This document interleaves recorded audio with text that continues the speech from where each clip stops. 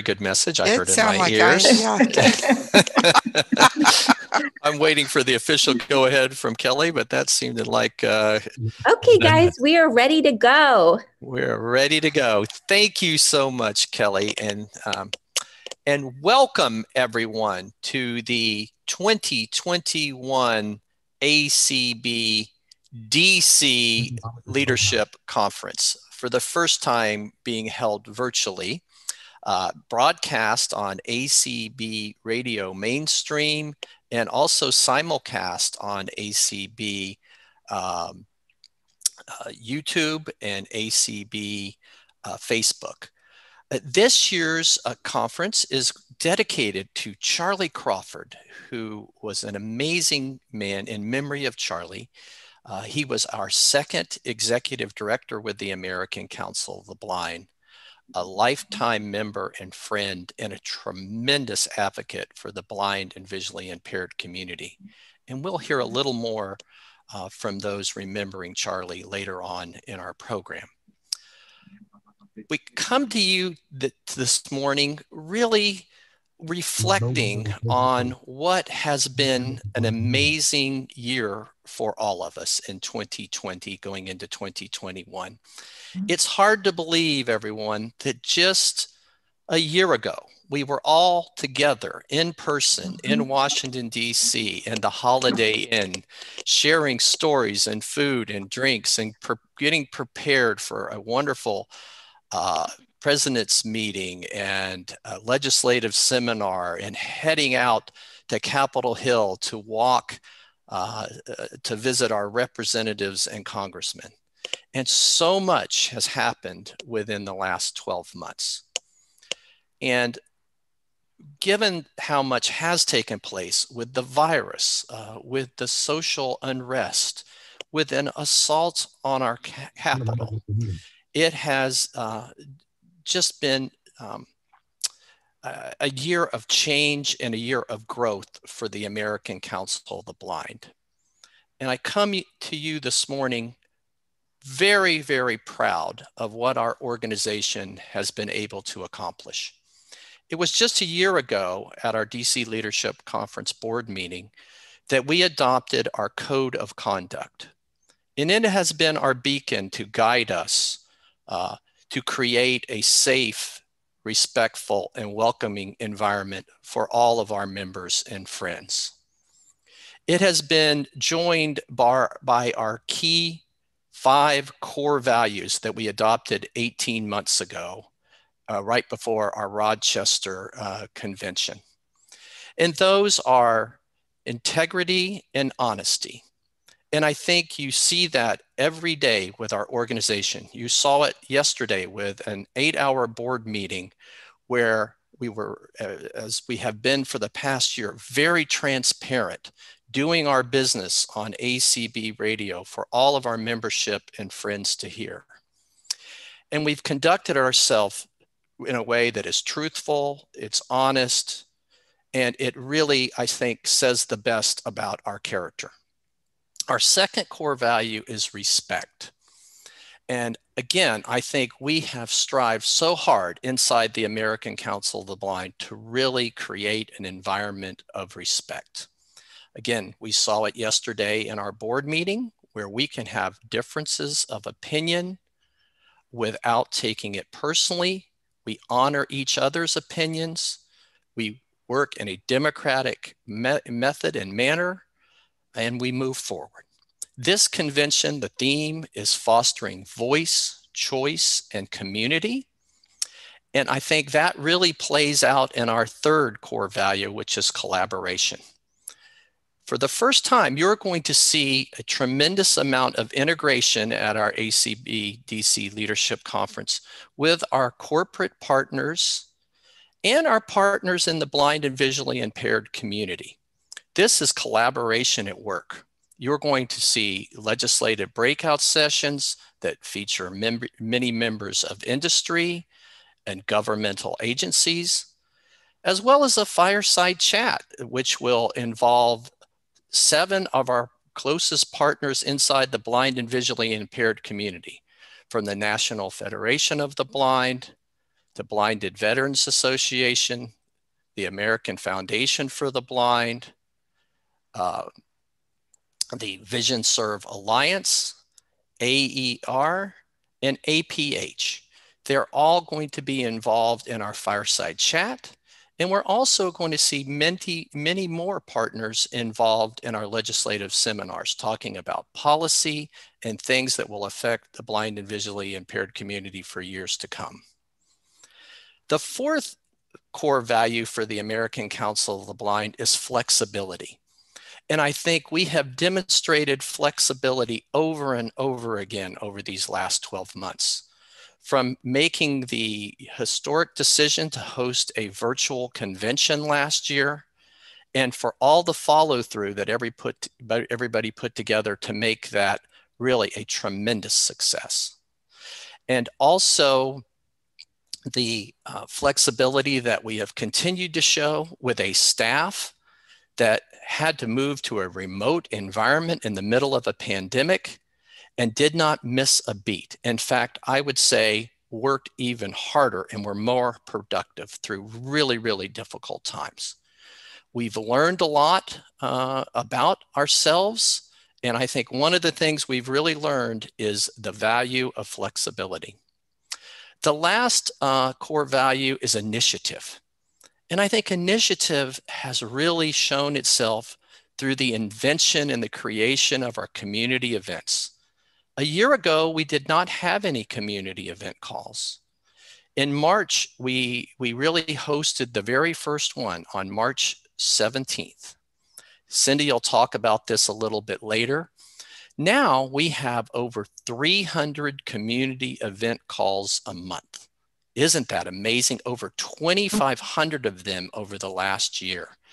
They range in so many different care, uh, uh, categories and disciplines. But what I'm the most impressed by is the initiative of this organization that has promoted and fostered uh, people to get involved, to share their talents and their opinions and their spirit at a time when many people felt isolated and alone, the American Council of the Blind met the challenge and has been there for our members.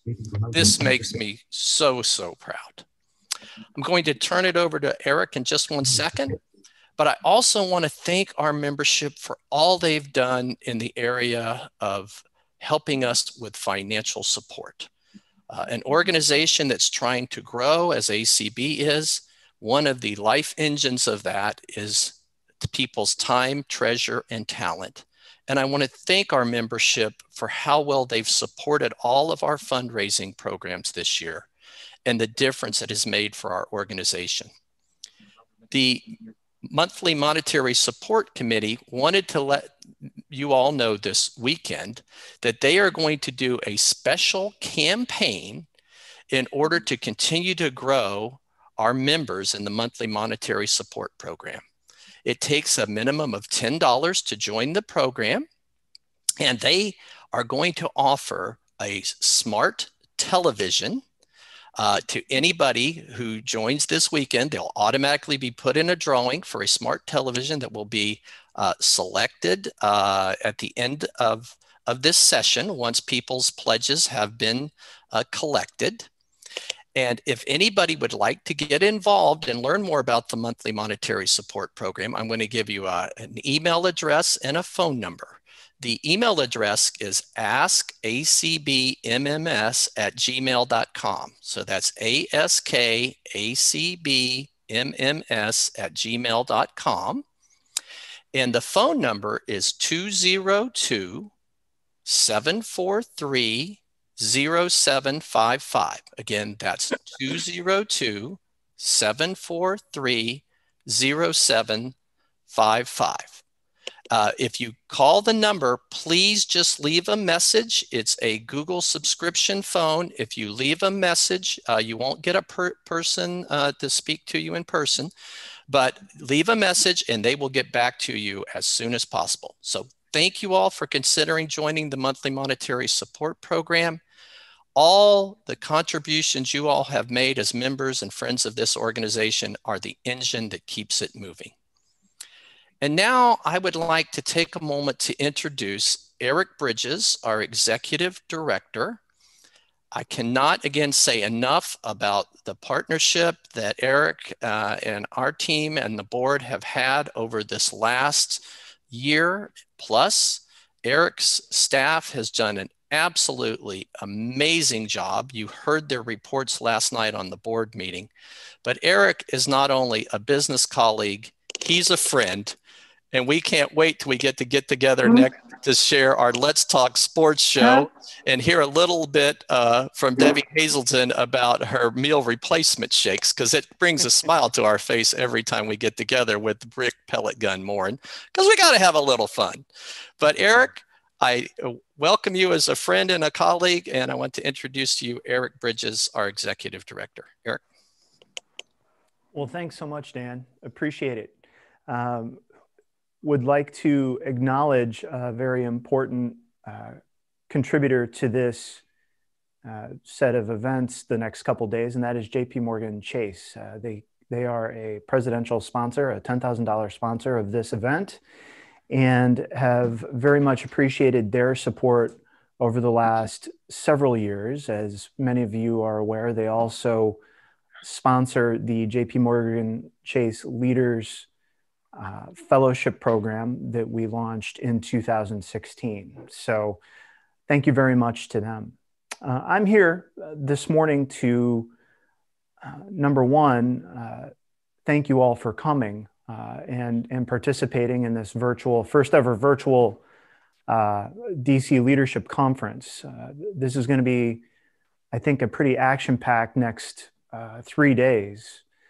And, uh, you know, our team has worked really hard to cultivate the, the, the, programming and go out and locate interesting and dynamic presenters to share their, their viewpoints and their, their knowledge with all of you.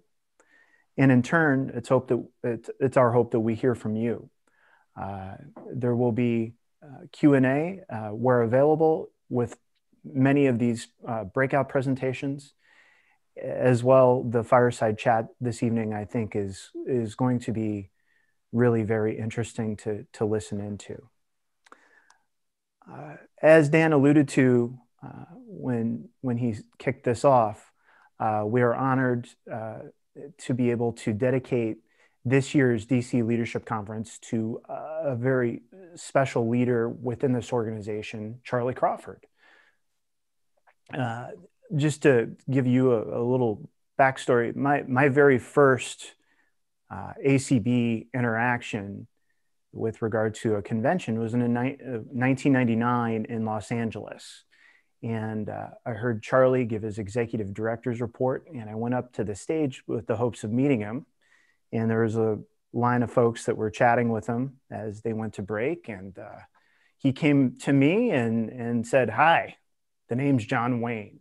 I was like, Oh my gosh. He was hilarious uh, and endearing, really, obviously, very smart uh, and a passionate advocate.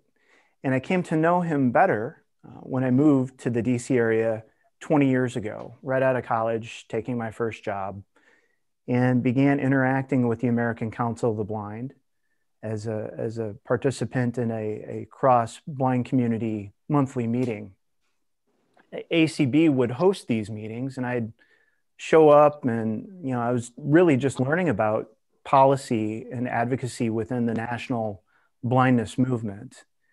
And what I was struck by was his level of knowledge, how he was able to synthesize some, some fairly complex issues into uh, words and phrases that, that were understandable to me as a new person that had not uh, done this sort of work for very long. Uh, he was willing to share, he was willing to educate. Uh, he was obviously very passionate but also ultimately very effective in the work uh, that he and ACB did. And I always thought during those years, man, ACB works on some really cool issues, whether it was audio description or accessible paper currency. Uh, there were numerous initiatives that ACB had undertaken that Charlie was leading that got me interested in thinking about, man, wouldn't it be cool to work here one day? Well, here I am, right?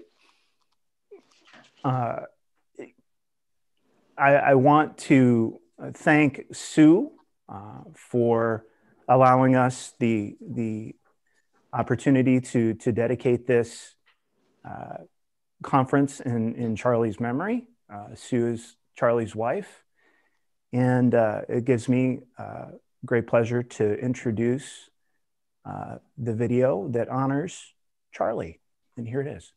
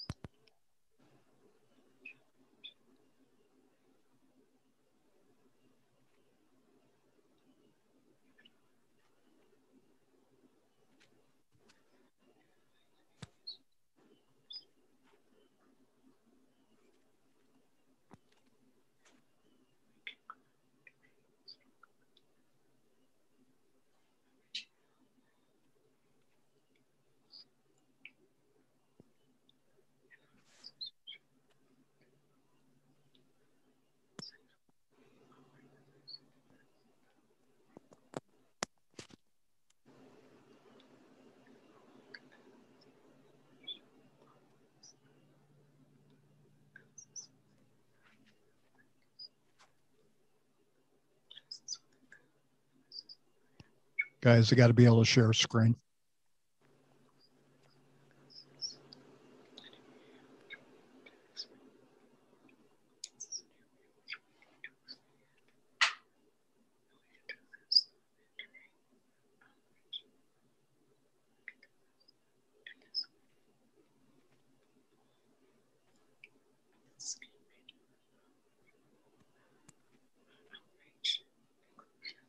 Please bear with us. We'll have the video up shortly.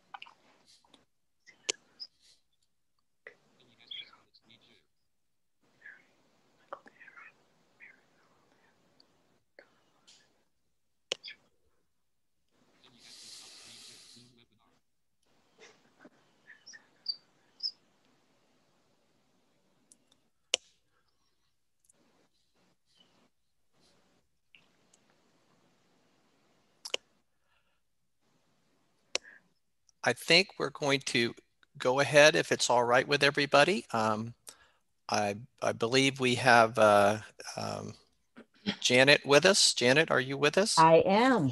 Okay. Um, while we're working to get the video for Charlie queued up, and we really want to share that, it is a really wonderful and moving tribute to Charlie.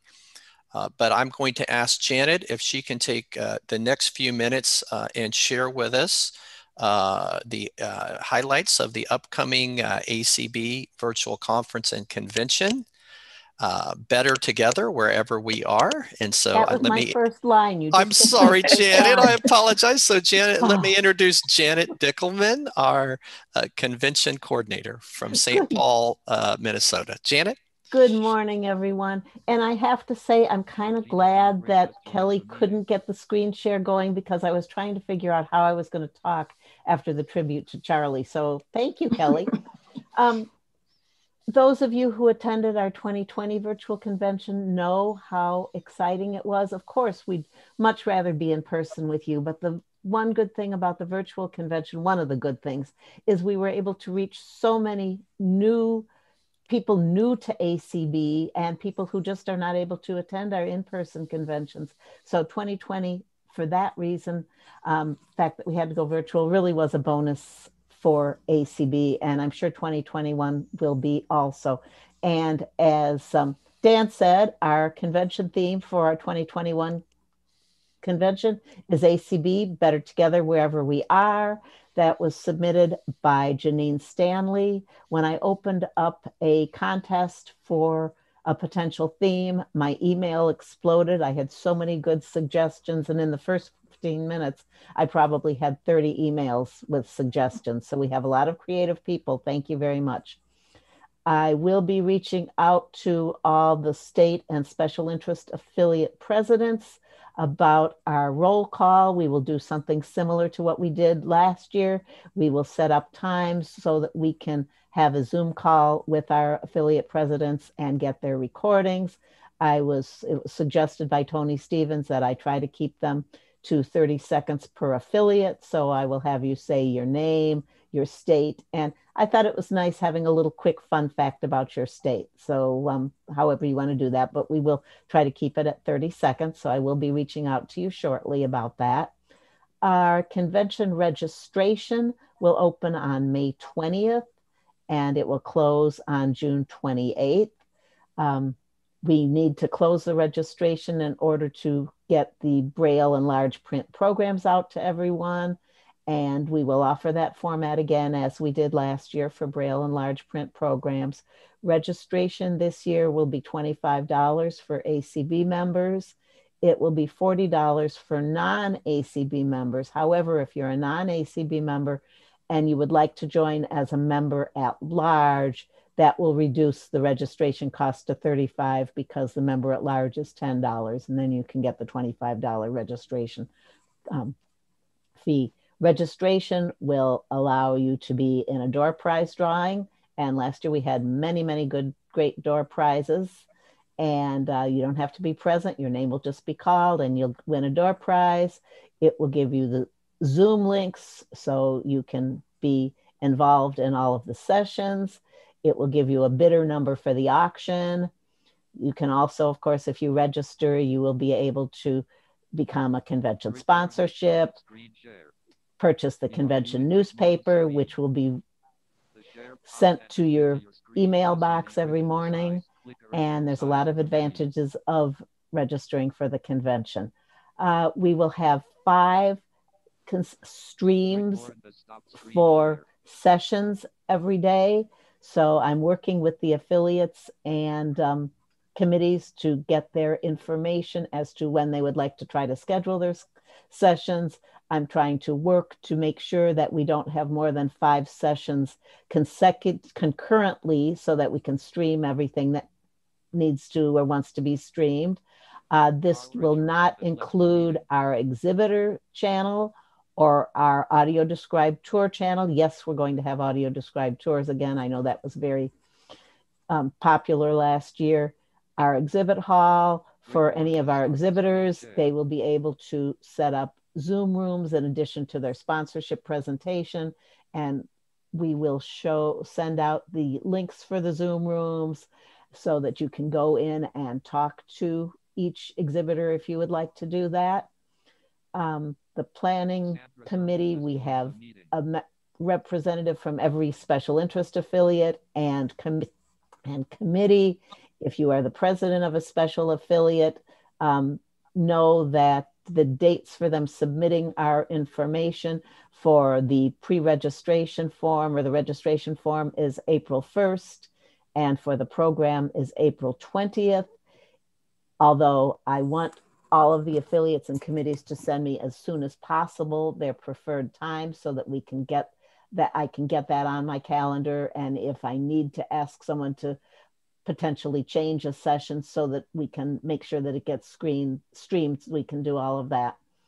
Um, let me give you a little information about the format of the convention or uh, what's going on friday evening july 16th and convention dates are friday july 16th to friday july 23rd friday evening the 16th i believe we're going to have our ACB Film Night, and then that will be followed by the Friends in Art Showcase of the Performing Arts. Saturday evening, we're still working, but I'm quite sure we're going to have a session on Get Up and Get Moving, um, all about exercise and getting moving. That will be a great session Saturday evening. Um, Sunday will be our opening general session. Monday evening, we will have a session similar to what we did last year. So popular with audio description um, that will be set up by the audio description committee. Tuesday will be our ACB auction. Wednesday evening, information access committee is working on a, a session and I can't wait to get a little write up on that that I can send out as a convention preview. That's going to be on financial freedom, doing your banking and other financial things online. We're going to have a broker. Um, we're going to have people from the banking industry, a financial planner, I believe. So that should be a wonderful session. Thursday evening will be our banquet. And our banquet speaker, I have to thank Kim Charlson for helping for getting this. Our banquet speaker will be Peter Sagal from NPR's Wait, Wait, Don't Tell Me. And anyone who's listened to the show knows what a tremendous um, speaker Peter is. And yes. in addition to being a media host, he is also a runner and he was running with as a partner to a blind runner during the Boston Marathon and they crossed over the finish line just a couple of minutes before the bombing. So that he's going to have lots of wonderful stories to tell us. And Friday evening, in conjunction with hopefully the opening ceremonies of the Olympics. We are going to have an Olympics extravaganza. Stay tuned for additional information about that. We have a lot of things, wonderful things planned. We're still in the planning stage, but there'll be lots more information about that. Our general sessions daily will be Monday through Friday. They will begin at 10:30 a.m. and run to 2 p.m except on Friday, we plan to run it a little bit longer till 4 p.m.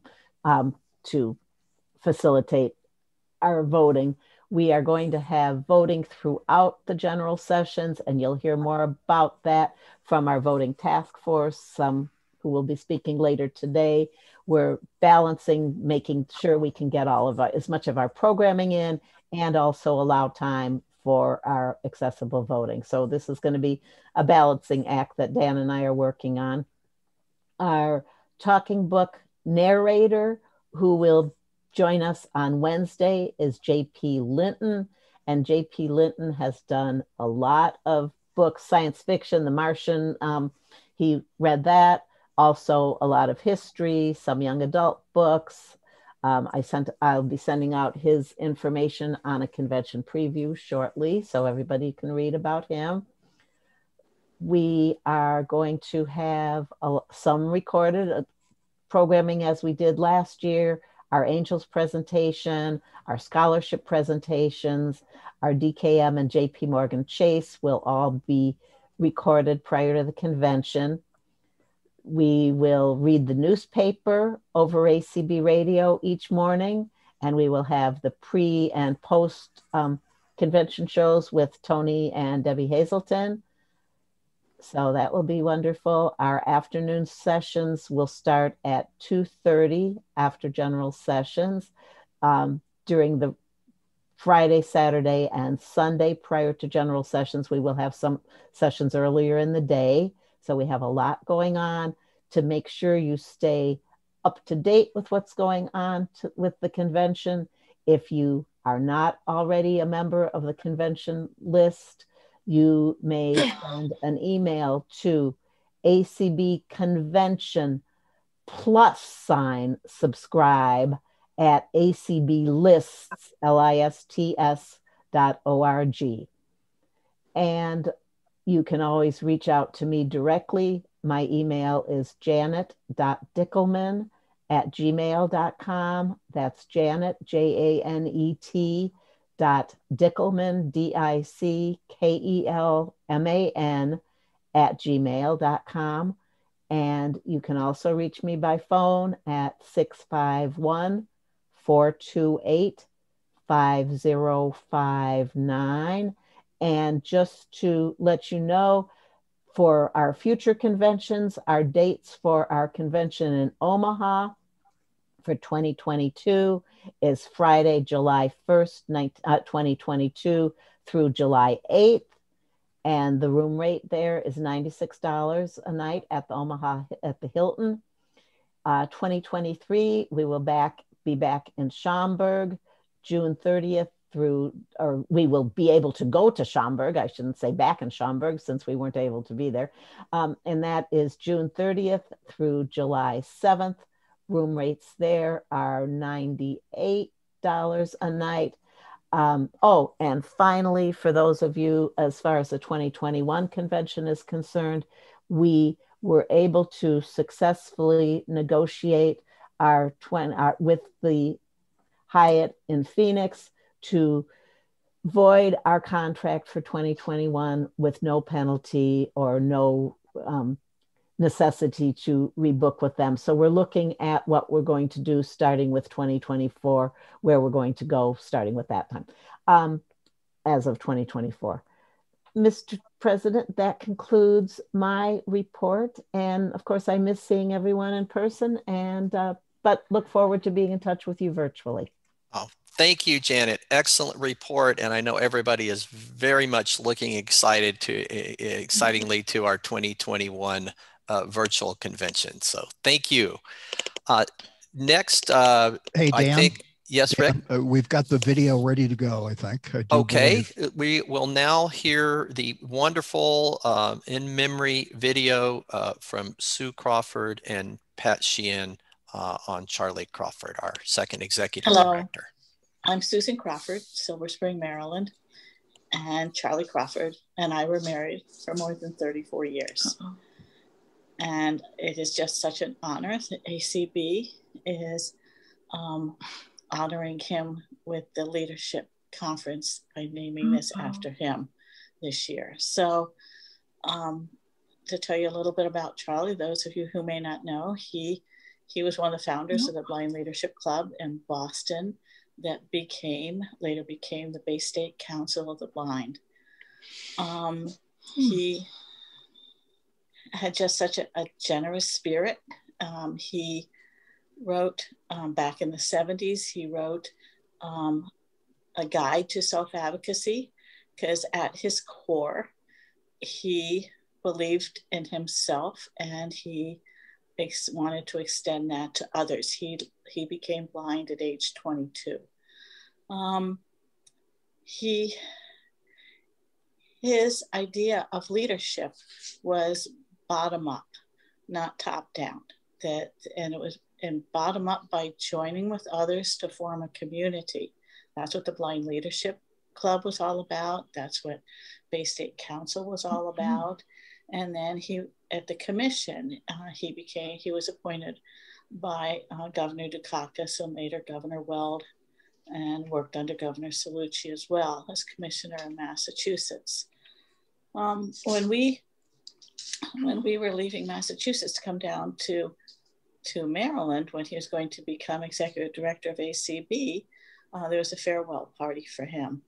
And at the party, uh, about 10 people stepped forward and said, Charlie, we, we discovered um, that you've been getting your shoe shined every week at Jimmy's. Uh, Jimmy was someone who lived at the Franciscan Mission and had just a little, little shoe sign, shoe shine shop.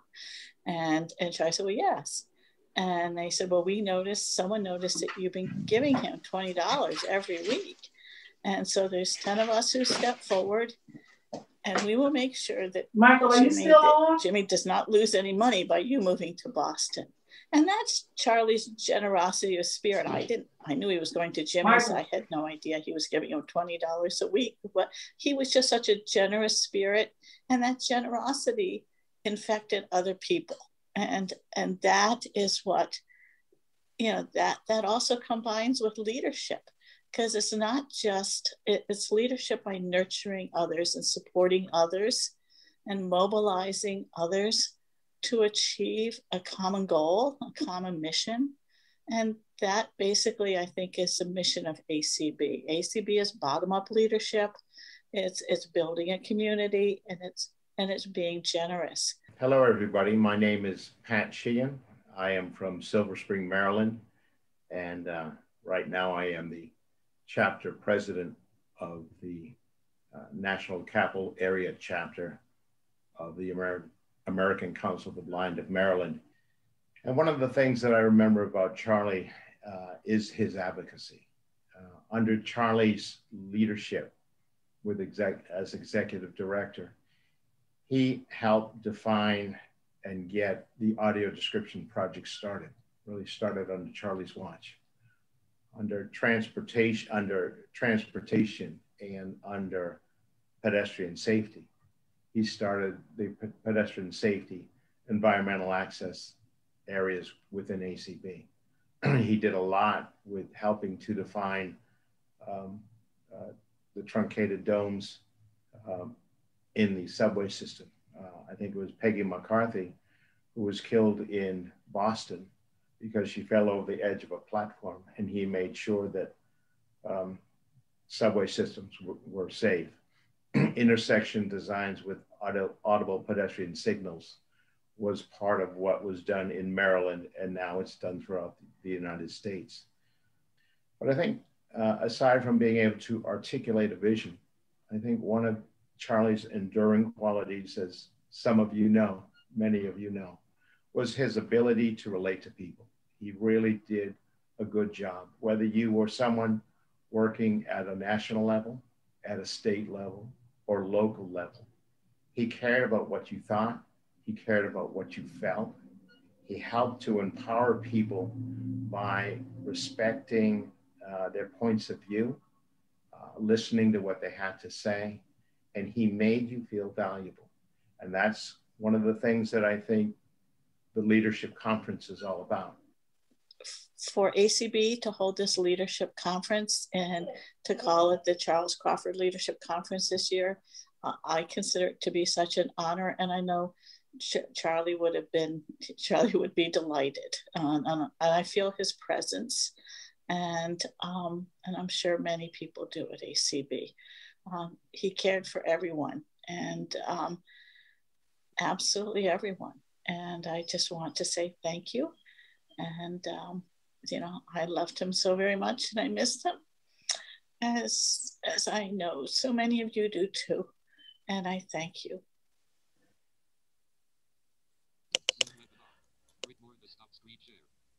Thank you so you. much, Sue and uh, Patrick, for your wonderful remembrances of Charlie in this year's conference, Fostering Voice, Choice, and Community I think nothing else would live to the spirit of Charlie. We miss him, we miss his advocacy, and Charlie, rest in peace. Um, next, I'm excited to introduce to you um, our Multicultural Affairs uh, Committee, uh, who will do a presentation this morning on fostering diversity and inclusion through a mentoring program.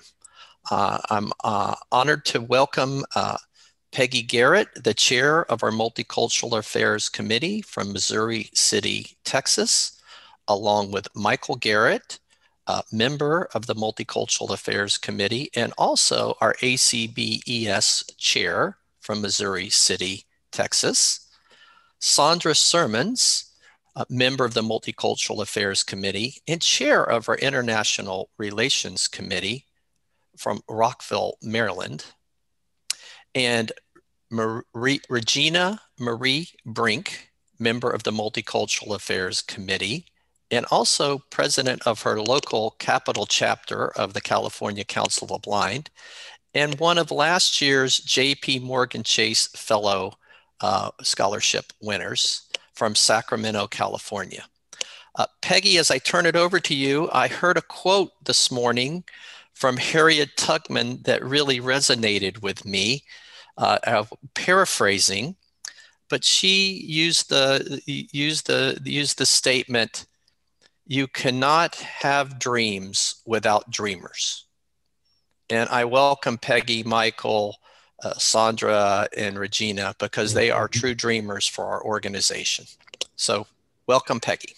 And by the way, Peggy, we're going to get you. You get your ten. We're not. We're not shortchanging you. So we'll we'll make sure you get your full forty-five minutes. So we'll be late going into the to the Leadership Connect show. So you still have forty-five minutes for your presentation. So thank you. Oh. Shit. And I I hear Michael, but I don't hear Peggy yet. So She's muted. She's like, can can you hear me now? We can hear you now, and and Peggy, that is not the first time we'll, uh, the last time we'll hear that question this weekend. So welcome, welcome, welcome, Peggy. Thank you, Dan. Thank you so much. It's a pleasure to be with you all this morning. Thank you for the opportunity for MCAC to present to the President's Group today. You know, ACB is an awesome organization. Um, and as President Spoone has said earlier in his opening statement, all of the challenges that we were met with last year and how ACB stepped up and met those challenges and just put us on the map and just in marvelous ways. And we are so appreciative of the opportunity to be a part of ACB. It is my honor to chair the Multicultural Affairs Committee. And as most of you know, our mission is to promote uh, inclusion and embracing of people of all ethnicities. Uh, ACB has just made such a difference in my life that it's made me want to make a difference for everybody else who is living with blindness or even low vision.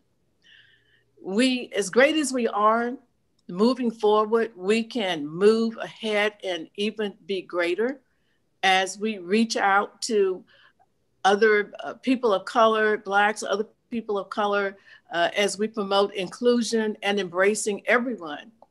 There is a lot of talent in this organization that has yet to be tapped and included. And this is what we want to do. We want to make this organization from the top to the bottom representative of all of its members. So, what we have looked at and decided that the way to do this is through a mentoring program. So, that's what we're going to talk about this morning. However, before I do that, I do want to introduce to you or make you aware of the other members of the Multicultural Affairs Committee. They are Regina Brink, Cheryl Cummings, Michael Garrett, Mary Haroyan, Pam Metz, Donna Pomerantz, Mitch Pomerantz, and Sandra Sermons. And I want to thank my committee for all of the hard work they do. We've been really busy trying to uh, just create programs and give people opportunities to know that we are we are a very ethnic uh, organization, and we just want to get everybody involved and included. So, with that being said, we're going to start this morning with a presentation. Michael Garrett is going to talk to you about the importance of mentoring. And then Sandra Sermon is going to talk to you about ways in which the ACB can, some steps ACB can take to implement the program. And then Regina Brink is going to share with you the various types of mentoring uh, programs that we can implement. Then I'm going to come back with just a few tips on uh, some of the things that we can do at the local level to start the mentoring process and how to move it up to the uh, leadership level of ACB. So I'll turn it over to Michael Garrett to get us started. Good morning, everybody. Hopefully you can hear me. Am I, hear you fine. Yeah, we hear yes, you. Yes, Michael, we can okay, good, good. Sorry about that. So, uh, I chose this first segment. I wanted to present this first segment of this presentation because of the uh, statistical significance and because of personal experience. And I want to preface my comments or this segment by saying uh, the presentation is sort of, it, focuses on uh, Black and African American uh, participation, but it can be uh, incre- increased to include all people of color. So the, the very first thing that needs to be addressed is, is the obvious. Why mentoring? Why the need for mentoring? According to an article in Forbes magazine in response to the Black Lives Matter uprising following the death of George Floyd, many organizations have committed to increasing uh, Black representation at the leadership levels. Both Microsoft and Uber have pledged to double the number of Black employees in senior level positions. Google, Royal Bank Canada, Lloyd's Bank Group, and HSBC, another financial conglomerate, also are among companies who have publicly announced their plans to increase Black representation in their leadership teams.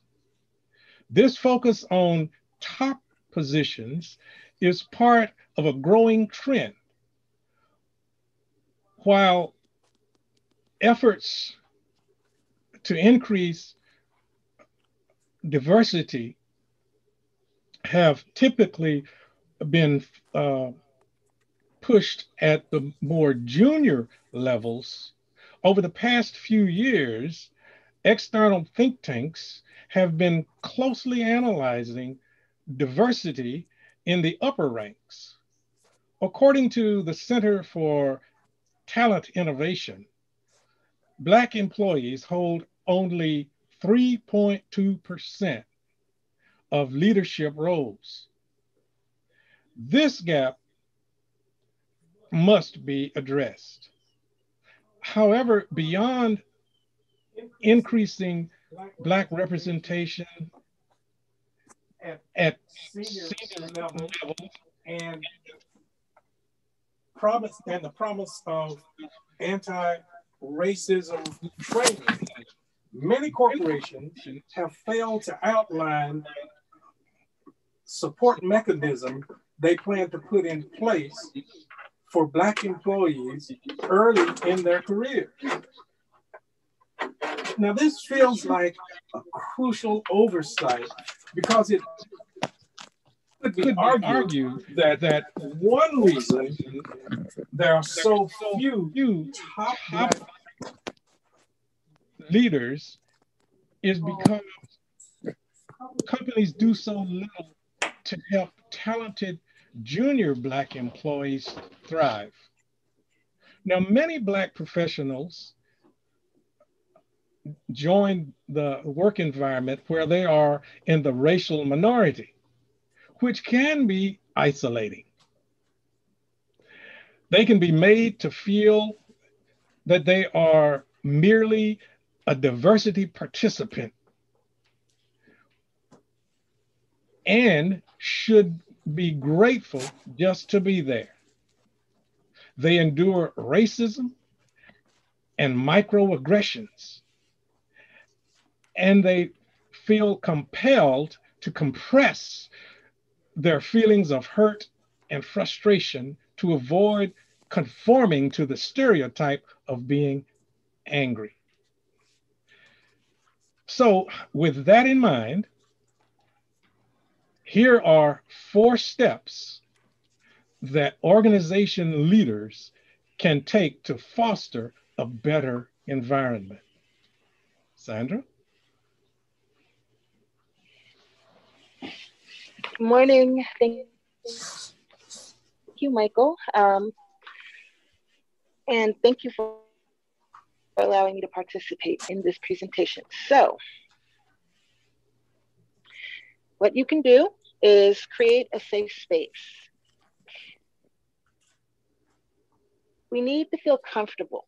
We need to feel that it is okay to have the meaningful conversations.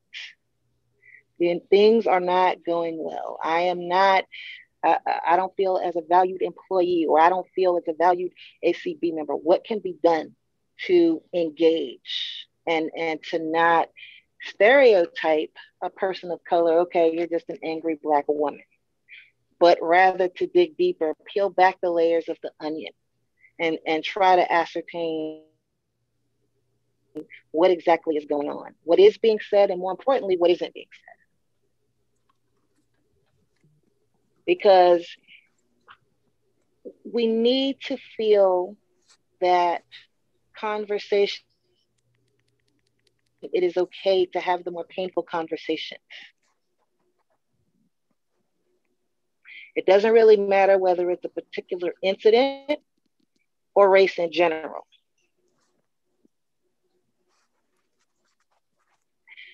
Also, it's not just the Black thing.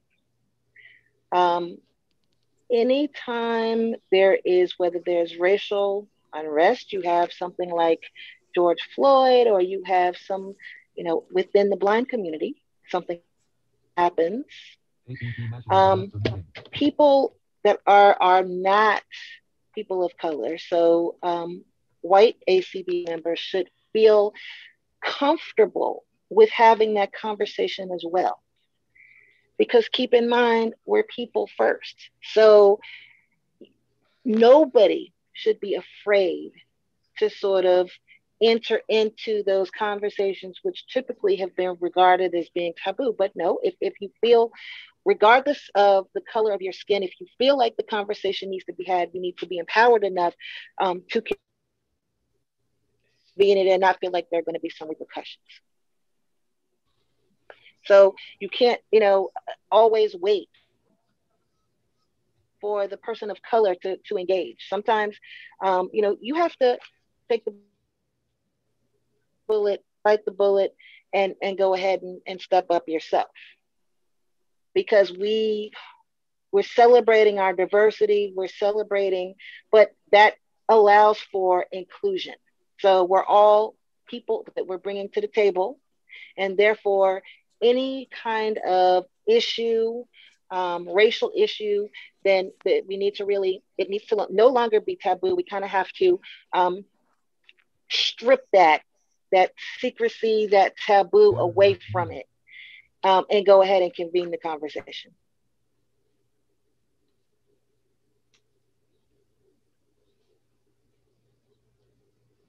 Um, we need to be encouraged to be authentic.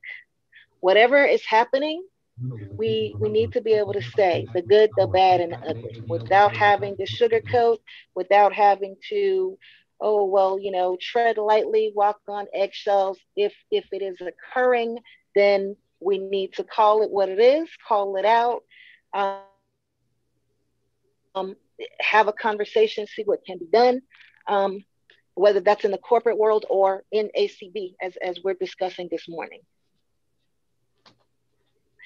and quite often um, um, you'll have instances where, let's say, a person of color is just entering into the organization or just entering into um, the workplace. You know, you go along to get along, okay? But that is not necessarily good. That's not necessarily going to make for a good uh, corporate official, a corporate workplace, and it doesn't necessarily make for a good organization. You know, you're just towing the party line because you feel like you have to. When if inside you're miserable and you, you know, that doesn't that does not bode well for longevity of membership. Um, people have to be comfortable. People have to feel valued. People have to uh, feel like whatever is going on, they can bring to the table without any kind of retaliation. Um, basically, ACB traditionally is an organization that celebrates democracy. We go above and beyond. So we we also have to celebrate diversity. We have to celebrate the differences because in celebrating differences, um, you are creating a stronger organization. Everybody has an has assets. They are we are um, a wealth of opportunities.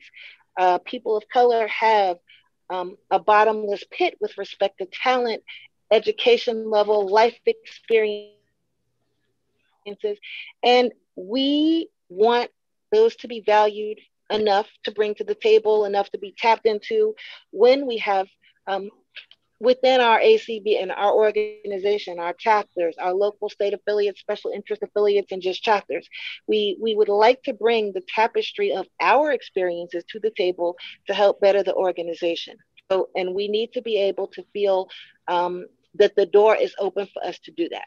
And that holds true whether you're talking about ACB, which is what we're talking about now, or the corporate world. We, we need to be comfortable. We need to be able to be who we are, and we need to be celebrated for our differences and our uniqueness. We all have, we all have um, something that we can teach people. We all can learn from one another, and we have to be able to facilitate um, a situation wherein that can take place. There can't be this sort of, you know, um, one sided thing. There can't be uh, fear, and intimidation, retaliation, um, none of those things. There, there has to be open communication. There has to be a level of receptivity to what people are saying. People have to be made to feel comfortable, and people have to be included. And one of the most, most important ways of doing that is to develop um, our, our mentoring program. That is a very direct way of engaging ACB in general because it is um, the top down, like what Charlie would want, you know, or bottom up, like what Charlie would want, you know. We're taking the grassroots folks who are just coming in and, and we're combining them with people who maybe know the ropes a little bit better. They can teach them, we can teach them the ways of ACB and then they can take that through a mentoring program, they can take that and do us one better. They can improve the organization. They can be innovative. They can share their ideas and help to take ACB to the next level.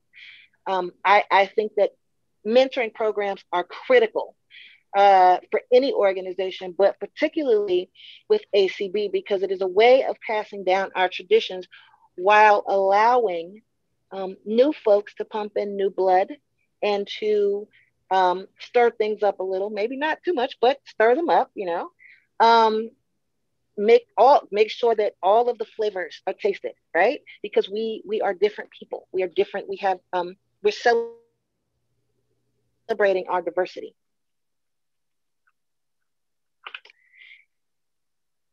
And with that, I am going to turn it over to Regina.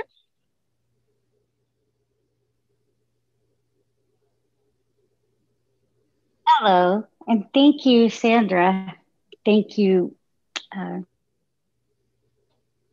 Peggy, Garrett, and Dave for this opportunity to present today. So I am talking about establishment. So mentoring is a relationship, and I'm going to repeat that because I think this is the most important part Mentoring is a relationship in which a more experienced or more knowledgeable person helps to guide a less experienced or less knowledgeable person. And the reason I said that relationship is so important is because that allows you to talk to someone in a way that you can't if you don't establish that relationship first. There are constructive things you can say to someone that will be received differently if you have a relationship with them than if you don't. And some of those things that need to be said to the newbie are important and they can't be transmitted without someone that develops that relationship. And that takes some time and some investment. The mentor may be older or younger than the person being mentored, but they must have a certain idea of expert, a certain level of expertise. Mentoring is important, not only because of the knowledge and skills mentees learn from mentors, but also because mentoring provides professional socialization and personal support to facilitate success in the organization. Quality mentoring greatly enhances mentees' chances for success. Stages of mentoring, so there's stages just like in anything else in life. Successful mentoring relationships go through four basic phases. There's preparation, and that's like getting everything, you know, establishing that relationship negotiating, getting to know that person. What are their strengths? What are their weaknesses? And where do they envision themselves? Then enabling growth and then closure, which that may be a different thing. It may, those relationships may continue on past the mentoring stage. And these build on each other and vary in length. In each phase, there are specific steps and strategies that lead to mentoring excellence. So there's mentoring types. The traditional one we're all familiar with is one on one mentoring. A mentee and mentor are matched either through a program or on their own. But there's distance mentoring or e mentoring, a mentoring relationship in which the two parties or groups or a group are in different locations. We've all become very familiar with this e mentoring thing now. and then there's group mentoring. A single mentor is matched with several mentees. There's a mentoring model, and the most traditional mentoring model is where one senior person from the organization or more experienced, because it may not have to do with uh, age you know maybe someone loses their sight way later on in life and this is a brand new experience to them so it but someone senior in that organization mentors one junior person from the organization. For example if you have an operation where there are many mentee candidates but a limited number of potential mentors that would have to happen. And you may have to do group mentoring, e mentoring, because it might work best. So, with that, I want to turn it back to Peggy Garrett and thank you for uh, listening to that about mentoring. All right. So, thank you, Michael and Sandra and Regina. And I am now on Michael's computer because I got kicked off of my phone. So, but thank you all for for sharing that information. Um, mentoring is is definitely something that we need to implement, but it does need to operate from the grassroots up because it is there that people's potential and their contributions first are, are made available. So it is incumbent upon the president and other leadership at the chapter level to get to know their members, to find out, as, as, as Regina just said, what their strengths and weaknesses are, find out what their niche is, encourage them to get involved, starting with maybe serving on a local committee. If it's something as simple as welcoming welcoming people uh, to meetings, making phone calls to remind people of their upcoming meetings or activities, getting them involved in that way gives them a sense of, of just being embraced and being included. And from there, you can help them to determine what their niche is, to move into uh, maybe chairing a committee for your chapter, then moving into maybe serving as your representative for your chapter to your state affiliate, chairing a, a committee at that state level. And then it becomes incumbent upon the, the affiliate president to help that person to move up into the leadership leadership in a lot of cases. Now because of the the the last year the events and the reaching out and includes including people through community activities uh, a lot of people who normally would not have been made known to some of the leadership that you know that that's been great. But on average some of our members are never going to be known to leadership unless they're introduced through the local chapter, through the state, and then to the national level. So these are some ways that we can really reach out, include people of all ethnicities. And, and this will strengthen the organization because as I said in the beginning, there is a wealth of talent out there that's untapped. But we as an organization need to make everybody feel welcomed and encourage them to share of their talents because everybody has something to offer. We just have to figure out what it is and where they best fit. So with that, uh, Mr. President, if we have time for questions, we'll open it up for questions. Yes, Peggy, we do have about uh, 10 minutes here. We'll go uh, uh, uh go for four questions. Uh, mm-hmm. So again, I want to, and maybe while people are uh, waiting to raise their hands, and we'll have Cindy and Donna kind of recognize them here in just a moment. I first wanted to have just a brief conversation that as you all were speaking, I thought of two years ago at our DC Leadership Conference, where we started kind of a similar mentoring program around uh, you know younger people getting them involved kind of fostered mm-hmm. by our uh, next generation committee and that yeah. really i think uh, that seed uh, kind of capital really uh, really worked well in really inviting people to come to meet leaders to participate in the president's meeting and the legislative seminar uh, to, mm-hmm. to integrate them into you know the the workings of ACB, and and then we've seen uh, the fruits of that here two years later. And so, I would really uh, welcome us to continue to have a conversation as part of the mentoring program that perhaps uh, you know we can we can work to you know uh, to establish a program um, next year maybe to bring some uh, some um, uh, you know a team uh, from through the multicultural affairs mentoring program to the DC leadership conference. So. That sounds really good. That sounds great. And next generation is just one example of mentoring. However within this organization we have people of all ages who are who need mentoring because uh, we at our local chapter level did a leadership training for new members or for people who've been around for a while but just were not totally aware of how ACB or operates. Uh, they were not quite clear on the difference between the local chapter, the state affiliate, and then the national organization.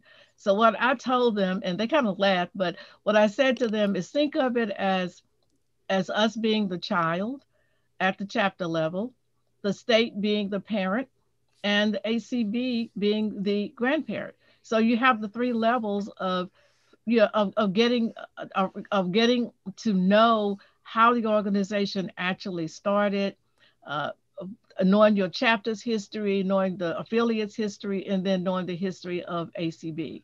And it worked really well because of the 18 people that we took through that program, uh, only five of them have dropped out. Everybody else is either chairing a committee, serving on committees, or some of them are even now active at the state level. So it can be done. Um, you know, and, and, like I said, the youth, we need the youth. We definitely need youth, but there are so many other people who are talented and have a lot to offer, and we don't want to leave anybody out. Oh, and, and I wasn't implying that it was only for the youth. I'm just saying that was a model that we, uh, yes. you, know, uh, deployed, and it really worked mm-hmm. well. So I think we could do the same thing uh, for our, uh, you know, uh, of folks of color and, and really looking to see how we promote and give those people an opportunity to engage.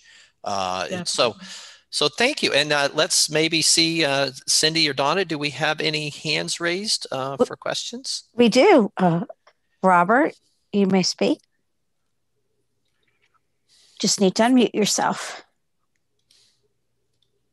Thank you. Uh, just a couple of couple of questions. One, do you understand this concept uh, to be maybe a function of the membership committee since they are responsible for recruitment and retention? And second, do you have uh, perhaps a, a, program that would allow training for the mentors, maybe bring in other organizations that do in fact mentor and uh, provide maybe even a Zoom meeting or some sort of training for people who are willing to be mentors? Thank you. Thank you, Robert, for, for your question. Uh, yes, we we are currently working with other organizations. We are working with people outside of the organization to put together a mentoring program that will work, and thus the information that we shared with you today. You know, I'd like to. Um, I think I'd be remiss if I did not take a moment to thank uh, Jane Dunham who did the board training, who also did a couple of trainings for us earlier in the year, and who actually contributed to our presentation this morning. So I want to take a moment to thank her for for uh, for you know for assisting us with that. I'm sure she's listening, so thank you, Jane. But yes, we we are definitely working on that. Now we have worked with the membership committee. As a matter of fact, we did a uh, presentation with the membership committee last month where we talked about outreach and inclusion. Uh, there were some questions about how to do outreach to, to Blacks and other people of color. Uh, we did a whole presentation on that, and that is available, that information is available on the MCAC website. So we are always looking for opportunities. If people have suggestions, we're more than welcome to incorporate those as much as we can into the uh, programs that, that we'll, we'll be presenting in the future. Next, we have Deanna. Deanna, one Good of our former MCAC members. yes, before I got so bogged down in family responsibilities and had to cut back on what I was doing. One of the tricky things I think is knowing that you're not there to provide all the answers when you're a mentor. A lot of what you do is listen.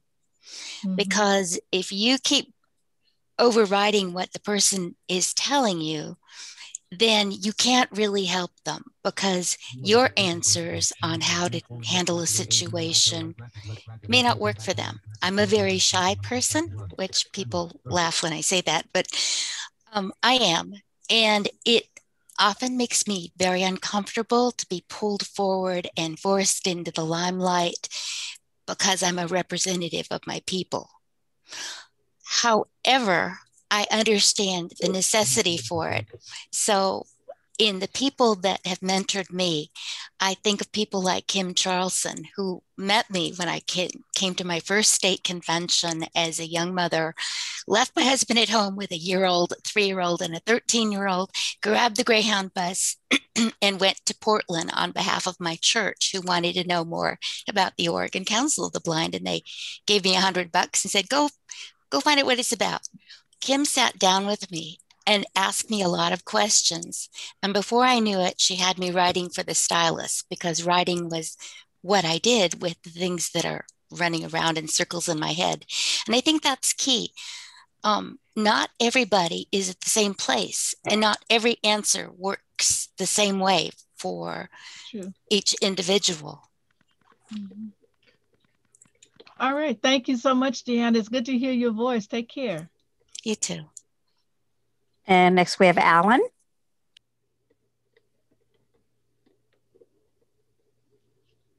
Alan, you may unmute. Hold the Zoom webinar.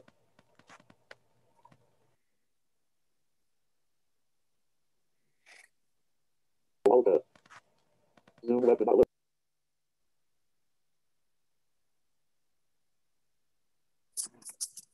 Oh, you were unmuted. Try again, Alan. There you go. Alert, audio now unmuted.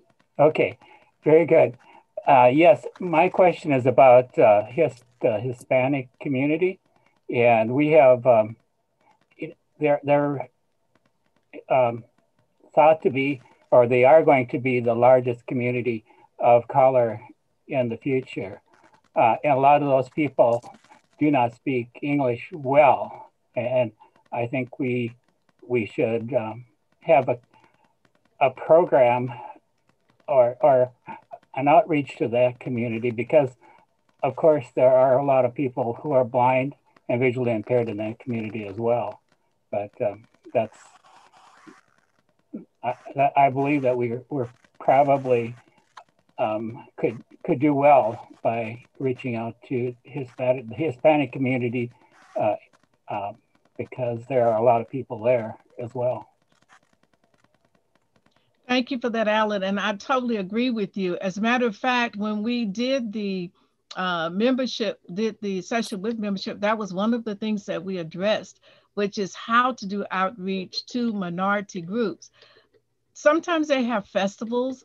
Uh, getting to know just one person who's visually impaired within that group, having them to introduce you to others, other people, help you disseminate information into their group is usually one way of, of getting started. If you have someone in your uh, immediate uh, chapter who speaks Spanish, that's always a help as well. But there are a lot of ways that we can do outreach. We just have to start to think outside of the box, not to do things in a way that we're already familiar with, the things doing it the way we've always done it. Uh, we just have to look for new ways of, of getting to know people and being willing to step out and make that and take those chances to get to know folks. Well, Peggy and team, thank you all so much for this presentation. So Peggy, if people want to get in touch with you or learn more about the Multicultural Affairs Committee and the uh, mentoring program, how, how is best to get in touch with you? Uh, I'll give you my both my email and phone because it's all over the world already anyway, so it doesn't really matter. but my email is prc garrett, and that's G A R R E T T, prc garrett at sbcglobal.net. And you may reach me by phone at 281 438 9665. And again, I'd like to thank you, uh, President Spoone and committee for the opportunity to present this morning. Thank you very much. Thank you, Peggy. Thank you, Michael. Thank you, Sandra. And thank you, Regina. We really, and, and all the members of the Multicultural Affairs Committee, thank you for all that you're doing. And uh, thank you for continuing to shepherd us through uh, hopefully what is a uh, large growth area for the American Council of Blind, both in membership and leadership. So thank you, Peggy. Thank you.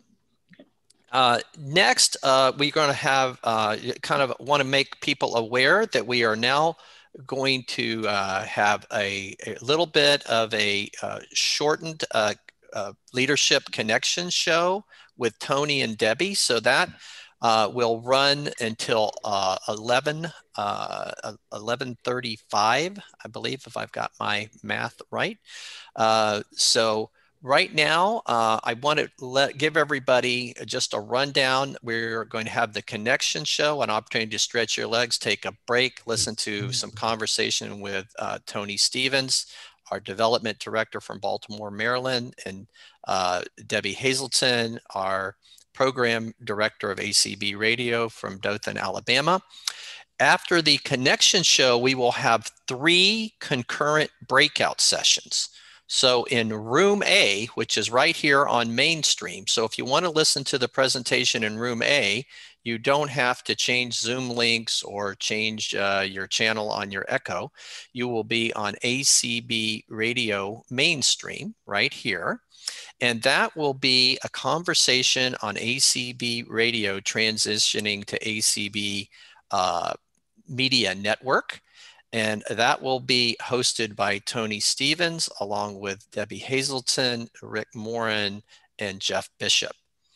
On Room B, which is broadcast on ACB Radio Live Event. So again, Room B, broadcast on ACB Radio Live Event. Also can get there through your Echo device. And that uh, will be a session on communication and marketing toolkit for affiliates. Uh, that's going to be presented by our co-chairs of our public uh, awareness steering committee, uh, Kelly Gasque and Katie Frederick, along with our consultant that has been helping us so much with our putting together our communications plan and has some exciting uh, new information to share with our affiliates on a marketing and communications toolkit for the affiliates, Kate Vendemio from Mount Vernon Consulting.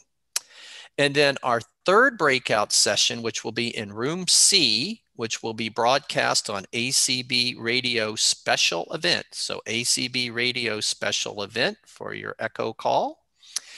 And that session will be on membership and membership services, recruiting members, how you really use your, your member uh, database. And we really are looking for affiliate uh, information buy-in and an excellent discussion in this particular area uh, because we are really working to better integrate our ACB uh, AMS membership system with the local uh, and state affiliates and chapter membership certification process. We believe there's a lot of opportunities to improve our membership flow of information and how our certification process takes place. So please join Cindy Hollis, uh, Nancy Marks Becker, uh, Carla Ruschival, and Jane Corona for a very good discussion on membership and that's in room C special event, ACB radio special event. So those will be our three breakout sessions. And now I would like to turn it over to uh, Tony Stephens and Debbie Hazelton for our first Leadership Connection show. So welcome, Tony and Debbie. The applause goes wild. Woo, woo. All right. Thank you yes, so much, indeed. Mr. President. Welcome. Good morning. Good to hear your shining and excited voices. Yes. Oh, they're they're, they're very shining and excited. Good morning, Debbie. Have to break out in choir. Hello. Hello. We're back. Yeah, we are. It's great to be with you. Chat. Yeah. You All right. Well. It's very exciting. I saw it 118 listening on ACB Radio Mainstream this morning. Welcome to everybody on ACB Radio. Good morning. Hmm. Yeah. And before we get going, I know we have a guest, but I'm going to take a moment of personal privilege and say that uh, you guys, I want you to feed the fundraiser for ACB Radio.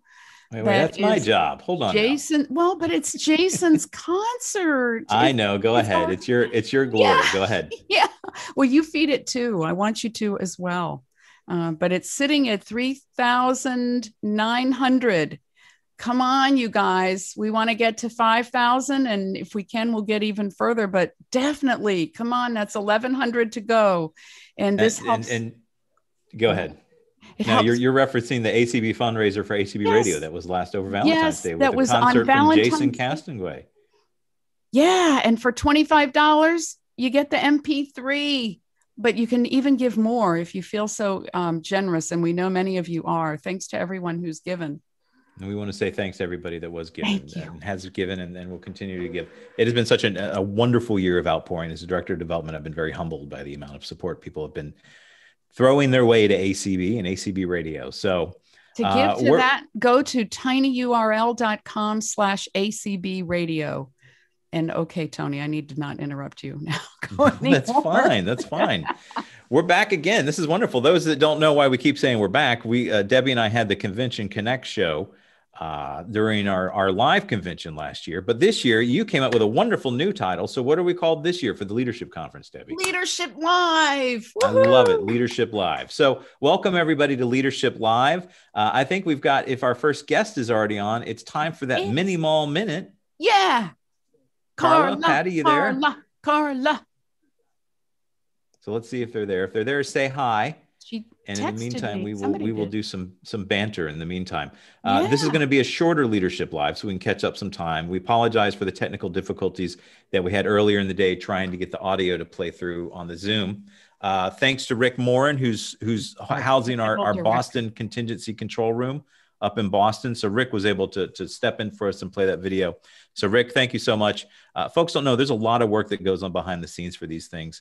And, uh, and we want to thank all the volunteers and everybody, Debbie, you and your streamers and folks for ACB Radio. We're also streaming this live. You can go to acb.org slash live now and tune in to all the main general sessions. We try to make it as easy for people to remember. we're on mainstream, acb.org slash live.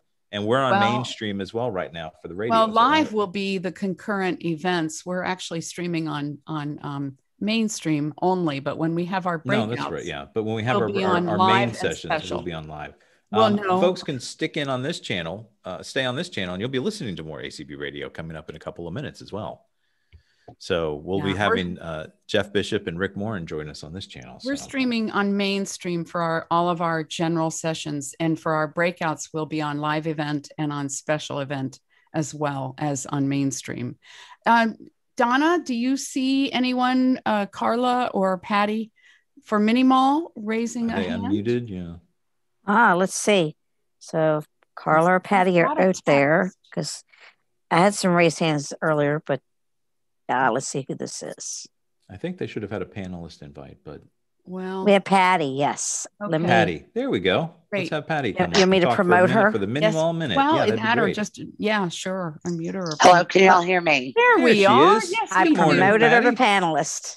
Patty Cox with CCLVI living in, out in Kentucky. Are you all surviving Kentucky? Is it snowing out there right now? What's the weather like, Patty?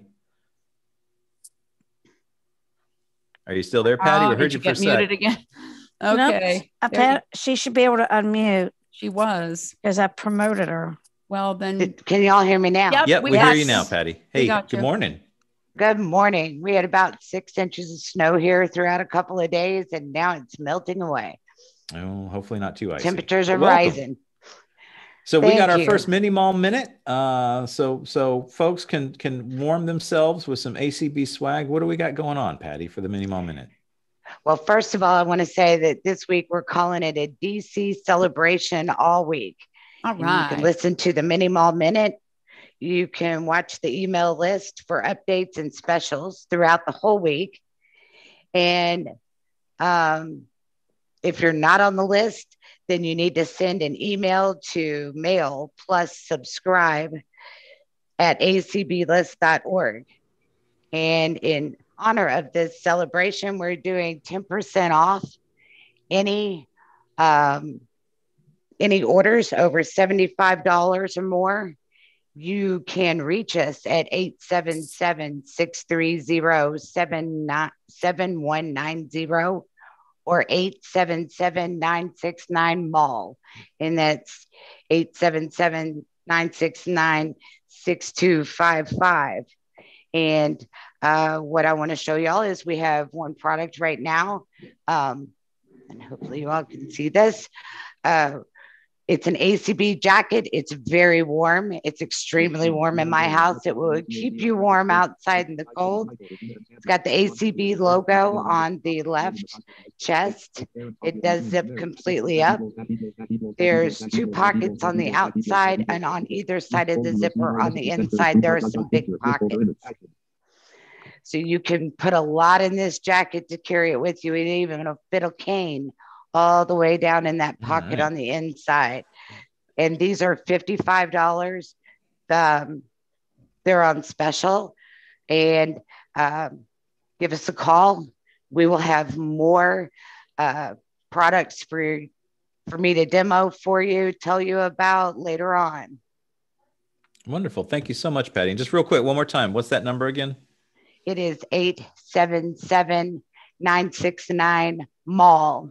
It's 877 969 6255 or 877 630 7190. Excellent. Thank you so much. And thanks for our mini mall minutes back again, just like convention. So it's nice to have you back. Thank you. Stay stay warm in that, that Yes. ACB coat. All right, Debbie. So we're, yeah. we're going to be hanging out here on this channel. That's great. So, and I know you're planning um, more sponsors this week and others to come in and join us. Wanna... Yeah, we'll be having, um, I think, uh, uh, Vanda and Vispero are both sponsors. Thanks, thanks to our main sponsors, JP Morgan Chase. Mm-hmm. Um, but yeah, uh, Matt Ader for Vanda's, uh, no, Matt Ader with Vispero and Jennifer Lineman with Vanda. I just gave them job changes. Uh, they'll be joining us as well. Um, uh, you know, over the over the course, I think I think uh, will be with us on Tuesday because it's Health and Wellness Tuesday and Digital Inclusion on Tuesday as well. Cool. So, uh, but yeah, we've got uh, some more folks coming in. Uh, we're gonna have some folks from California joining us at the four o'clock uh, Leadership Live for a few minutes. Great. Um, and another mini mall minute. So yeah. So I, I think what would well, go ahead, Debbie. What's the weather like where you are? It's icy. It's cold and icy. I kind of ice skated my way from the hotel down the street from the office today. Oh, so, um, man. but it's good. It's starting to melt hopefully today some. So we got we we were not nearly as bad as other parts of the country. So uh, we're thinking of everybody in Texas right now. Uh, oh. you're on our on our thoughts and and prayers and and you know Peggy and, and Michael are in Houston and we know everybody down in Texas was hit really hard because uh, they're not used to cold weather like we are up in the north. So you're you're down in Dothan, aren't you? Did it come through your way, Debbie? Oh yeah, we got into the 20s again. We've we've been in the 20s yeah. several times. I mean, I know that's that's probably warm for where many yeah. of you are. that can be cold down south, I know.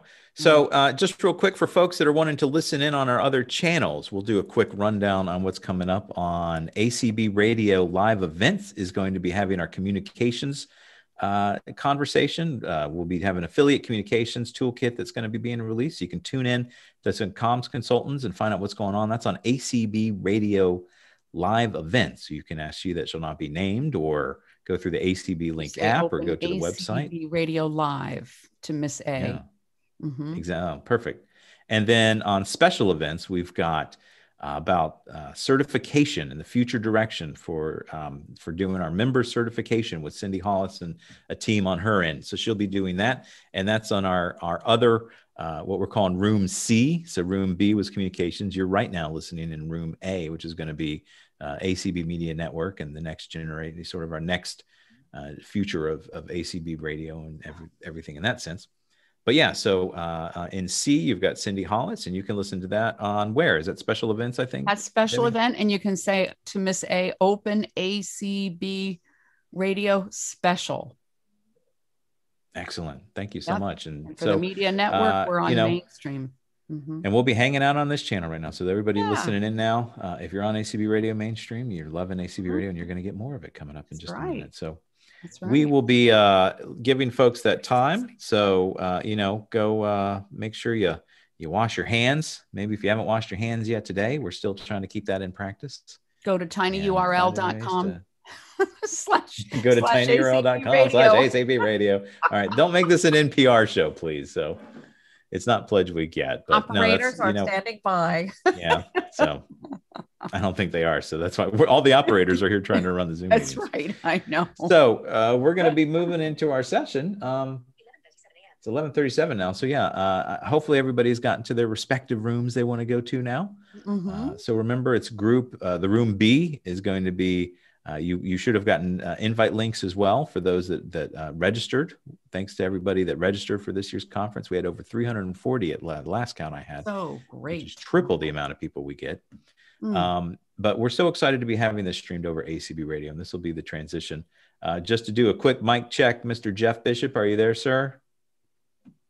Oh, I know he's there because he's then streaming. Mr. Rick Morin. Rick's there. Yep, we've all been on mics. I heard Rick morning. on there. Yeah. So. Yeah, we're there. I think. I so, um, do we want to sure our host, if we can make sure that that uh, they're not muted by accident on our end? Um, but yeah, Rick Morin uh, and Jeff Bishop will be welcoming up here in just a second. So as we get our own stage cleared up and ready, I, I am here, guys. Yes, there yes, you are, Rick. Rick. Good morning. Good morning. How are you? We're doing well. Thanks again for holding down the Boston, the Boston. Uh, I'm trying to think of something tied to Tea Party that would be. I don't know. I can't think of anything. No, well, it kept me warm. It's keeping me Kept warm. You warm. Keeping good, me good, warm. Good. yeah. We could say Rick's the Boston cream pie. Yeah. How about that? Oh, geez. and it's it's bright ah. and early in outside oh. Seattle. Oh. Jeff, are you with us now? my friend? Jeff. We'll give another yes, second. I am here. There you there are. he He's is. There. That, the, the dulcet, rich tones of Jeff Bishop. That's right. Bright and early. What do we have? It's 1140 here. So it's 10, 9, 840. Are we at 840 Seattle time? Yeah, Jeff's, 8, 9, Jeff's 10, been 11. on Yeah. here. So Yeah. bright and early. Mhm. So, um, greetings, friends. Good Um, my, my my my fearless leaders of all things ACB. Uh, what I'd like to do is welcome everybody to the panel conversation on ACB Media Network, and thank you for taking time out of your Sunday uh, to join us. If you're listening in, or also if you're tuning in on the podcast, welcome again. Uh, we're very excited to be having. I'm as the director of development, Tony Stephens for the American Council of the Blind, and I'm joined with three extraordinary guests today that are the the the blood and and and bones of ACB radio. And uh, you know we have uh, the, the basically the the triad of people that really work behind the scenes that, that get to wear the hats in the organization that really really steer it from the steering committee perspective, which is Mr. Jeff Bishop, who leads our steering committee. He's also a member of our board and works for Microsoft, uh, based out just outside Seattle. Uh, Mr. Rick Morin who is our new technical director uh, for ACB Radio, as well as helping out with all things sort of IT tech related here uh, for the American Council of the Blind. Rick's based just outside of Boston.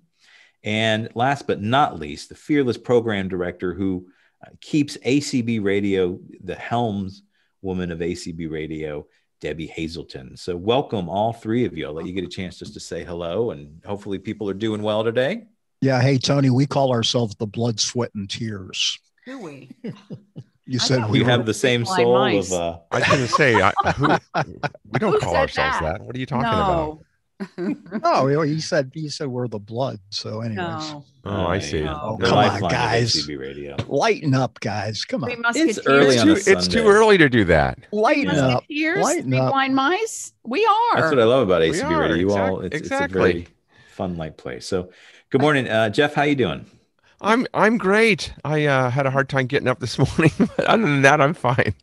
I'm doing okay. It was okay. a long board meeting yesterday. Well Yeah, done it was board pretty meeting. You all worked through a lot of things. Rick, how yeah, are you? we, we did some good work. yeah, you you doing well, Rick? Yeah, I'm doing great. I got a mouthful of, of, of I have chocolate. perfect so timing. sorry. You into that And Debbie? Oh, I'm doing great. Rick. Yeah. All right. we are a jovial group, as folks can say. Uh, but that's because we have a lot to share with everybody about ACB radio and what's going on. Um, you know, a- a- as my hat I get to wear as a director of development is, is sort of all things marketing communications for the organization. And ACB radio has done a really excellent job this past year, really uh, stepping up to the plate and really becoming a, a, dominant communications channel for the organization. You know, on behalf of, of all the staff and leadership for ACB, I have to say thank you to you all three because you are you are critical in helping that happen, along with folks like Deb Cook Lewis and um, you know uh, the, the whole ACB radio team. But I single out Deb specifically as well. She's not here now, but she works so hard with the Zoom meetings and is, is a dominant force on ACB radio as well. But she just finished the Uni Description project the other week, which was a major lift and really great visibility for ACB. So the amount of time you all have for volunteers, how, how many volunteers are there now for, for ACB radio, do you think? Just guessing. Because I know people kind of oh, come and go depending on how busy they are. I think it's over a- 20, isn't it? I think, oh, definitely, because we also have some that are involved with other stations and but started on ACB radio. Many of them, I d- I did not. Jeff, what do you think? I think thirty. 30 to 40 probably Yeah. I mean, if you consider all the production people Mm-hmm. um, it's not just about people who are broadcasting necessarily because there's a lot of people who are doing things behind the scenes that you never hear from and Yeah. some who have other stations but still have a show that they simulcast with us and oh my gosh yeah and yeah we we well, and that leads us into to, to basically just a real quick snapshot of 2020 to bring f- folks up to speed to really how critical ACB radio was. Um, you know, there's there's three main areas that you all have really been focusing on in our communications in general. That's really been uh, uh, exploding the past year. ACB radio, um, our podcasts, and then as well, uh, just transitioned over a couple weeks ago. One of Rick's first things, and as the technical director, was the Groups.io uh, migration, uh, working with Jason Castonguay, who is, is, still a huge volunteer for the or- organization. We're thankful for Jason's support, but you know, Rick was sort of thrown into getting the groups.io, which is the, a huge number of email lists as well for our, you know, our email communications. But Debbie, talk a little bit about the, the huge growth that ACB Radio saw last year, and give us a little bit of a snapshot of just how we went from zero to 60 when the pandemic started. And really, you all started doing so much wonderful work for the state affiliates by providing a huge service that's been free of cost for the affiliates. Well, you know, we actually did start with some Zoomed events and where we would Zoom and stream, but we didn't know at that time. I mean, we started with that even a couple years ago, having some things that would be streamed and be through Zoom. But then uh, I remember seeing that there were some community calls happening through the other competitor organization. and I said, Hey, Cindy, I'm seeing this. And, and she said, Oh, I want to see that list. And they had a lot of stuff going on with exercise and crafts and different things. Well, no sooner did we start talking about that, and the community calls were born here on ACB and, and on ACB radio and we actually even before that we started streaming or right along with that we started streaming community uh, board meetings we streamed our first board meeting at the end of march uh, and no actually we, far, we streamed our first board meeting in february as part of the leadership conference and we mm-hmm. had probably a couple hundred listening then uh, and in the end of March, we had over 300 listening to that one because it was pivotal, pivotal to see where we were going to go with national convention. And then the community calls took off, and really many of them remain on Zoom, and then a percentage of them are on ACB radio. Um, but what we found was that more people wanted replays and podcasts. It used to be that people wanted the early days of main menu. That was all we heard about people wanting in archives or convention archives going back.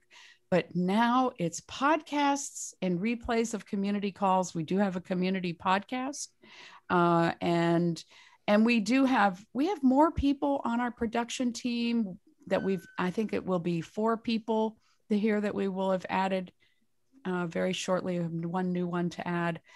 Um, when we have our meetings, it's a robust group. It's a lively group. People saying, I want to come back. I want to get involved. Um, I want to bring my show from this station over here. You know, it's, it's, it's lively. Yeah.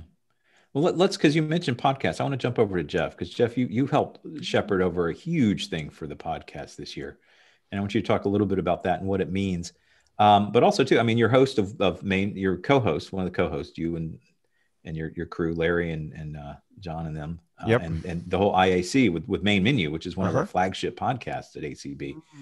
But uh, can you talk a little bit about that growth? Because and then what we did this year to help manage that growth and, and make it even uh, more exciting because these community events are also, like you said, available as a podcast, and that is like a, a huge treasure trove of all things blindness and tech and health and wellness. For folks that don't subscribe to that, my hope is what you'll do in this meeting is go and subscribe to all of our podcasts if you're not already.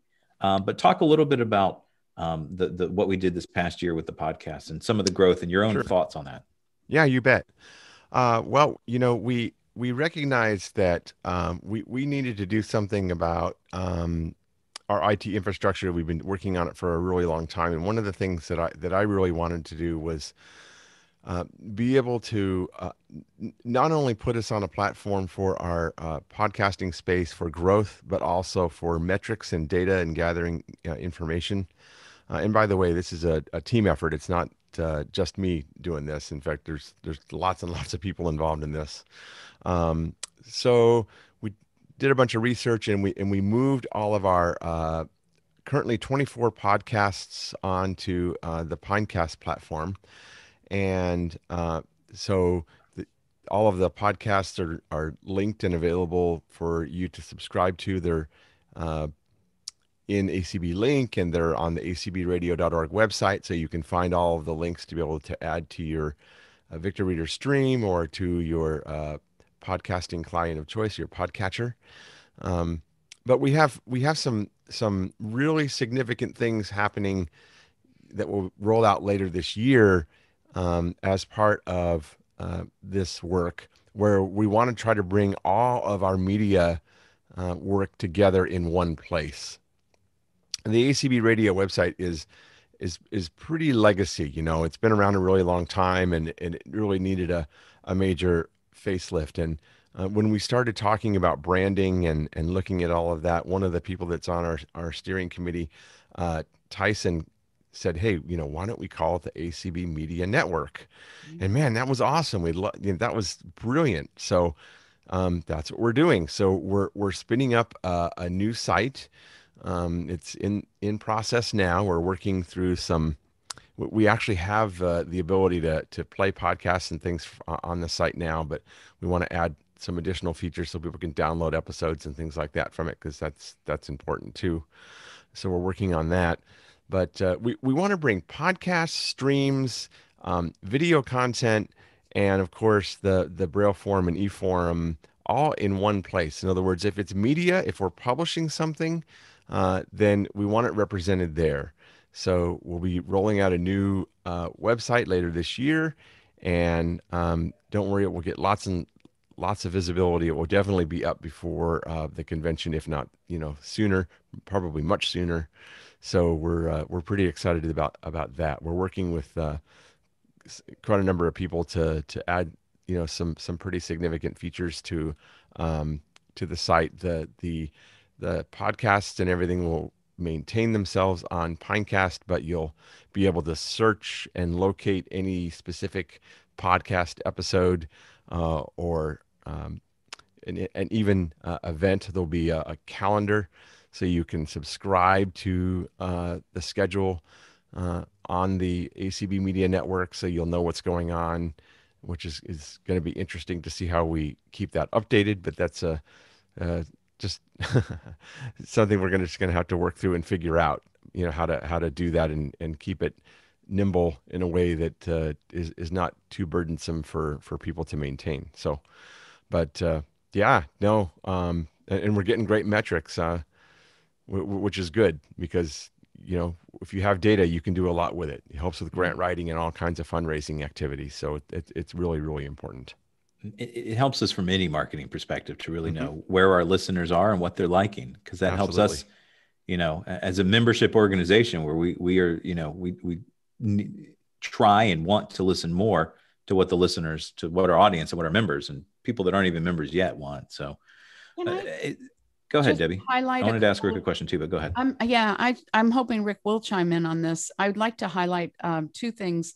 The main menu live is is Jeff's baby uh, with uh, IAC and. Um, I think that's the Information Access Committee, which yes, for folks that don't right. know, which is our sort of thought brain leaders on all things accessibility for the i had asked iac to take main menu live um, we still hope that bits will do more with main menu but in the meantime main menu um, is not doing as much right now but main menu live is is really big i mean there you've had some big shows. And the other real big one that i hope rick will talk about is tuesday's topics. Um, i wanted paul to bring that back and that was back when way back when Mitch was president, uh, Paul was doing Tuesday topics, Paul Edwards, and then it kind of went on hold for a while, and it's back and it's booming along with his Braille Buzz show. And I mean, we had seventy people you're, on Zoom, and you're kind of the producer for that, aren't you, Rick? Uh, Rick is, yeah, yeah,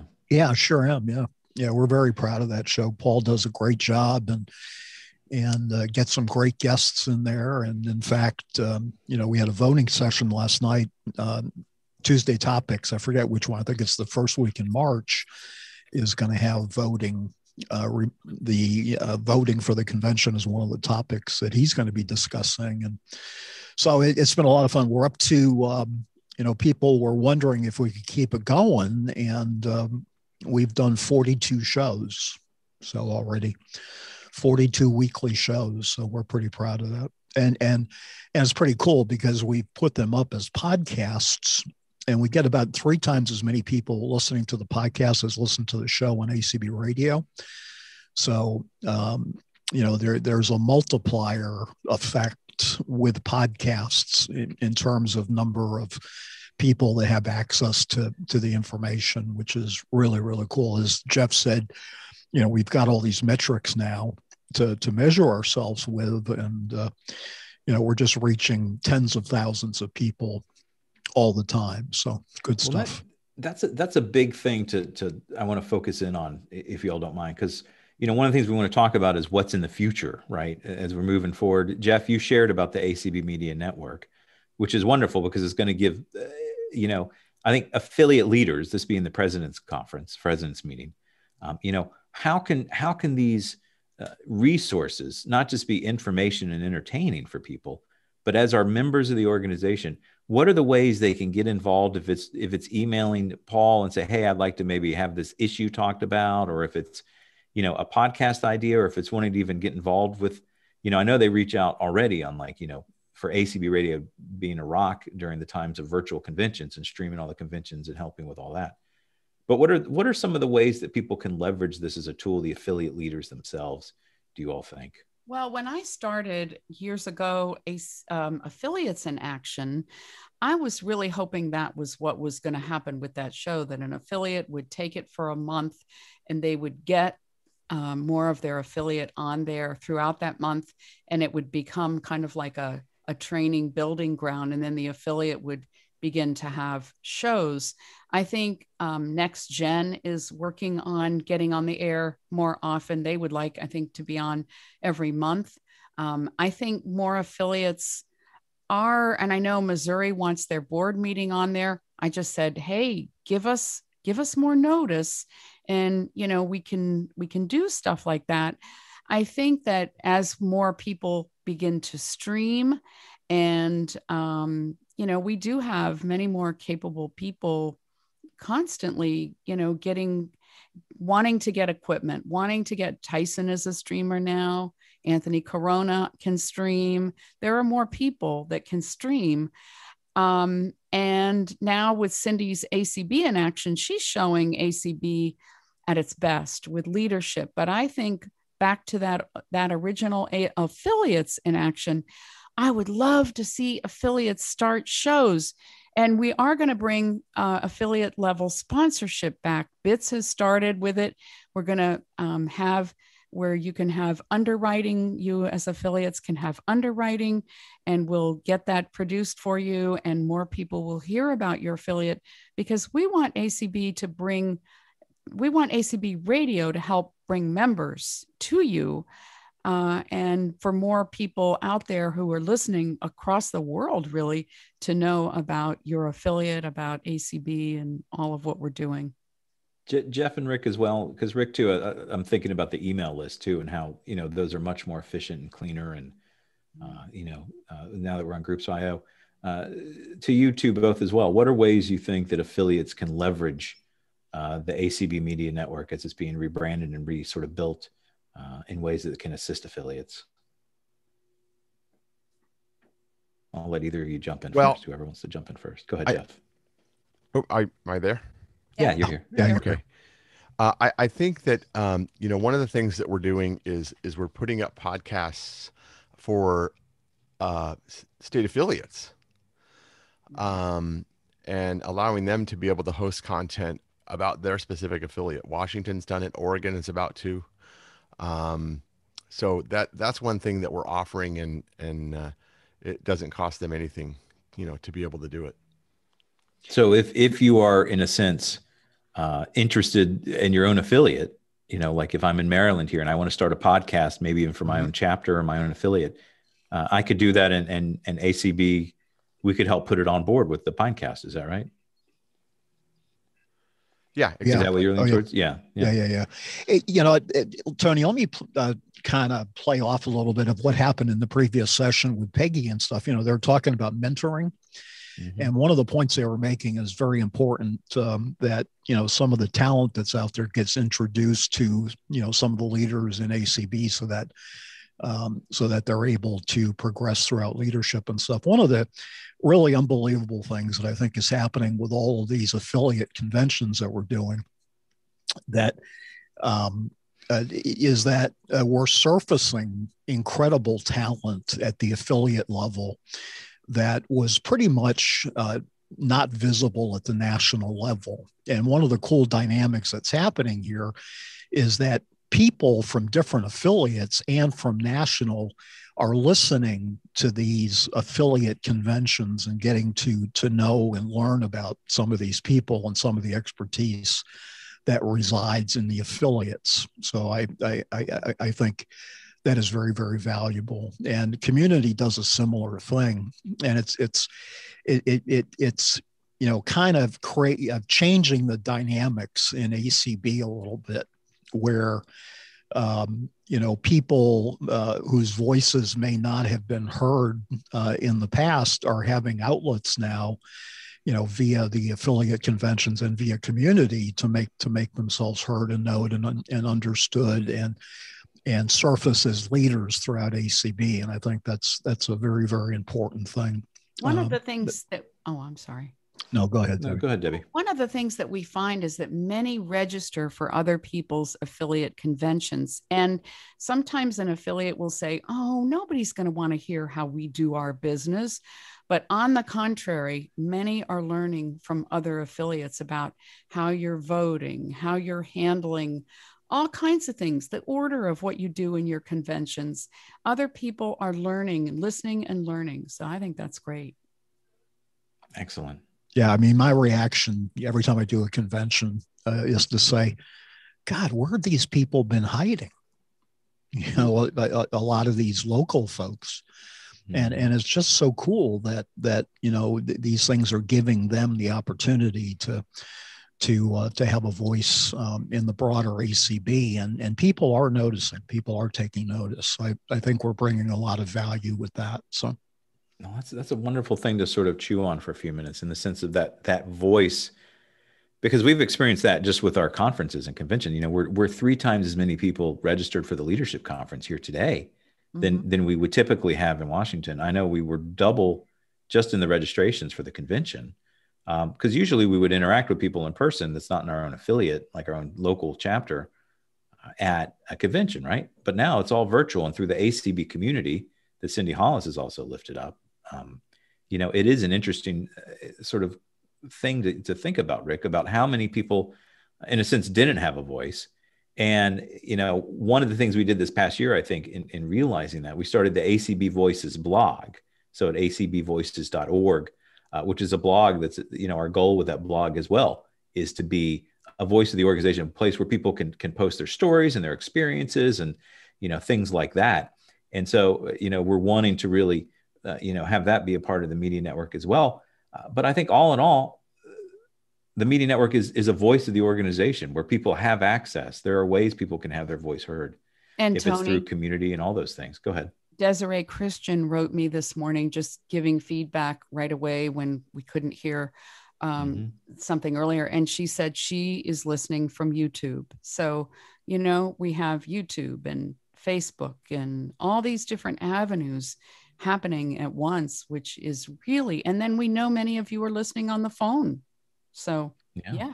So, uh, there's ways to hear voices, but there's also ways to have your voice heard. So, so on the horizon for this year coming up, then, uh, Mr. Bishop, Jeff, you were talking about the website uh, and, and, you know building up the the actual network. When do you foresee that sort of being uh, a launch date at all, or is it still sort of a gray area in the horizon?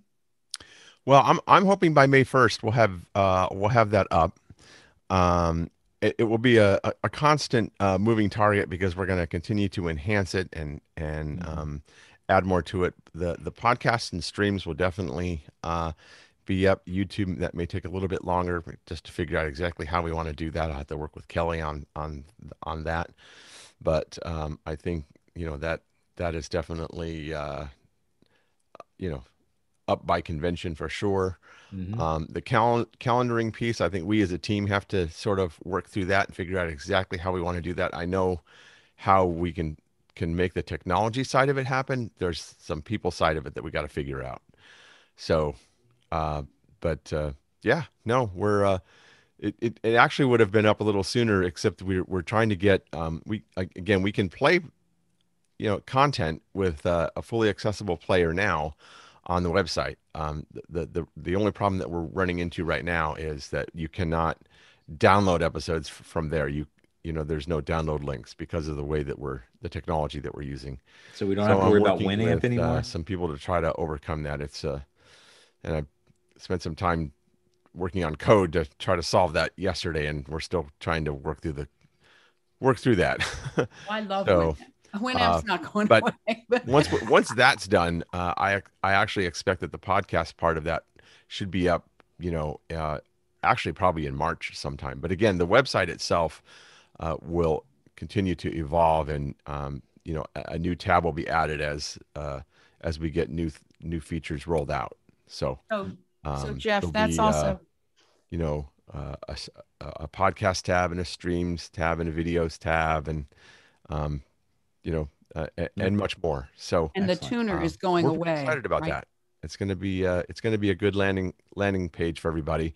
Uh, one of the big things that it's going to really help with is, you know, especially during conventions and and events such as this, um, people won't need to download you know a media player to be able to listen to the streams. They can simply just go to the page, click the play button, and they're listening. Um, Excellent. You know, I, I if if they're using their computer which is, is really going to help out a lot of people. Yeah. So we're we're pretty excited about that. And we are going to be able to do things like fast forward and rewind and speed up the audio and all of that. So uh, at least that's that that's the end goal. Uh, right now you can play and and uh, and mute and all of that, but uh, we're we're we're working on all of that. So Jeff, it's, uh, it's fun times. It's uh yeah, it this kind of work is fun. It uh, reminds me of you know program, programming back in the in the old days. Jeff, people now and then still write about that tuner. oh my gosh, that still comes up. Um, the the ACB radio tuner is a is it was something that was written in um, Visual Basic many many many years ago, and the the versions of Visual uh, Visual Studio that uh, would even compile that are no longer supported on on Windows. I feel like is that um, so is that like Windows three point two one or something? Enhancements like made to that early nineties, somewhat yeah. difficult. So that's why it's wow. not really supported. Uh, yeah, anymore. it's back in the Vista uh, days. What was oh before? Oh what was before Vista? I don't know, 97. I don't know. Yeah, just that's when I remember Winamp first coming around. Yep. So a couple things, and as we're wrapping up, we want to see if folks have any questions about sort of the future, maybe ways they can get involved with ACB Radio. But before, you know, we, we want to really push the idea of subscribing. I mean, this this helps uh, our our own affiliates. If you're able to get you and your members to subscribe, it's promoting things you're working on. Um, it's helping us by getting our algorithm up more. So everyone loves that word algorithm, but you know, the more people subscribe, uh, the more we have a chance of other people finding us, right? So we want to try to get more ears that'll listen to us and more people that can engage and eyes for the videos and uh, you know all the things uh, that that come with that. Uh, we're excited uh, to be on Live 365 right now, which you can follow. It's an app you can download, um, but it, it, it gives us much greater visibility in a sense of being out there in the radio streaming world. And that's that's on uh, which channel, Debbie? Is that on? Just talk real quick about Live 365.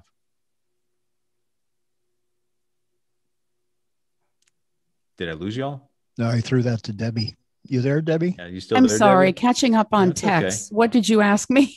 well, we can just talk real quick, uh, uh, and Jeff as well. So we're on Live 365 now, which is exciting we for radio. Are. And that's on ACB Radio Cafe. Yes. So not only can you subscribe to our podcast, which I want everybody listening, you know, go find a podcast you like. The community one has a huge amount of things to do. Really advocacy, good. if you're interested in policy issues, or ACB advocacy update um, you know, uh, Tuesday topics, Sunday edition with Anthony Crone, all these different podcasts we have. Uh, but then Live 365, you can also subscribe to ACB Radio Cafe on that and follow Live 3. And it's just an easy way to hop on your smartphone. Indeed. And you and, can get it in your smartphone. You can get it on your Miss A device. Yeah, you can listen through as an enabled skill on, on Alexa. And you can also, uh, in a sense, um, you know, help in that sense uh, because we we want to be able to know and that feedback you can leave remarks leave you know give us five stars of course we love you if you give us five stars and all the ratings that we can right. get but uh, in that sense um, you know uh, with live 365 our goal is as, as we uh, identify some funding opportunities Uh, part of that is the fundraiser Debbie kept pitching earlier. but as, as, we identify some funding opportunities to build out our stream. So what Live 365 means is we can play commercial music, right, guys? Yeah. So and then and then it lets us build out. So our hope is eventually to get other streams on this because uh, it's a much more stable platform as well. So and we get in their directory, their database. So there are so many ways that people can find us. We get more visibility and um, so this is really good i mean this this is a good marketing piece yeah so um, yeah live 365 is awesome excellent mm-hmm. so i think we're slated are we slated for 3 uh 12 15 eastern time or 12 30 eastern time i think so it's an i thought it was for an hour but there was i thought there was another yeah. piece but um i'm seeing uh i'm seeing um the Pomerances are listening, and yeah. um, Haley is listening, and uh, I'm hearing from many. Well, let's should... let's find out if we've got some questions from anybody. Yeah, any raised Zoom hands. audience right now. Any raised hands, host? Marsha Moses' hand is raised. Hi, thanks for thanks for participating in our panel session. Who do we have here? Marsha, you. Hello, everybody. Good Hello. morning, good afternoon, Hello. whatever it is. Um, just a couple questions. What is the status of ACBRI? Is that gone bye bye? Yes. Well, ACB Radio Interactive got merged with the cafe. So we're we're not using that interactive stream anymore. Um, it's merged with cafe. And I know some of you want to know more about how ACB Link works. I think on the next roundtable, I think we'll do a run through, but I also know that it's we're working on getting it upgraded. And you're still doing live shows on Cafe, correct? Uh-huh. Yep. Great. We want to do some replays too, because some have, I know I have a show, Jason's show, Darrow's shows. I know we want to do some replays while we're also updating, uh, upgrading that cafe. And we want to get Rick on there more often and Jeff. They just like to play Christmas music, but you know. I know Now you can play I, if we big could play commercial Christmas hit music Christmas all year. I All I year. every day. Oh, Yeah. boy. Yeah, I, And, I and one, played. La- one last thing, I can I haven't used the tuner in years, but it's on my PC and it's on my laptop, so now I can take it off. You can take it off. Yes, indeed. Make some extra Thank you disk space indeed. for those well needed. Maybe other, we get- other There you go. Tony, maybe we'll get you to do a music show now. Come on. You could do a really I, good show. I used to have a, a, a show I dabbled I, I in my old radio days. That was decades ago though. I'd be rusty. I'd have to find an adapter for my turntable. You could do a great 70s show. yeah. I could. I, I I could I could I could play 10cc day and night. And Yeah, man. Oh, Bring it. I love it. My Yeah. favorite You do 10cc 70s, I'll do song- 80s.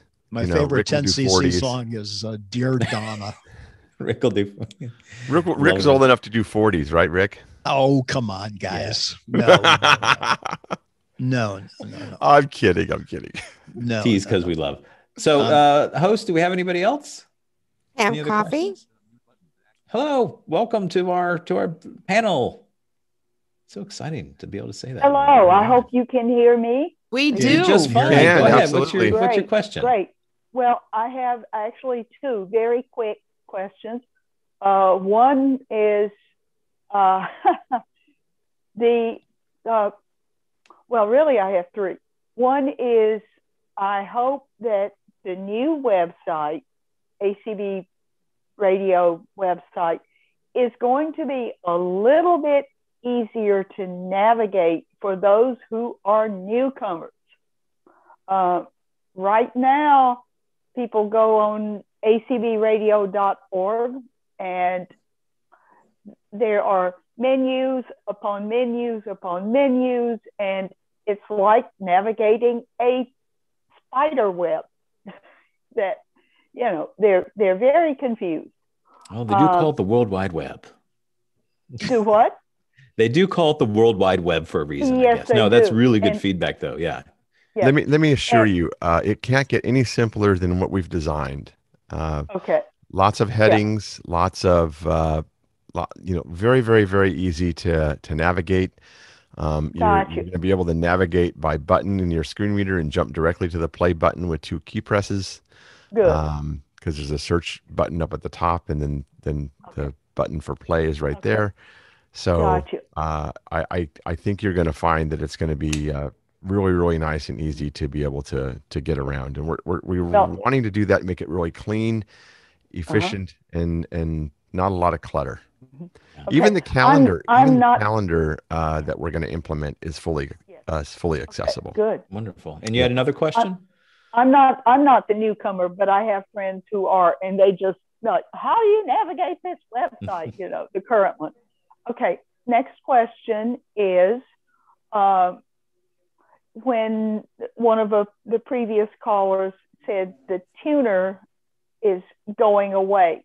So, how will people play ACB radio now on their computers? They'll do it through the, the web. The, site is they'll do it through the yeah. They're going to do it through the website. Okay. So but, it's all uh, built in now. One nice little clean website page where you'll go yep. and it'll be able to jump you right into the sound. So, okay. Without having to deal with tuner. So regardless of whether you're on Windows or Mac, you will just hit the same that's play correct. button. That, yeah, it'll, that, it'll, that's correct. It'll, it'll, basically be a listen now button. It okay. will it will work on uh, Mac, Windows, iPhone, Android, uh, whatever platform you wish to use. Carrier pigeon. Wonderful. Wonderful. Yep. Okay. La- final question. Um, and I'm probably not alone in this. I subscribed sometime back to the ACB radio announce list. And for a little while, I was getting all the announcements. But the last one I got was January the 20th. I just went back and looked a few minutes ago. And evidently, there has been a problem ever since it went to the groups IO, whatever that thing is called. Yeah. So I resubscribed a few days ago because I figured, okay, I have not been receiving the announce announcements for a month. And I hope it's going to get all straightened out. But even since I resubscribed to the announce list, I have received no announcements. Pam, can you do us a favor and shoot an email to support at acb.org? Um, yes. So I, so I have your email address and I'll go into groups.io. I'll, I'll take a look and see if I can see what's going on. Support um, at acb acb.org. At, at acb.org, yeah, please. Yes.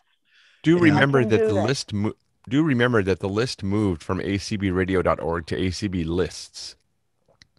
Yeah. So if you if so, so if I had Go I'm getting the ones for community. I'm I'm getting those okay. announcements right every yeah. day.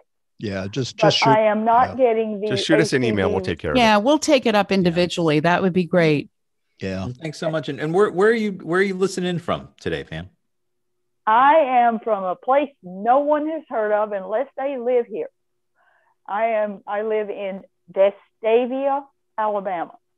All right.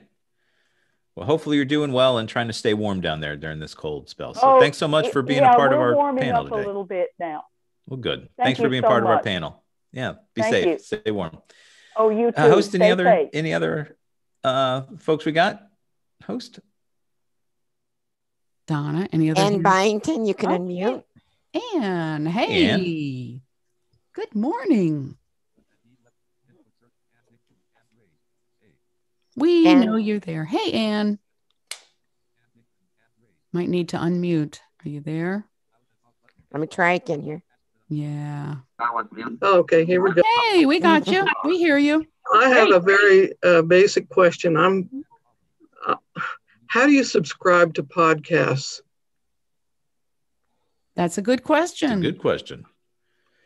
Jeff or Rick? So, or, yeah, Jeff, you want to you want to take a stab, or I can. Yeah, there. Well, uh, I, there's a number of questions here. Um, I, do you use a pod catching client, or are you using your Victor Reader stream? I don't know anything about podcasts.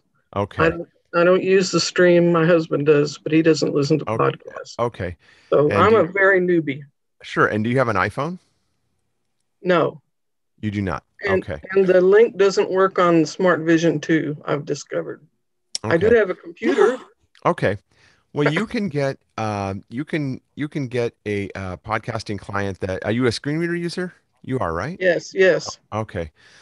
So you can go to getaccessibleapps.com and download, I believe it's called QCast, and it's a, an accessible uh, podcatcher. Um, you can, it, I think it's ten dollars or something like that for for uh, for that software. You can then uh, install that, and you can then search for or actually go to the ACB Radio website to get the links for each of the podcast feeds that you're interested in. You can also search for them in the actual QCast client. It searches the iTunes uh, podcast directory and it will allow you to subscribe directly to them. Then you can listen to all the episodes on your computer. Okay, my so screen Jeff. reader interrupted you, but I, I think I got it. I'll try. Okay. Thank you. Right. Reach out to us if you have any further right. uh, questions. We're happy to help you. Okay. We Thank should, you. We One should the, do this on Roundtable, all about the different ways to get podcasts. But don't you also have an Amazon device, Anne? Uh, I've got four of them actually. Okay. So, Jeff, can you give some syntax for how to just, even without subscribing, how to play some of our podcasts? Would that work? Yeah, you can use. Um, there's a there's the AnyPod skill um, that you can add to your uh, A Lady device. In fact, I got one right over here. What, what are you saying? What's the first part of that word? A- any A N Y P O D. Any pod skill. Okay. So you would enable it first. Right. Uh-huh. Enable AnyPod. Okay. And then and then you but you but you can just uh, ask your A Lady to actually play a specific podcast, and it knows about the iTunes podcasts, and it will and it should uh, assuming all the stars are aligned, um, locate the most recent episode of whichever podcast you're trying to listen to and play it. So you can do that on your, your A Lady device as well. Okay. Thank you. Okay. And if you have any further questions, don't hesitate to reach out. We're happy to okay. help you. All righty. By the way, I thought your last main menu show was outstanding. Oh, really, thank you. Really by, Very by, good by the way, next week we're going to have on the team from SuperSense, and we're going to talk uh, SuperSense and Super LiDAR. And then in the second hour, we're going to reveal what the Information Access Committee is going to be doing at the convention, at least at a high level. We're going to talk some uh, technology talk, get all of you up to date on some um, things happening in the assistive technology industry, and take your questions. So we're really excited about that, that. That Android phones were more uh, in the mainstream, and I guess there's nothing I can do about that. But I yeah. just can't do Apple stuff. I I'm yeah. You know what we're we're going to try to get uh, there's a, there's a great team doing a, a really really great podcast um, all about uh, Android from a blindness perspective, and we're going to try to get them on uh, Main Menu Live here coming up in the next month or two. Okay, good. Um, they're uh, they're really really great, and I think they'll uh, be able to provide some some insight. We talk Apple all the time, and it would be good to get yep. some Android focus.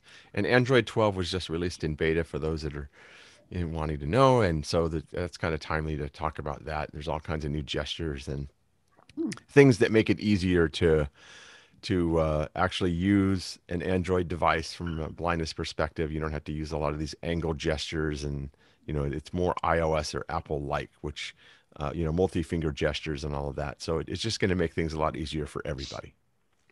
Okay, thank you very much. You're welcome. Thank you, Ann. Mm-hmm. All right, so it's 12:20 East Coast time, 9:20 and Pacific time. Uh, I haven't heard President Spoone jump in and tell me to quit yammering, so I'm guessing we do go till 12:30. So, uh, host, do we have any more questions at all? We any do. hands raised? We started late too, so. Yeah. Um, Debbie, you can talk. Hi, Debbie. Another Debbie. Yeah. Hello. Hello. Hello, Debbie. Where are you uh, listening in from, Debbie? Oh, Louisville, Kentucky. Oh, wonderful. Y'all are doing a great job, by the way. Well, thank you very um, much. My question has to do with the Victor Stream and podcast. I haven't been able to get recent uh, issues of like main menu, and I didn't know if there was a Ah. breakage and Right. So, um, what you need to do is you need to remove the the current uh, subscribed main menu podcast from your um, stream and re-add it. Um, we have done our best to make sure that if people were subscribed to the old main menu feed, when we when we redirected everything over to Pinecast that it would auto forward. Some clients, either on uh, Windows, Mac, or iPhone or Android, do not honor that either, and that includes the Victor Reader Stream.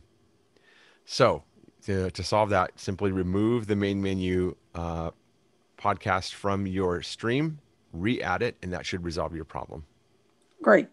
Okay. Because I really like the show. So Yeah, thank you. thank you. Excellent. Kathy Simi, you can un- unmute.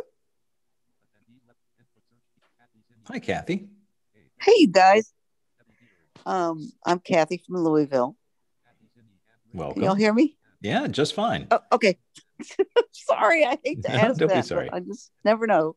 Um, and I'm from Louisville also, and um, I have admired Jeff, you, and Rick tremendously for many years. Just what you all do just always amazes me, and Thank you.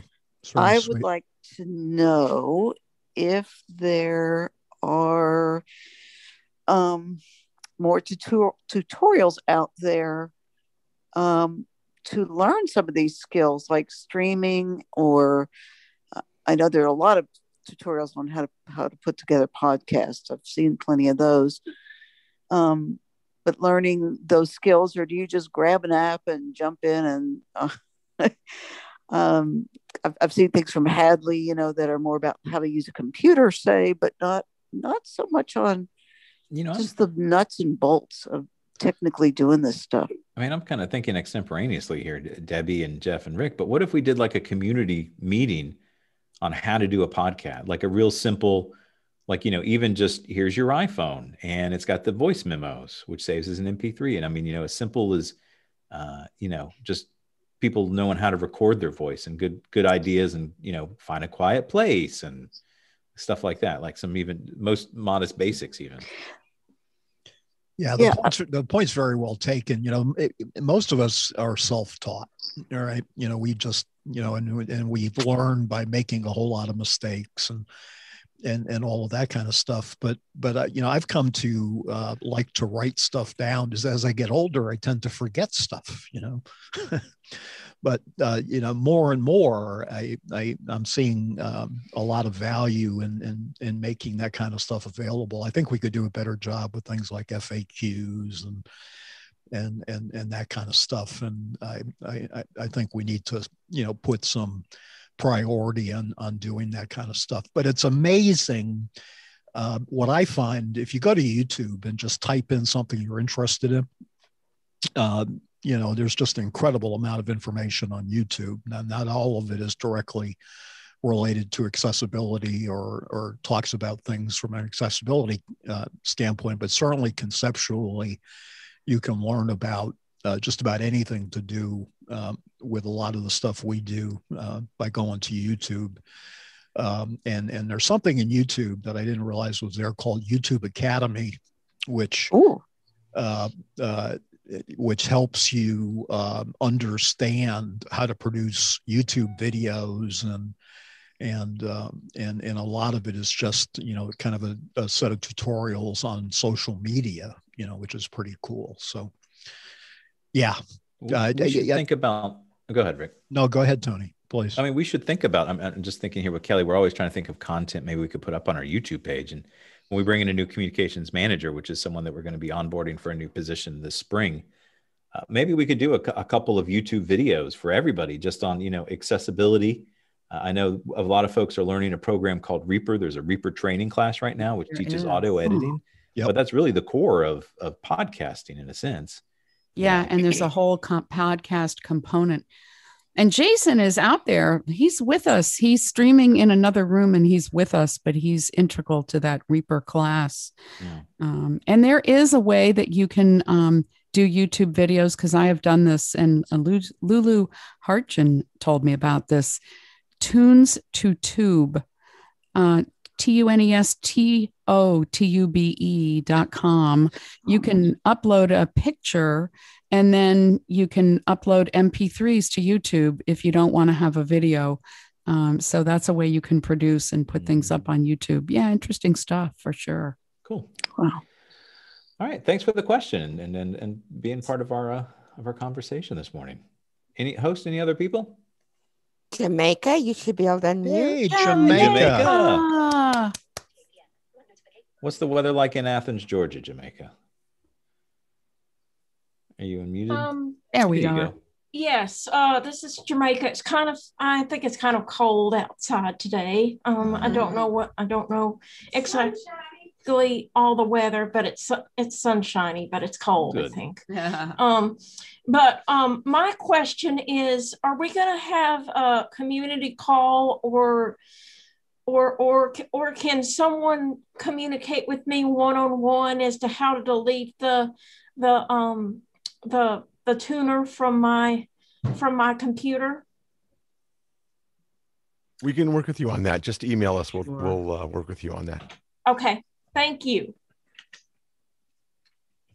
Well, I'm so excited with the ACB, the media network coming up, where it's going to be so much e- easier to be able to listen to our streams. Proud. I am Um, so proud. Yeah. And then Thank we've you, got Live 365, Mm-hmm. and we'll be Yeah. adding some additional of our streams on there so people can follow those and listen on the A Lady or on other ways. Tony, why don't you talk a little bit about what we're doing with YouTube and, and Facebook and all that kind of stuff too? Well, this has been exciting as well. So this time we we have been integrating a new technology within our national office to be able to stream all of our content out at one time through multiple channels online, social media channels. So I mean, we have you know several thousand on our Facebook and through Twitter, uh, over sixteen hundred on our on our on our Facebook community page, but also our YouTube page, which is where we're really wanting to grow because most people now sighted or, or, or blind or visually impaired still rely a lot on YouTube for just information, finding stuff out easily. It comes up first when you search for things on Google. They put the videos right up at the top. So, you know, our ability now with the, literally the push of a button has a really much more professional platform through a service called Restream, which for those that are an affiliate wondering, it's very accessible. I've been so impressed with the accessibility of Restream. There's a button or two that doesn't read, but it's kind of you can kind of figure it out. Um, but it's it's a very simple way to create a broadcast quality of a Zoom meeting. You can go into Zoom and just push out through Restream and choose what you want to do. So you could do YouTube today or any of your other ones. So we're now fortunately able as well to do a lot more YouTube live capabilities, but just all social media. So just you know virtual blast, if you will, of our content. So be checking out more of that. You know, again, as we bring in a communications manager, and then uh, Kelly will be able to dedicate some more time as well towards some video and other social media projects, which is on her plate. Uh, you know, be expecting to to enjoy uh, more content, and perhaps we can do things like educational tutorials and stuff like that. Uh, you know, the community meeting type settings, but then push them out as well on social media. Yeah, we're going to be ubiquitous across a whole bunch of channels. We are. And you can also now go to acb.org slash live, acb.org slash live. Whenever we do do a live event, any of these live events, it'll come right on that webpage as well. So if you have trouble finding a search bar in any of the Facebooks or, you know, YouTubes to try to find our channel, if you don't have a bookmark, you can always just rely on acb.org slash live and, and boom, uh, you have a media player right in that window as well. And we should hopefully get that integrated uh, on our other, uh, you know, sites as well. So, uh, but yeah, this has been a fantastic opportunity. Uh, any any closing words on what you're most looking forward to for ACB Media in the coming year? We'll leave it at that. I just think um, for us to be everywhere and and you know anywhere and everywhere for for people who already are listening and to know that they're never isolated, never alone, and that um, that ACB Media is here in a friendly, accessible way. And that even people who want to listen by phone find ways to be able to do that if they don't have long distance to get that easily. And, you mm-hmm. know, for anybody that wants to know where we are to find us, and at the same time, for many more people to find us who who haven't known, for doctors to know, for all Spread the kinds word. of professionals to know, for parents to know that we're here for all kinds of people at all ages and with all lifestyles. Yeah, Yeah, what's how got? Or Rick? no, what's got me jazzed about ACB uh, Media Network is that we're it's all about reaching new audiences, Mhm. and um, and uh, video is going to be a major piece of that, or a piece of that, not necessarily a major or the major piece of that. And I'm I'm very very excited about that, and Mhm. and um, you know the uh, what's cool what's really cool about acb media network and we're seeing this more and more not only are we engaging people within acb and people you know within the blindness community we're engaging allies and friends and family and donors and all these other folks that you know our our support system basically or you know uh, or society. And and the more we can do that the better. And uh, um, we saw that a lot in spades um, mm-hmm. at our convention this last year so that's really exciting and jeff final words from you looking forward to the most this year yeah well i think we're uh, we're definitely moving forward i'm excited about the future and about where we're going to be able to take things for people and um, I'm I'm excited about the feedback that we're going to get about it. So uh, everybody jump on board and come for the ride. It's going to be fun. Subscribe now, and you'll you'll be riding along with us. I want to thank the three of you for being part of this panel this afternoon or this morning, wherever you're listening to in the world right now, or on a podcast. This will be saved as well for podcasting, so you can listen to some of these notes and comments as well. I want to thank everybody as well for joining us in the Zoom meeting. Everybody listening over all of our streams, various around the world right now, uh, and and to that uh, I will bid you all a wonderful next few days for your conference and be sure to check out the other sessions that are coming out. And I think what are we transitioning to right now? Is uh, Mr. President, am I going back in or we don't? I don't think we have a leadership live right now, do we, Debbie? Not right now, no, yeah. but probably in about an hour. Leadership oh, live right now. We do. We have a leadership live uh, oh. until twelve forty-five. Well, there you oh, go. Okay. So we get more of of, uh, of Tony and Debbie just when you thought it was safe to get back into the water. They say. Well, as Thank we you, say, President. as we say, stay tuned. exactly. Stay tuned. So we will be jumping in. Uh, you've got leadership live now um, until we're going to be having sponsors at twelve forty-five. Join us, which is exciting. That's and, right. And I got to tell you, Tony and Debbie, I'm so, so jazzed. I have spent the last hour wearing my feet out. I have, I've had the Zoom going uh, here with the computer in one room. I've had the uh, room B with the communi- communications toolkit going on in the in the den, and then uh, Leslie's been back in the uh, in the bedroom with the membership uh, the membership certification uh, panel. So I've I, I, haven't been changing devices. I've just been wandering the house, going from you know, session to session to session. It's so cool. You know, our we, one listener in the last session said how they have four devices. I mean, you could listen to all three of these events at one time. Yeah, we learned really how Santa does it in one night. Uh, the trick, you know, Santa thought that he had us fooled. If I assume Santa's still a, a male, um, but but we know how Santa had us fooled because we have been Rick and Tyson and Deb Lewis and several of us have been into three states in one night. We know how Santa got around the world. The new definition of multitasking.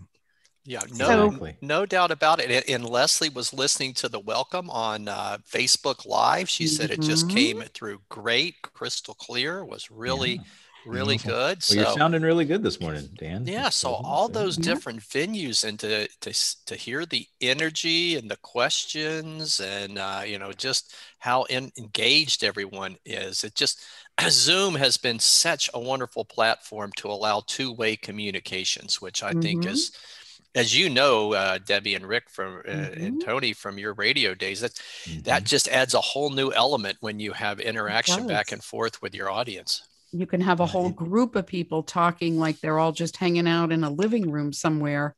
Uh, Rick and I have done that on the cafe and uh, and had you know just just a group of people, p- different people just coming in and hanging out. It doesn't even have to be a community call. Listening to music and and everybody's got a place to go. It's very cool. It is. I was checking our stats, and um, even on our streams over the last hour, we we had as many as 102 in here on mainstream, Tony, mm-hmm. and we had I saw 36 on live and 26 on special. So I think those are good. Mm-hmm. And that doesn't count the people on Zoom, right? Those are just the people. Right. No, on, that doesn't count the, the people on, the on Zoom. Right. Yeah all wow. those links have more. Mm. Yeah. Mm-hmm. I saw 118 this morning in general session before we went to uh, when before we went to uh, concurrent sessions. Yeah. So great stuff. Yeah. Really good. Yeah. and again, I want hear. to uh, just uh, again to encourage people to consider participating in the monthly monetary support program. I think we'll probably have George and Jean on a little bit later. Uh, but anybody that signs up today, uh, I think they're doing a $50 uh, drawing uh, each day for people who sign up for the program. So, again, if you're interested at all, uh, not to be too much of a telethon here, but if you're interested No, at all in joining MMS uh, and learning more about it, uh, you can, uh, through email, get there through askacbmms at gmail.com. So that's askacbmms at gmail.com or you can call and leave your information and they will call you right back. It's, uh, it's really a mailbox where you leave your information and that's at 202 743 0755 again 202 743 0755 so join today and get in for that $50 uh, prize and then uh, at the end of the sessions we're going to be drawing a winner for a new smart television so yeah It's very exciting. And, Yeah. and that's uh, for those that don't know about MMS, it's a way that you can just a little bit each month can go a long, long way. We were able to raise $104,000 last year through MMS. So thanks to everybody that's a member now. And we're so thankful for all the participation in MMS. And they have a goal this year they're going to be talking about later today for 21 for 21. So 421 subscribers to MMS. We're now in the 330s. So we've got some some big goals ahead of us, but we know we can reach it and you can get a chance to win that television. So if you sign up now, again, that's askacbmms at gmail.com. Thanks, Dan, for sharing that. And 202 734 0755. George, if you're listening, we're still trying to get that number so you'll be able to hear George's wonderful voice, who George is our, our chair for the committee that otherwise would be answering that number. But you can leave a voicemail there, uh, let them know you're interested. Uh, and leave your contact information, and they'll be back in touch with you to help you get set up on MMS. We can give a little bit, goes a long way. So thank you. To- Tony, I hate to correct you. That number is seven four three zero seven. Did I say 734? Yes, you did. Oh sir. my goodness. I'm This so sorry. great. 743. Translate. What, Seven what four would, what would happen if, although it would be fun to see what happens if you 0755. called that number. Uh, Okay, it'd be interesting. Thank you, Ray. 7430755. 202 743 0755. And I think So I see, heard a couple of guests more now. come in. Yeah, I think I heard a couple of your guests Yeah. come in from the mini Mhm. mall and, and We- maybe even somebody from Vanda. Yeah. Yeah. All right. We're, we're going to be welcoming Vanda in a minute with Jennifer Lyman. Welcome, Jennifer. Thank Uh, you. At 1245, um, we're going to be welcoming uh, one of our sponsors, and Matt Ater is also going to be joining us with Mhm. Vispero. Uh, before we get to there on the Leadership Live show where we're at right now, uh, let's have a chance to have uh, Patty or Carla come back on with the Mini Mall Minute and tell us what's going on. Patty come in. Can you hear me? Yep. I hear you just fine, Patty. Mhm. Hello again. All right. Well, I've got two items to show you. We have the ACB blanket. It is 80% cotton, 20% uh, polyester. It is 100% 53 warm. inches. Yeah, absolutely. It's 53 um, by 84 inches. And you can curl up with this and listen to all the ACB events and get on all your Zoom calls with it. You can stay warm in your air conditioning. But I got something else goes along with it. We have a new tumbler. It is a double wall stainless steel tumbler. It either has a blue trans uh, translucent lid. It also has a it locks. There is a small pinhole for easier sipping, so that lets air go in as you're drinking out.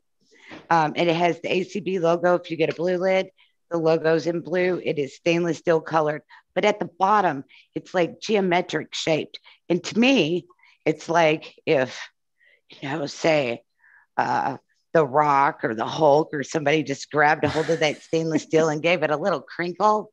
That's exactly what it looks like. So you can have your blanket and you can have your favorite drink with you to listen to all the ACB uh, events that are going on.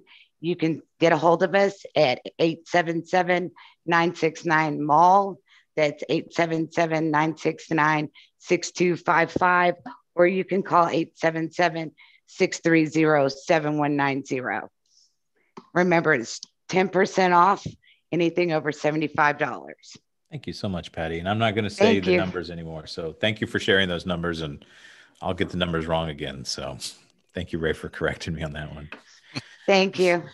We got a few more minutes left in our leadership live before we have a chance to hear from our wonderful sponsors for this year's conference. Debbie, how are you doing?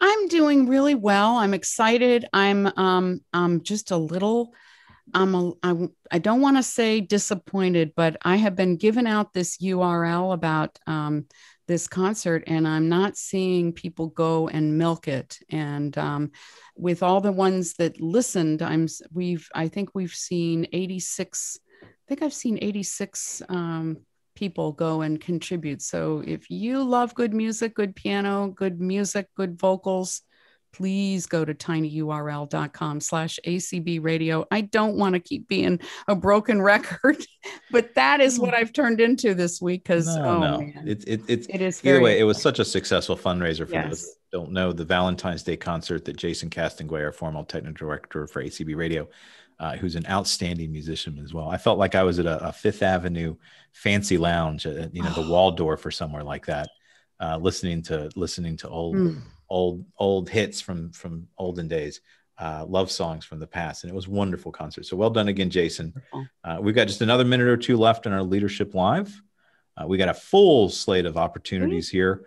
We're going to be bre- doing breakout again sessions at 3 p.m. So for those coming back in right now, make sure that at 3 p.m. you're going to be able to join into one of our other breakout opportunities. Uh, again, those are in rooms A, B, and C. This is always going to be room A if you're on the main session channel here or listening on ACB Radio mainstream. Uh, and then we've got ACB Radio live events. Is that right, Deb- Debbie, for room B? Yes, we do. Mm-hmm. And room C is uh, is it the audio special? I think special. special yeah, it is special. It is it. Is it the audio description? And that's going to be audio description. So yeah, mm-hmm. so we will have, mm-hmm. I think, like a next generation membership in this room. Uh, room B will be myself interviewing Bill Reeder, an outstanding fundraiser and, and uh, teaches a professor of nonprofits at George Mason University.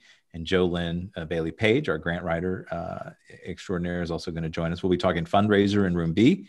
And in room C, you can find out all things audio description related. So exciting stuff going on in the audio description space as well. So, Debbie, are you exhausted yet? Oh, I yeah. thank you all so so much. Our pleasure, Dan, and uh, and we'll we'll throw it back to you if you want to make introductions for our sponsors. And I would pleasure I would, to be with everybody today. So I would love to. And Tony and Debbie, thank you so much for your Leadership Live Connect shows and a wonderful panel discussion on ACB Radio transitioning to ACB Media Network. So thank you all so, so much. And we'll hear from you soon. I know. Go get a, a break, a cup of coffee, a, mm-hmm. a replacement shake, Debbie, and get ready for the afternoon. all right. Thank you, Dan. All right. Goodbye. All right. Uh, again, thanks to Debbie and Tony for just doing such an outstanding job, uh, kind of keeping us uh, moving here throughout our day. And it's now time. I want to welcome everybody back uh, for our, we'll call it a kind of our lunchtime general session. Uh, it's going to run from 1245 until 245. Uh, and so the first part of our general session today is really an opportunity for us, us to reach out and thank our sponsors uh, who have uh, given so generously to make this DC Leadership Conference a reality today. Uh, I first want to recognize JP Morgan Chase, uh, who this year was a presidential sponsor at $10,000. And then I would like to recognize Vanda Pharmaceutical, which was a congressional sponsor at $5,000, and also giving very much thanks to Vispero, who was a Beltway sponsor this year. And I want to, we've got a couple of uh, folks who want to come and talk to us, uh, and we would love to hear from them. And I would first like to introduce Matt Aters, uh, who is a VP with Vispero and he is also a member of our ACB advisory board and has just been a wonderful asset to our organization. So, Matt, welcome, and we'd love to hear about what's new at Vispero. Thanks, Dan, and um, it's great to be here, and and uh, look forward to future events like this. I know it's great because we do get to reach new people this year with it being uh, virtual, but I figured uh, it's it's at the same time we always love the connection when we get to do this in person. So uh, a couple of quick items. I'll just I'll kind of crank through this because it's a, I know it's a quick um, uh, touch base, but uh, Vispero obviously. Most of you know us in the four brands, whether it's Freedom Scientific, Optelec, Enhanced Vision, or the Paciello Group. Uh, three of those brands um, more recognizable to the blindness and low vision community, which are Freedom Scientific, Optelec, and Enhanced Vision. Um, you know, some of the new hardware that came out from those organizations this year or uh, companies this year is Merlin Mini from Enhanced Vision. Optelec came out with the Clearview Go. Um, uh, Topaz Ultra from Freedom Scientific, and Optelec also came out with the Compact 10. Those are some of the hardware things. And then I kind of wanted to share some of the um, content stuff we've been doing. Um, webinars galore, as we all have been doing, uh, whether they're on Zoom or whatever platform. But um, we've all been living in webinar webinar uh, worlds today, and there's been quite a bit um, hosted by Freedom Scientific. We've done two webinars a month uh, for JAWS, Zoom Text, and Fusion. Uh, we do once weekly with ACB communities and, and have enjoyed doing those on Thursdays. Uh, we do once a month with APH where there, people can go uh, learn specific things for teaching and education. Um, and then we also do the Vispero hardware one once a month. So there's quite a bit of, of webinar content that's happening. Um, on the podcast side, last summer uh, in August, um, right after the convention or during the convention, I guess that would be in July, uh, we launched the uh, Freedom Scientific Training Podcast. So you can ask any of your smart speakers uh, to play the latest training podcast. And there's been a new uh, release of training material once a month, or excuse me, once a week. Um, so there's a lot of content out there now, and, and that kind of stuff will continue there. And some of it's going to be um, old webinars repeated in podcast form because people prefer to listen to it on uh, their mobile and portable speakers. Um, you can obviously subscribe to that channel as well. Um, and then YouTube training videos. Oh my goodness, it's crazy the amount of content that's been up there. And one of the things that we did this year is is try to make all of that content that was like an hour long webinar before, we sliced and diced that into smaller chunks. So you could actually go up there and get a tip that's only two minutes long. You could go up there and get how to do a chat in Teams that's that's 10 minutes long. Um, so there's quite a bit of difference in terms of, of content up there and um, would recommend that people subscribe to that channel. Um, and then the tips. Um, I've been posting tips in the ACB Facebook group um, for the last uh, month or so. Uh, continue to do that. Those tips are on JAWS, Zoom Text Fusion, Office, uh, Teams, uh, Windows, whatever the topic may be and hopefully people are enjoying those. We're trying to help people learn. Um, and those are short, quick tips on how to do something. And those also turn into videos that are on the YouTube if you'd prefer to watch them in a YouTube form uh, format. And then quickly, I'll just jump through some of the quick features that were added to the uh, products of software this year, which most of us use. Um, uh, picture smart on the web. So if you land a picture in Facebook, you can actually have JAWS. If you hear the word graphic, you can do an insert space uh, P for picture smart, and I think it's uh, C to acquire the image, but I could be wrong on the keystroke. But if it uh, insert space followed by P and then do the question mark, you'll get all the keystrokes for picture smart. Um, OCR to Word, you can hit an applications key or shift F10 on any file in your computer that's an image, and that could be a PDF or, or a JPEG or whatever format, and say OCR to Word. And that's uh, right there in the latest JAWS as well, which people really enjoyed not having to copy and paste into Word. Um, the Ask Sharky and Ask Zoomy stuff. And so if you haven't heard that you can now ask JAWS to do things um, or Zoom Text or Fusion to do things, JAWS uses the wake word Sharky. Hopefully I didn't wake up everybody's computer by saying that. And if I did, hello Sharky. Uh, the other is Zoomy. So you can ask Zoomy to do things as well. And that's in Fusion and, and Zoom Text. Um, team supports new um, uh, in the latest one here in February, we support uh, apps like weather and news, which are part of the Windows App Store, um, and then math equation support. Um, the last part I want to mention is the, the home portal licenses. If you go to portal.freedomscientific.com, you can get a license um, for $80 a year for Zoom Text, $90 a year for JAWS. Those prices do go up in March uh, by $5. I think it's 85 and 95. And then there's also a Fusion license. And for those doing their SMAs, um, you know, if there's an SMA program to get your software up to date, it's highly recommend that people keep it up to date because Windows is changing every every time you turn on your computer. Um, Office is changing um, every, you know, two to six weeks, depending on how your platform's set up. Uh, Teams is updating. Uh, your browsers are updating every time you turn on your computer. So if you don't keep the JAWS ZoomText Fusion up to date, you're probably going to be behind in some of that software. So Dan, hopefully I, I didn't talk too much, but uh, give you a quick overview of what we're doing. Thank you, Matt. Great information. And again, thank you for being a sponsor and thank you for doing the weekly community event calls. They're well attended and very informative. So uh, thank you for being such a good partner with Vispero. Uh, and anytime and, and just let us know what else we can do. That's the one thing I ask is if we're not doing something, you know, please let us know what we can do better. Thank you, Matt. Have a good afternoon. You too.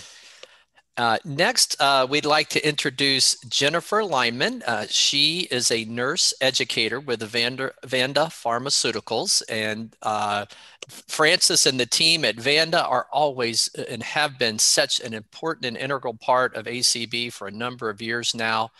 We welcome we welcome Vanda's participation this year again as a congressional sponsor. And Jennifer, we'd love to hear from you. Welcome. Great. Thank you so much. This is so awesome for me. Um, but like Matt, I'm not going to take a lot of time. Um, again, my name is Jennifer Lyman, and I am one of the non 24 nurse educators uh, for Vanda Pharmaceuticals. And um, I thought I would spend just a couple of minutes um, sharing some information about Vanda, um, what I do as a nurse educator, and why it's important to know about non 24. Um, many of you are familiar with Vanda Pharmaceuticals or you're familiar with the non 24 sleep wake disorder, but some of you might not be. So I'll share information on Vanda and then talk about the role of a non 24 nurse educator. Um, most of you probably know that Vanda, Vanda Pharmaceuticals is a biopharmaceutical company that focuses on unmet needs of rare diseases and disorders, including non 24. So we're committed to education and research in that area. And it's one of the reasons um, we have nurse educators out in the field. Um, as a nurse educator, my goal is to raise awareness of non 24 through community outreach because it's a rare disorder that causes sleep disturbances, which can have significant health consequences. Um, I'm right now living in the Chicago area, but I cover the entire Midwestern region.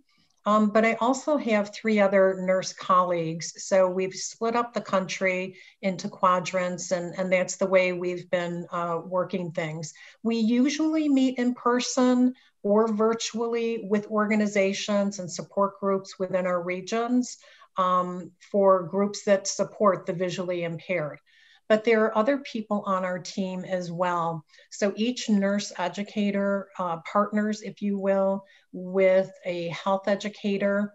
Um, that's someone who over the phone can talk to people um, in greater detail about non 24 and um, maybe some therapies. They can talk to people about getting a sleep journal started, um, just lots of resources at their disposal. Um, we also work with account managers. Those are basically the sales reps.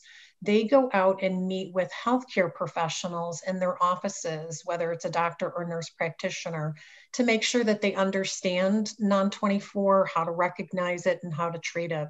So, um, even with the nurse educators working out in communities, awareness remains low, um, including among healthcare professionals. So I'm sure many of you have heard a presentation in the past on non-24, um, but research suggests that you need to hear something five to six times in order to learn it. So repetition is intentionally built into our presentations. And it's one of the reasons we continue to come back and visit with um, organizations.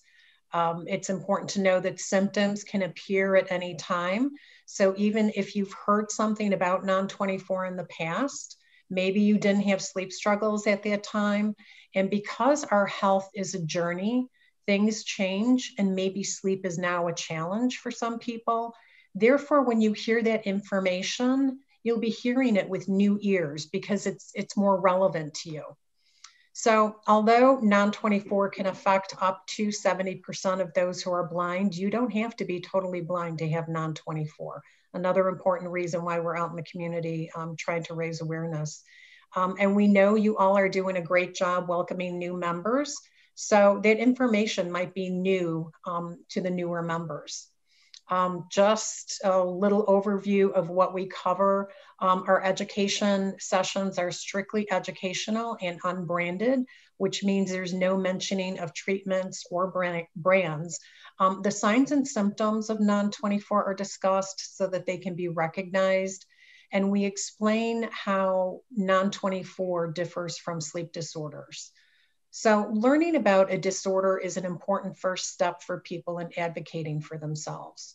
So if anyone would like more information on Vanda, you can visit the webpage um, at Vanda Pharma, that's one word, V-A-N-D-A-P-H-A-R-M-A dot com. Or if you would like to have a nurse educator speak at, at an event, a convention, or support group, feel free to reach out to me. Um, I'm always available. My phone number is area code 202 875 4714.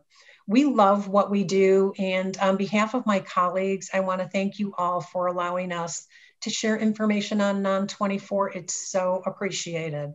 Thanks for your attention and enjoy the conference. Thank you, Jennifer, and thank you to all that Vanda does. And I, I just have to give a little shout out that Vanda not only participates as a sponsor in our national uh, convention and our DC Leadership Conference, as I've virtually toured around the country participating in multiple state and special interest affiliate uh, conventions, Vanda is also very present in those affiliate levels, and we really appreciate that. Uh, Vanda's support uh, for our affiliates really makes a huge difference, and thank you, Jennifer, for uh, all that Vanda does. Oh, you're welcome. Thanks, Dan. And it really has been such a treat for all of us to meet members across the country. So thank you so much for affording us that opportunity. Oh, have a good afternoon, Jennifer, and thanks for coming, stopping by. You too. Bye bye. Bye bye. Uh, next, I am so excited to introduce uh, Eric Bridges, our executive director, to introduce our keynote speaker for today. So, uh, everybody stay tuned, get ready to smile and laugh and have a good time. And I am going to turn it over to Eric Bridges.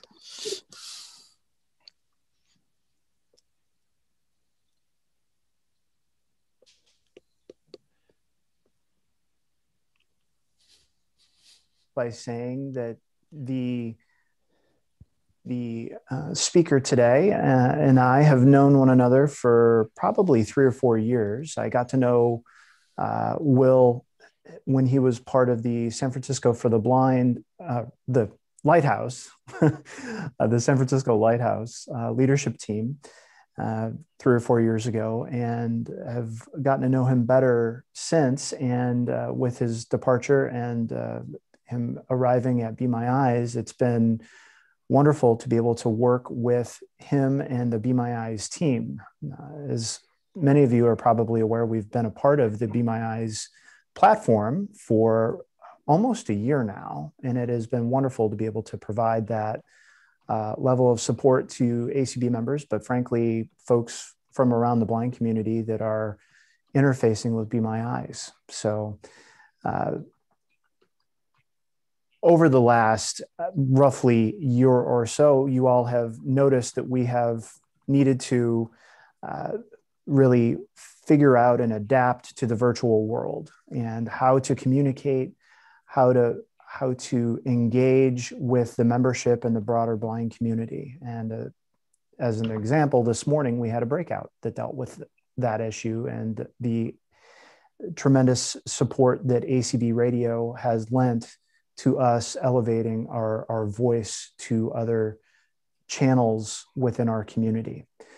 Uh, invited Will to come and be with us today to talk a little bit about the importance of elevating one's voice over different platforms, uh, doing it in different ways. Uh, the importance of video. Yes, many of us cannot see, but we're not the only audience that often visits uh, the American Council of the Blind uh, webpage, uh, website, or our social media platforms on Facebook, YouTube, uh, LinkedIn, Twitter, and, and other platforms. And so the importance of video, uh, what it means to those audiences, there's a, a, an enormous audience that is low vision, of which video is of great import. So uh, Will has a, a podcast that he does with Be My Eyes. He also has various side projects. I listened to him interview on one of his podcasts last year. Uh, the iconic skateboard uh, superstar Tony Hawk, which is pretty cool. Will uh, was, had to be a cool opportunity. I'm envious. And he's done a bunch of other things, and he's got some interesting perspectives uh, as a as an individual who is blind that is in communications and all about figuring out how to do outreach to our community. And so, with that, I am very pleased to introduce the Vice President for Community at Be My Eyes from Los Angeles, California, Will Butler. Welcome. Thank you, Eric. Thank you so much. Um, really, really pleased to be here. And I believe the last time we saw each other was here in Los Angeles. It was before the world sort of went dark for a while. yeah, it was just about one year ago. Um, it was. Yeah. Well, and Eric, correct me if I'm wrong, but we will have a chance to do some questions, right? Yes. Yeah. Okay. There will be a, uh, a, few minutes set aside depending upon uh, your, you know, your presentation. Yes. Absolutely. Awesome. Well, I have a whole bunch of stuff I'd love to talk about and get through, but it's also really, really important to me that I'm answering, you know, questions that are relevant to people and bringing that value that everyone's always talking about to to um, to the folks who are listening. And I know there's a lot of people on the call, and I want to I want to engage. So I'm going to try to get through my spiel um, with enough t- with plenty of time for questions. So as you're listening, feel free to take a mental note of um, something that might interest you because I'm happy to to dive deeper into any of the topics that, that I go into today. Um, yeah, and with that, um, thank you to the ACB. Um, it's, it's, it's, it's, a great weekend and it's great to hear all the ambitions on display today and uh, all the exciting new projects that are underway.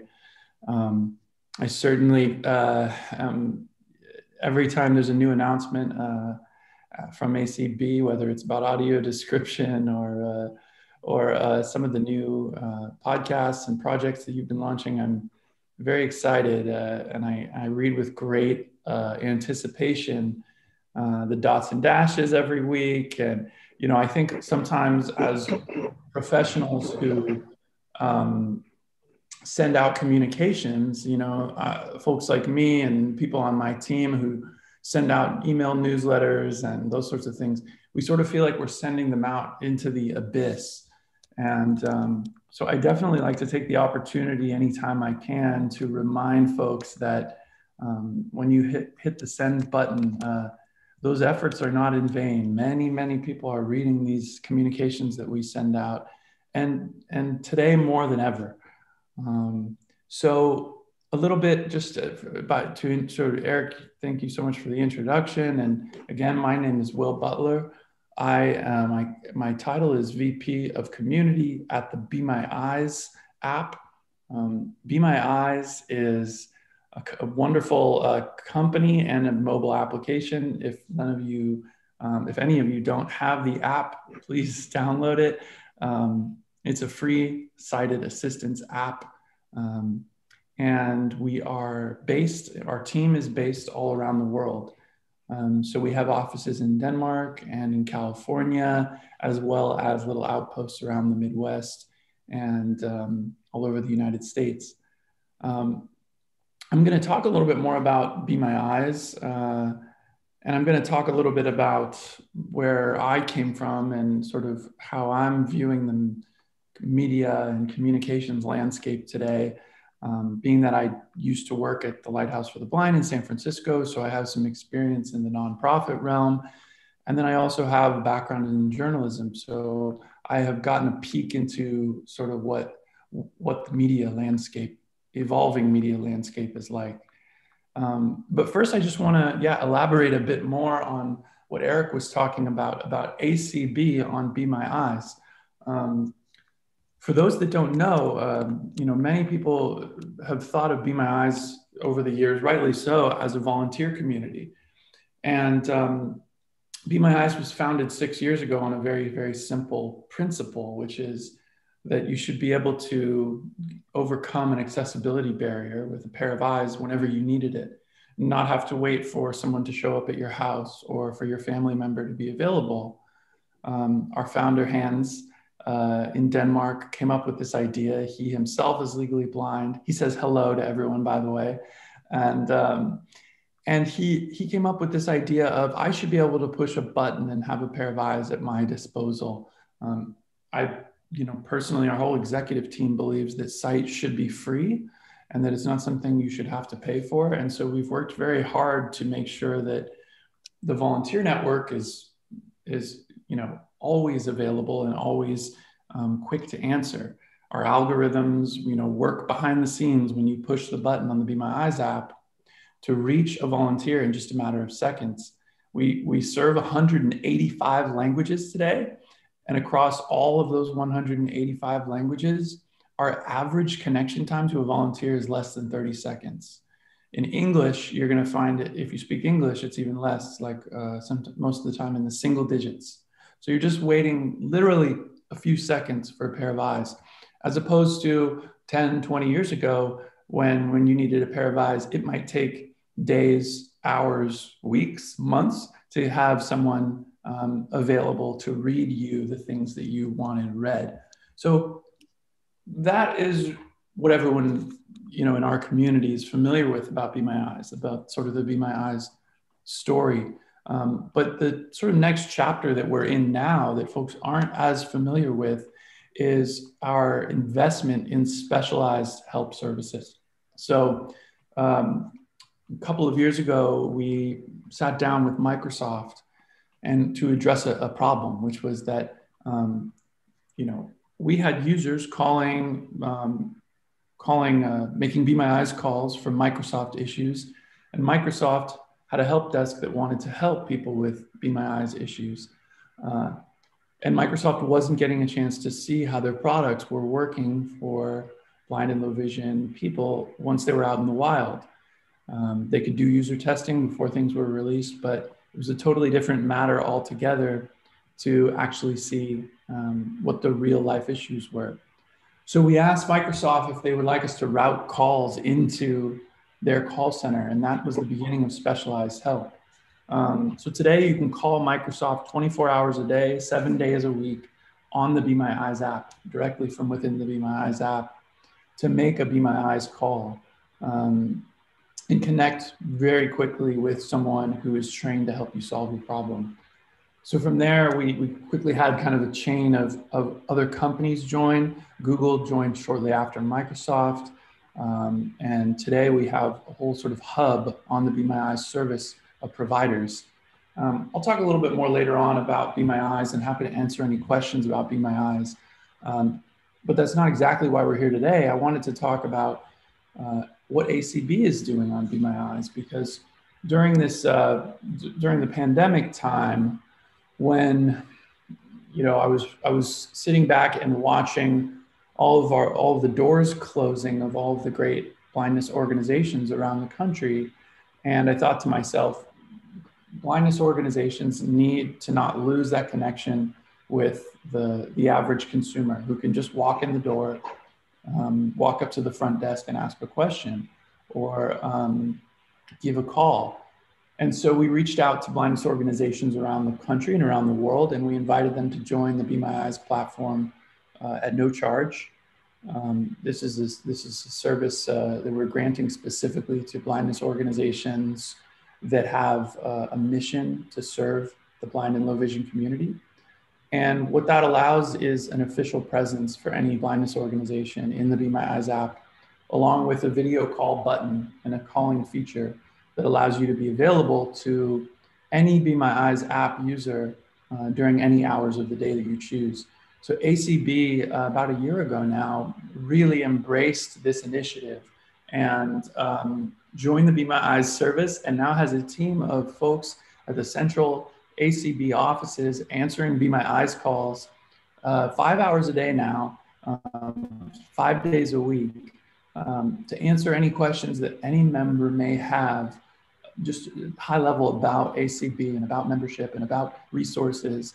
And it, it's been an incredible way, not only for ACB just to have a profile and a brand presence in the community, but also to just increase that feeling of connectivity that consumers, that the end user, that the average blind person feels with ACB.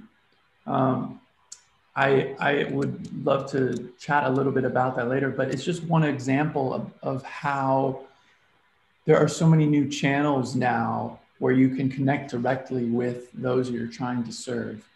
Um, so I, I, uh, I want to I want to just briefly go back and talk, give a little context about who I am and sort of where I came from. I, I, I did not grow up as a blind person. I didn't identify with even low vision, even though I was very much low vision as a as a young kid. Um, I didn't identify with my struggles in classes. I didn't identify with the fact that I had trouble reading sheet music on the piano.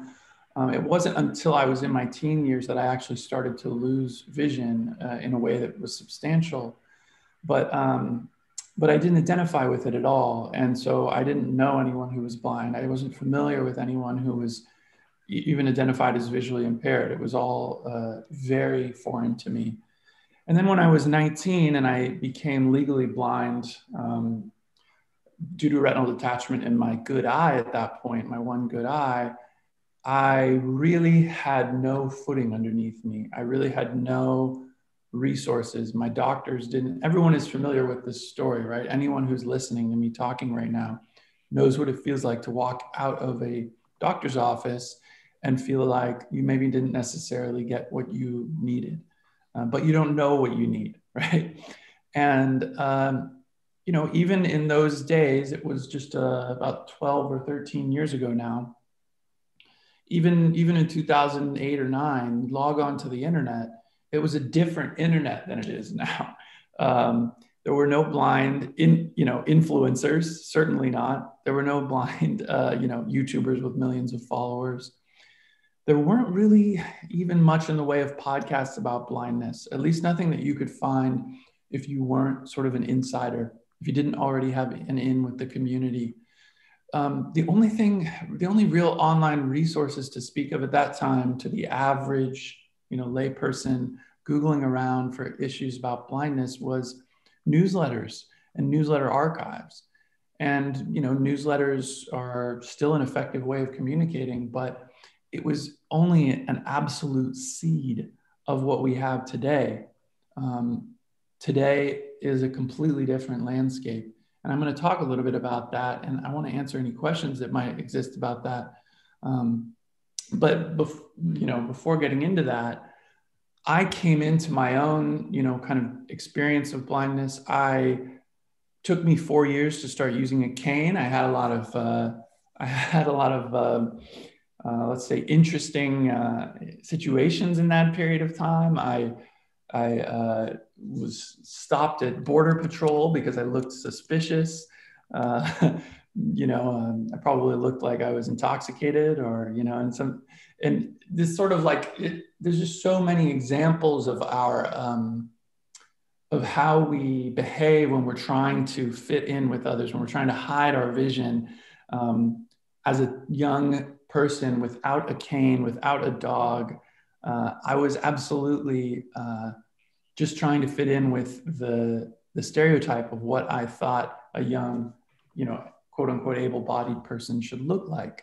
And so it was a struggle. It was really a, um, you know, a challenge. And finally, when I picked up the cane in 2012, everything just cracked open. Everything changed. Um, suddenly, it, things weren't so awkward at work anymore. Um, people didn't people didn't you know, side eye me and try to figure out what was wrong with me. Why was I walking so slowly in that one dark corner of the office? Uh, why would you know? Why why did I uh, reach out uh, to the you know the, the, over the tip jar at the cash register and drop the coins right onto the counter? You know, strange little things like that that had no explanation when I wasn't identifying myself as visually impaired.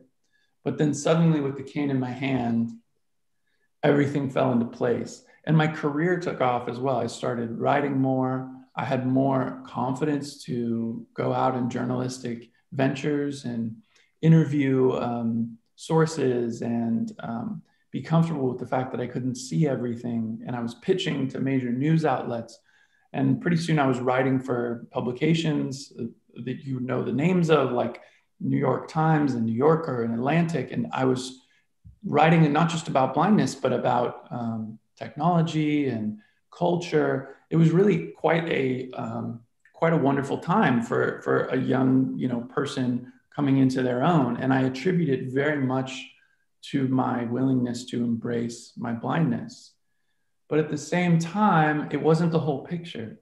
I still had so many parts of my life that I hadn't figured out yet.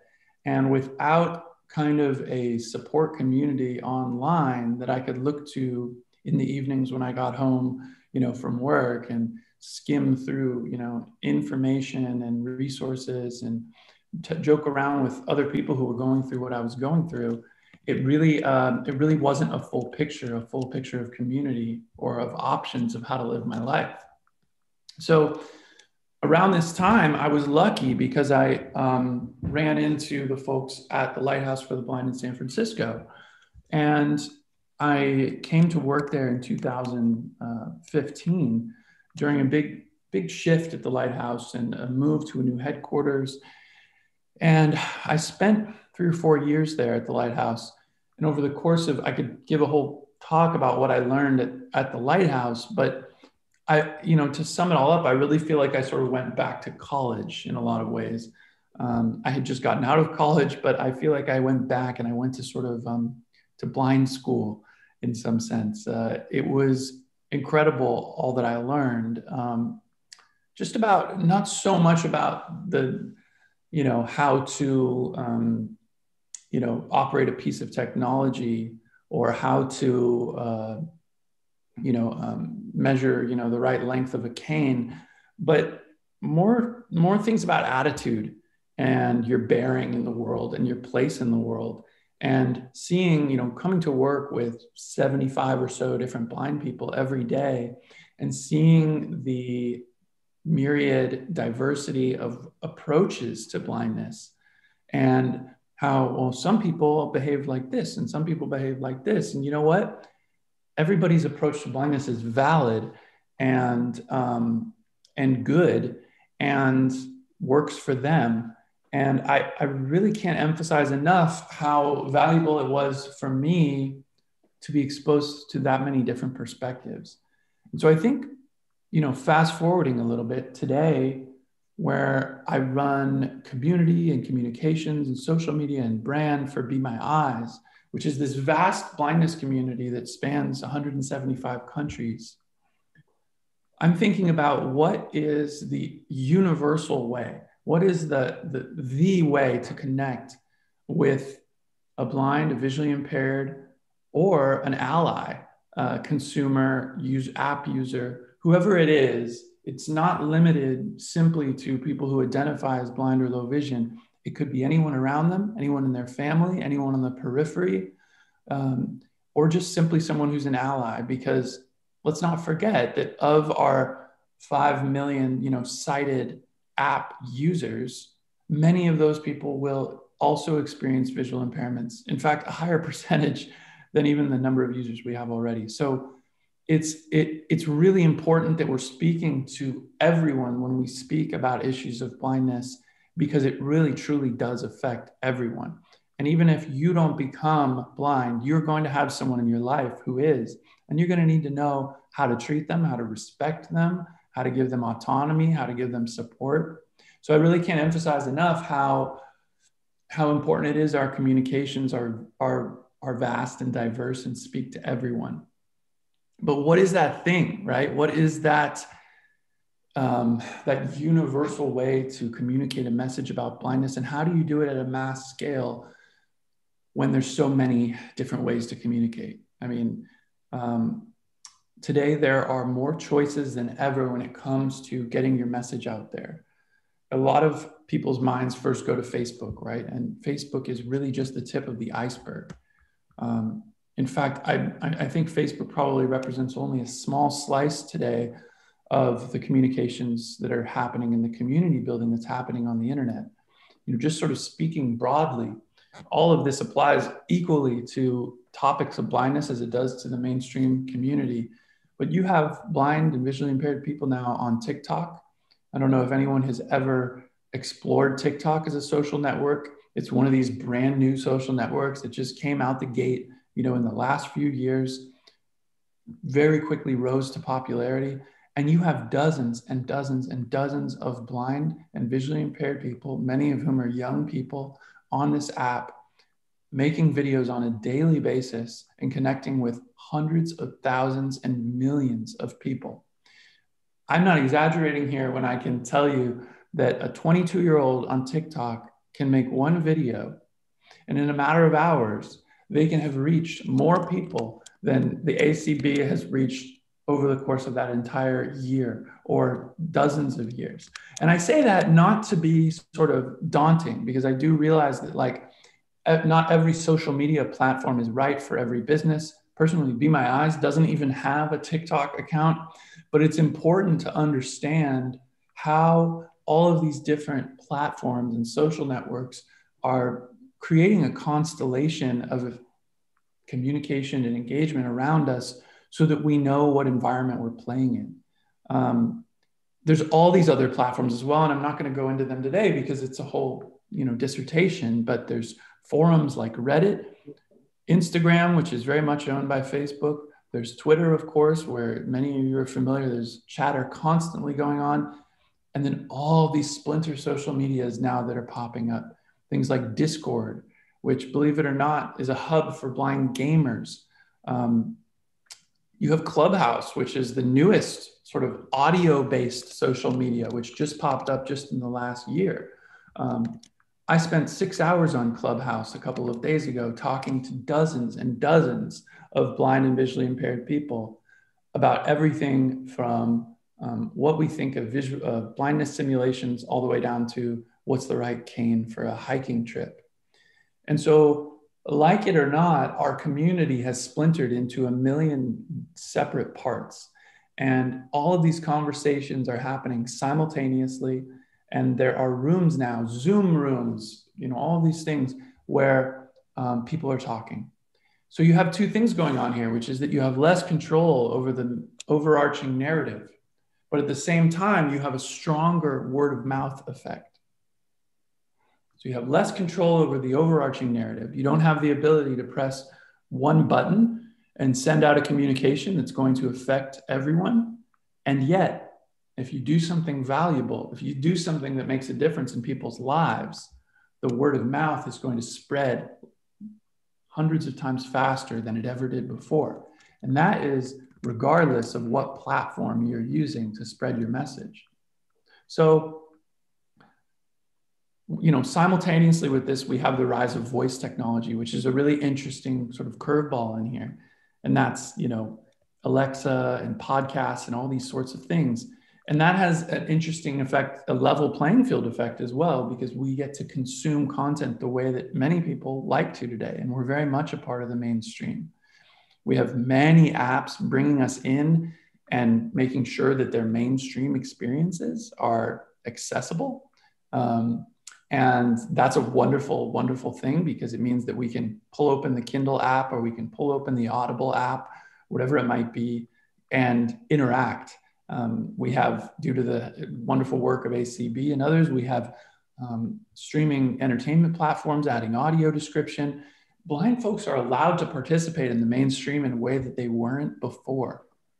And so I really want to emphasize that the role of, you know, an organization, I think like ACB, when it comes to putting out a podcast or just posting something on Facebook or trying a new media format is really to sit back and think what value can I add to someone's life?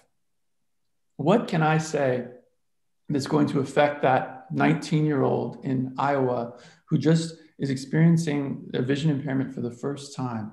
Um, we're looking to create community here, and community is created through um, trust, which comes through vulnerability and honesty, right?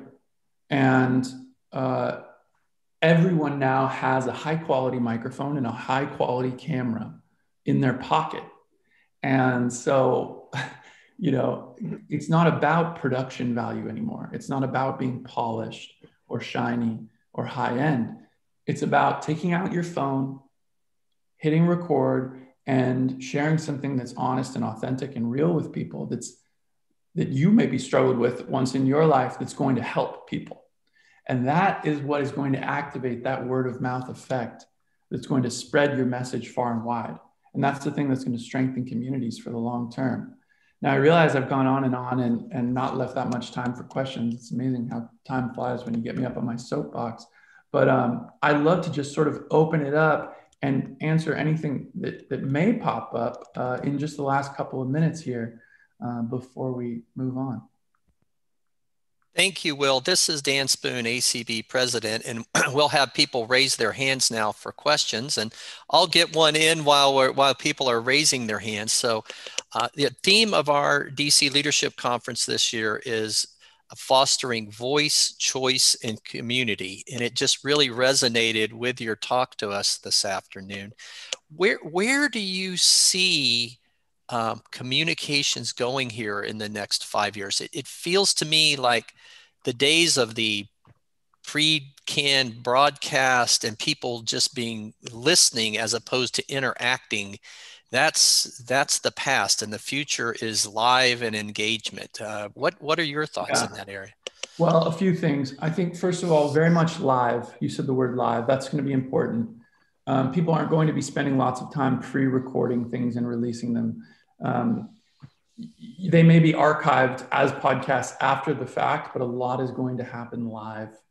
So invest in people who are good talkers, invest in people who are dynamic and, and passionate. The other thing that's happening is it's a move toward the sort of personal brand, for lack of a better term, the move toward a focus on the individual. So on these social networks where people are talking with each other, um, it's going to be about personalities. You know, you're the an agency or an organization's communications are going to be reflected through personalities.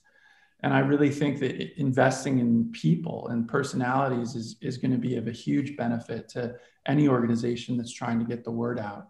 Um, the final thing I think is that it's not super important which platform you choose um, to post your things on. It's much more about um, thinking critically about the content you're putting out and thinking, how is this helping some, really keeping that, having that individual in your mind's eye of who you're trying to help when you're putting out your content, making sure it's authentic and vulnerable. T- to me, that that is where this is all going. Um, and and uh, you know, I think I, I think podcasts are also. I don't want to take away from podcasts because I think I should say, you know, we launched one podcast at Be My Eyes. We were very happy with it. So we launched a second. And this week I'm going to launch a third. So it's, we're investing heavily in podcasts. In fact, to sort of plug it, you know, this, this new thing we're working on is totally about humor. It's called Say My Meme. And it's going to be completely about describing memes for mm. people who are blind or low vision because memes, you know, these little funny cartoons that are on the internet are really actually a cultural zeitgeist now, and they're a way that people communicate, but they're entirely visual. And so a podcast that might be sort of a fun, funny, casual, um, you know, inoffensive thing might actually be the deepest, most meaningful way that a potential member connects with your organization. That's great. Uh, so, Cindy, Donna, do we have any hands raised for questions? Right now, there aren't any hands. There are no. I'm, I'm, yeah, I'm happy to sort of wrap it up. I know I'm over time now, but um, happy to answer any other questions, Dan or Eric, before I jump off. It's been If- great to be here this morning. If I could jump in, I, I, Please, I please, just- Cindy. Yeah, Yes. I just would like to uh, invite you, Will, to maybe touch base with me and see about doing a community event about Be My Eyes uh, for ACB.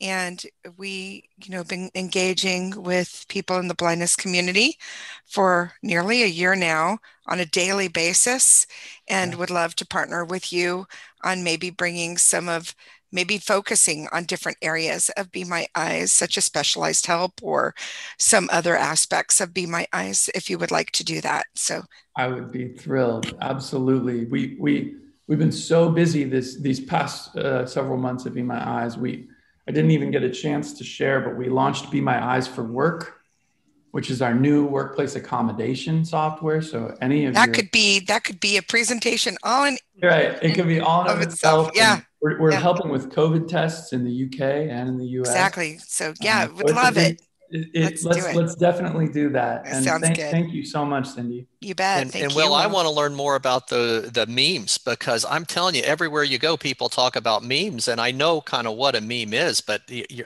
as a blind person, I I haven't been able to to to enjoy them. So Well, that's we're launch, well, we're launching a podcast just for you, Dan. Oh, thank you. I appreciate it. to and bring Will, everybody up to speed, and I guarantee you, it's going to be a hoot. Well, So- thank you, thank you so much, Will. We Hey, really an eye out appreciate for- it. Yeah, keep an eye out for for Say My Meme. That's coming uh, in the next week here. Say my Hey, meme. Yes. Thank you so much for taking time out of your weekend to be with us. Uh, we really appreciate it. Eric, thanks so much for inviting me. It really is an honor to talk to everyone. And please, everyone, just email me. My email address is will at bemyeyes.com. My inbox is flooded anyway. Just shoot me an email, will at bemyeyes.com. We'll figure out how to make Be My Eyes work for you. And I will give you, you know, personal advice on communications if you if you really want it. I'm I love this community and I'm happy to do whatever I can for everyone. Thank you. Awesome. Thank you. Thank you, Will. Uh, so just for everybody's schedule, we'll kind of we'll be running maybe oh five minutes, five minutes. So adjust your schedule for five minutes as you see it on the agenda.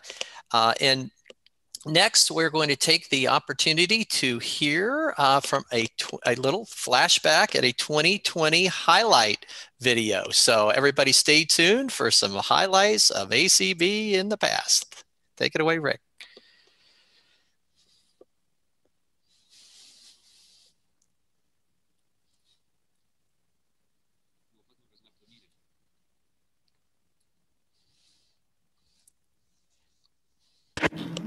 An old flickering film reel appears. Counting down a clock cuts to ACB logo over U.S. Capitol at night, then fades to Statue of Liberty, which dissolves to Pacific waves on a beach, then to the Rocky Mountains. California, Florida, Iowa, Texas, guide dog users, students, IT professionals, government employees. The American Council of the Blind has members in all 50 states and is actively engaged in a wide variety of activities. Welcome to the 2020 convention of the American Council of the Blind. And I would Dan like Spoone. to now call the 59th annual ACB Conference and Convention to order. American flag blows in the wind. Early light. Thank you, Janet. Thank you to your committee. And thanks to all those other countless volunteers, our ACB radio team, our ACB staff, and the hundreds and hundreds of volunteers who have made this convention uh, a reality. My name is Roy Samuelson. I'm a tall male wearing a black t shirt under a wrinkled denim jacket. I smile a lot and get animated when I get passionate. First of all, thank you for inviting us audio description narrators into your TVs, your theaters, and your smartphones. Jeff this Tom. year, our International Achievement Award goes to VocalEyes in the United Kingdom. Hi, I'm Matthew Cock, Chief Executive of VocalEyes from the UK. We're so incredibly grateful and proud to have been given this award. The award comes at a time when theatres, museums, and heritage sites across the UK face an uncertain future, and we're all concerned with ensuring access and inclusion are not sacrificed in the new normal. The award's already been a great morale booster to help us at this time. Senator Ed Markey, Senator from Massachusetts. And while I wish we could be together in person for your annual conference and convention, I want to thank the American Council of the Blind and all its partners for your incredible continuing commitment, even through this pandemic, to connecting everyone and bringing opportunities to all. Because of the ADA, a low vision resident of a nursing home can demand a large print meal or activity schedule. Emily Glazer. Um, so, what drew me to Achilles is that it's a very inclusive, very positive, uh, very forward moving, um, forward thinking organization. Hello, I'm Charles Cooper, and on behalf of Signal Outdoors, we're really excited today to have a conversation with Clark Rachfal. Walk, walk through some of the, the technologies that have become available that are now being utilized to, to create sort of a better experience for people when they're in the outdoors. The question about technology and how technology can be used by people who are blind and visually impaired, um, especially in outdoor environments, is a really interesting one, Charles. Hello, and welcome to Get Up and Get Moving, a call for leveraging technology to improve health and wellness. My name is Robert Frawley, and on behalf of SciTech Global, I am so excited to have you join us today. I was able to bring myself down from uh, being insulin dependent to not needing to use insulin any longer. Uh, I was able to lose 75 pounds just because I was paying attention to what I ate and how it affected my blood sugar. Claire Stanley. Clark, are you pumped up for White Cane Day?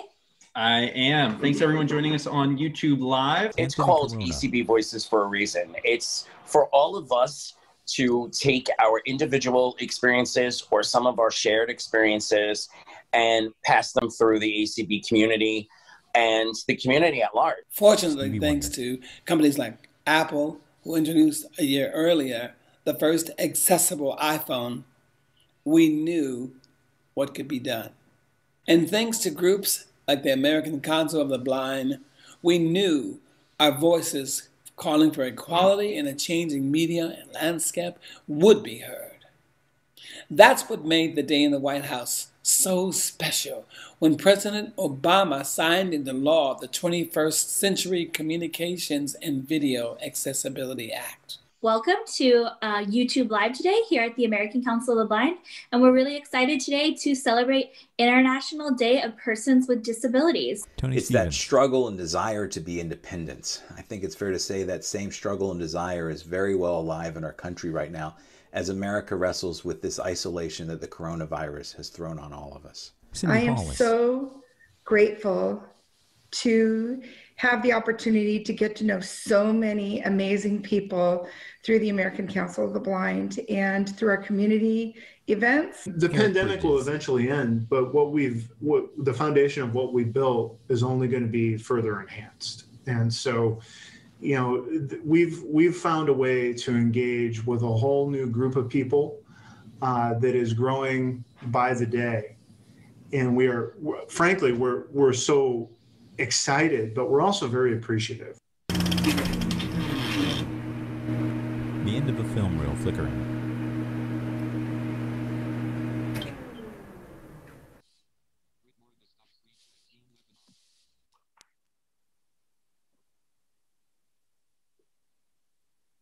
Wow. Woo. Woo.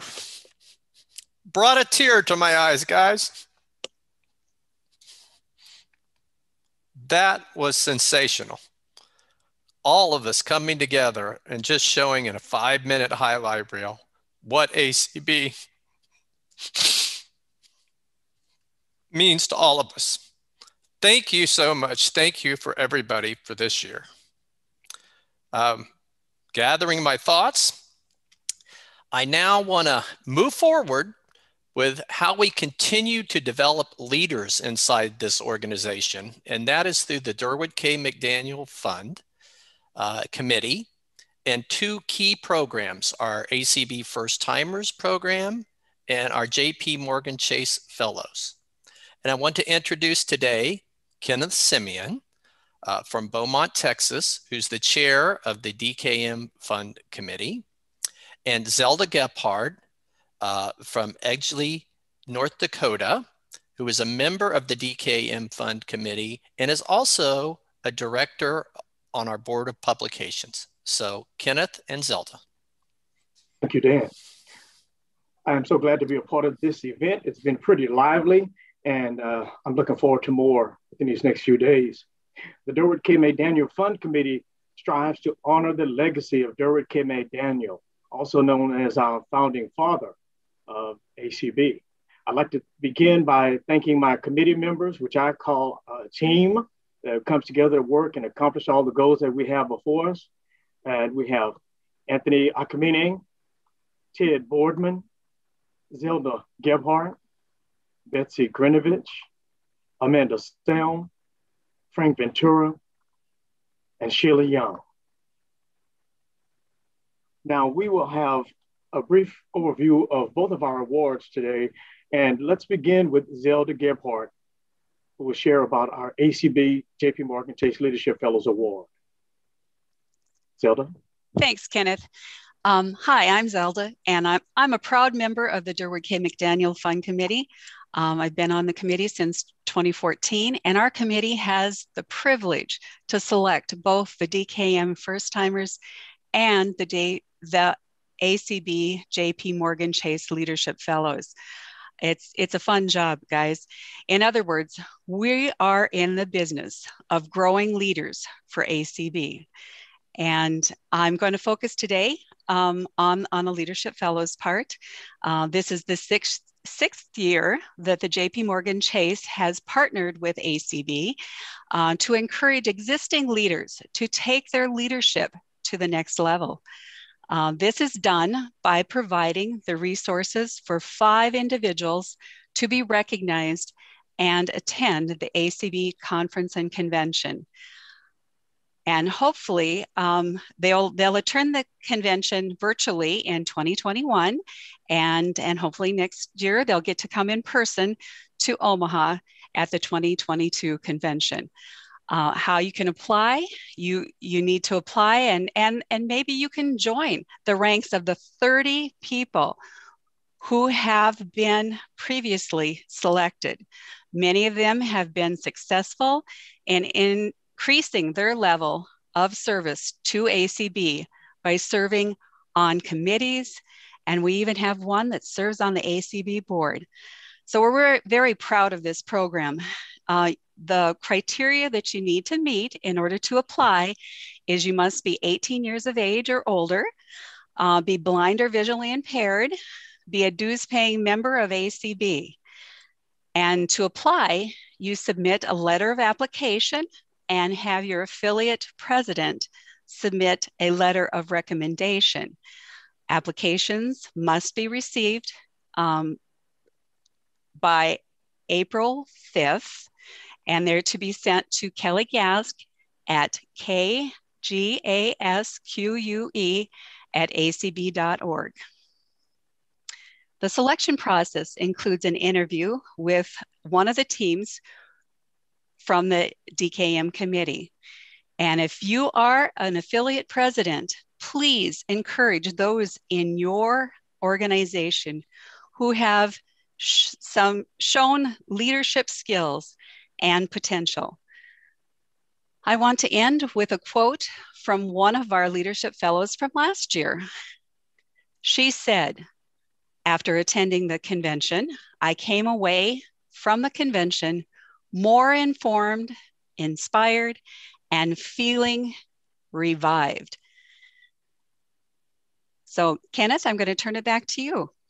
Thank you, Zelda. I am honored to say that we will be celebrating our 25th anniversary as uh, the DK, TKM First Timers Award that we give out. Uh, we will have a reception for those who are selected, as we do every year. And we have a great theme uh, together in harmony that we'll be focusing on during that event. And prior to us getting to that point, we do want to encourage those who are eligible uh, to apply uh, for this award and I'm honored to say that I was a first timer in 2010, and uh, things have gotten uh, so uh, much better in my personal life as a blind or visually impaired person. Um, since then, I've, I've uh, learned so much about ACB and become more involved in ACB as we encourage everyone who receives one of our leadership awards. The DKM First Timers Award is our primary leadership award, and those who join the class of 2021 will have the opportunity to participate in the virtual conference and convention this year. And next year, we hope to be in Omaha, Nebraska, where their way, their way will be paid to join us in Nebraska. So the prerequisites are being an ACB member, at least age 18, blind or visually impaired, member in good standing, having paid 2021 membership dues, never attended an in-person conference and convention. And we ask that applicants agree to participate in the entire convention from July 16th until the 23rd. There will be designated events that we ask them to agree to partake in. And we also want to make sure that they uh, know that each applicant is expected to submit a letter of application detailing who they are, what they've done in their local community, local chapter, or affiliate. And we uh, encourage you to read the uh, article for our DKM First Timers Award uh, that tells you all the details you need to know about how to apply. And in addition to the letter of application, we ask that an, uh, an affiliate president, whether it be special interest affiliate or state affiliate president, president, to submit a letter of recommendation for the applicant who is a part of their affiliate. We want to ask you to visit our website. Our web page on the ACB website is www.acb.org forward slash DKM to reach out to us with any questions, uh, you can actually send email to me at semien.k at att.net. And that is S E M I E N dot K, which is the letter K, at att.net. Or give us a call at 409 866 5880. Thank you so much for your time, and we look forward to receiving those applications and letters of recommendation stay tuned. We will be on a community call coming up on Friday, March 5th at 7.30 p.m. Eastern. And we ask you to tune in. And more of our notifications will, go, will be going out on all of our ACB lists. Thank you. Have a great conference. Thank you, Kenneth, and thank you, Zelda, and thank the DKM Fund Committee for all the wonderful work they do uh, helping us develop uh, leaders of the future inside of ACB. And I just have to say, I am going to be so excited in Omaha when we have three years of DKM uh, uh, leaders that will all join us in person. So uh, I can't wait to that to that party gets started. Thank you, Kenneth, and thank you, Zelda. Uh, next, we are going to hear from a wonderful friend and ally of the American Council of the Blind, and that is Karen Keninger. Executive Director of the National Library Service for the Blind and Print Disabled. Uh, Karen is from the Washington, D.C. area, and we would love to hear what's latest and greatest with the National Library Service. And uh, Karen, uh, please take it away. We're glad to have you here today.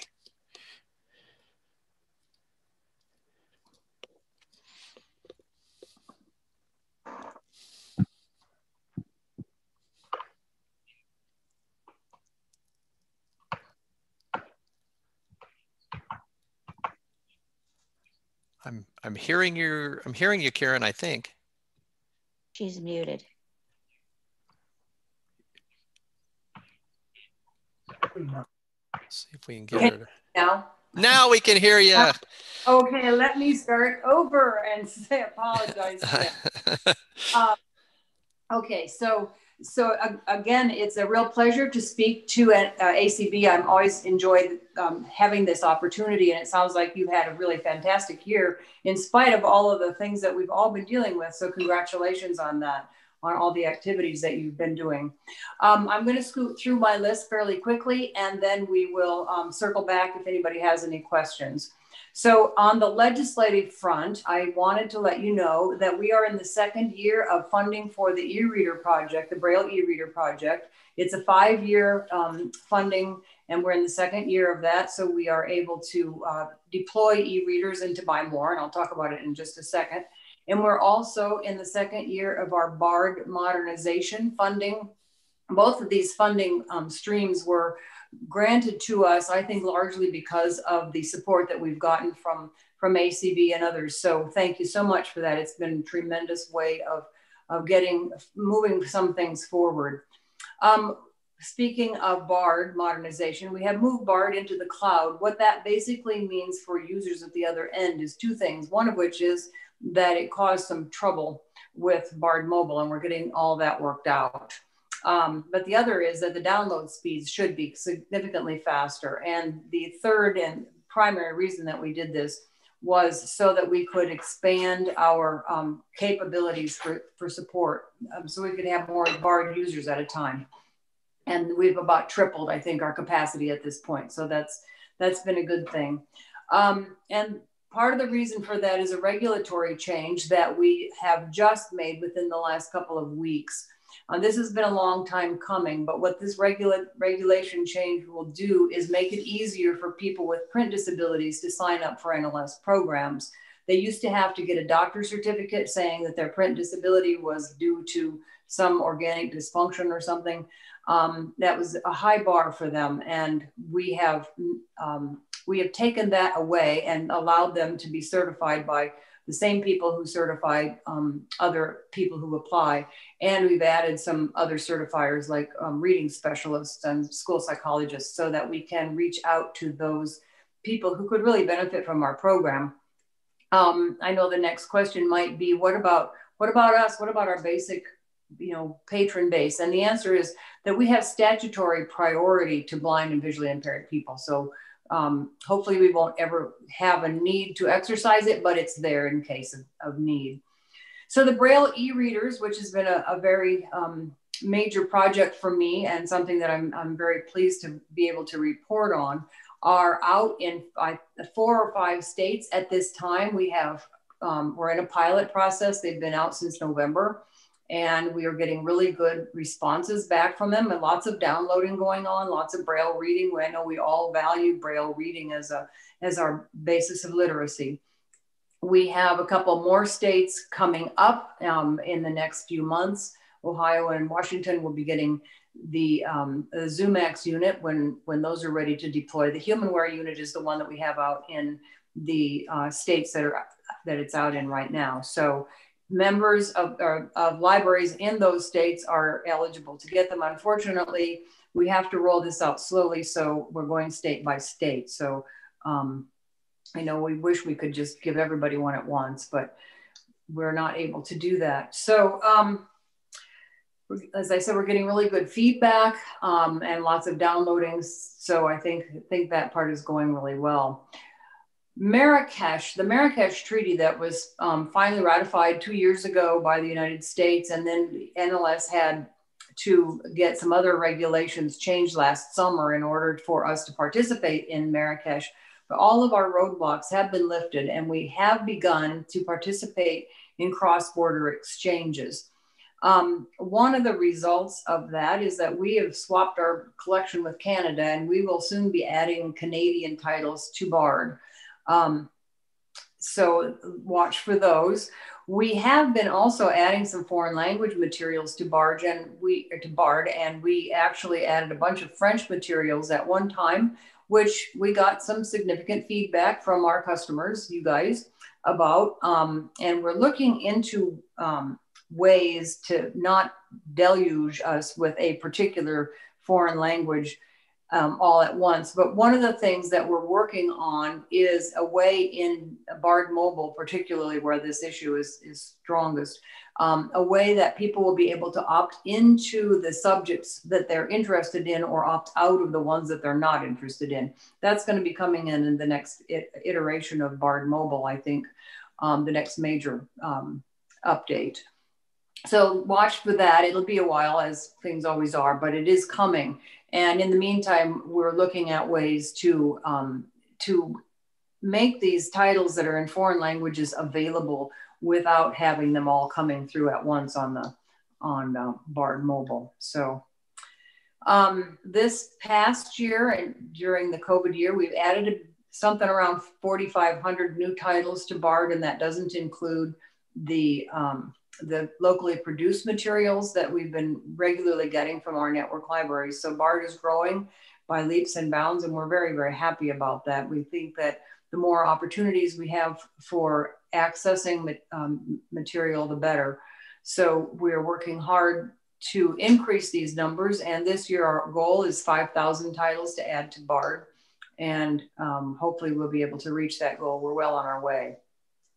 So, what's coming up at NLS? Well, one of the things that we're working on is a, is a smart speaker skills, or what they're called on on uh, Google Home. I'm not sure, but anyway, the ability to play Bard books on um, on a, your smart speaker. That's we have a contract that's working on that, and a lot of the groundwork is already laid for that. So that should be coming fairly, um, hopefully within the next um, multi, several months anyway.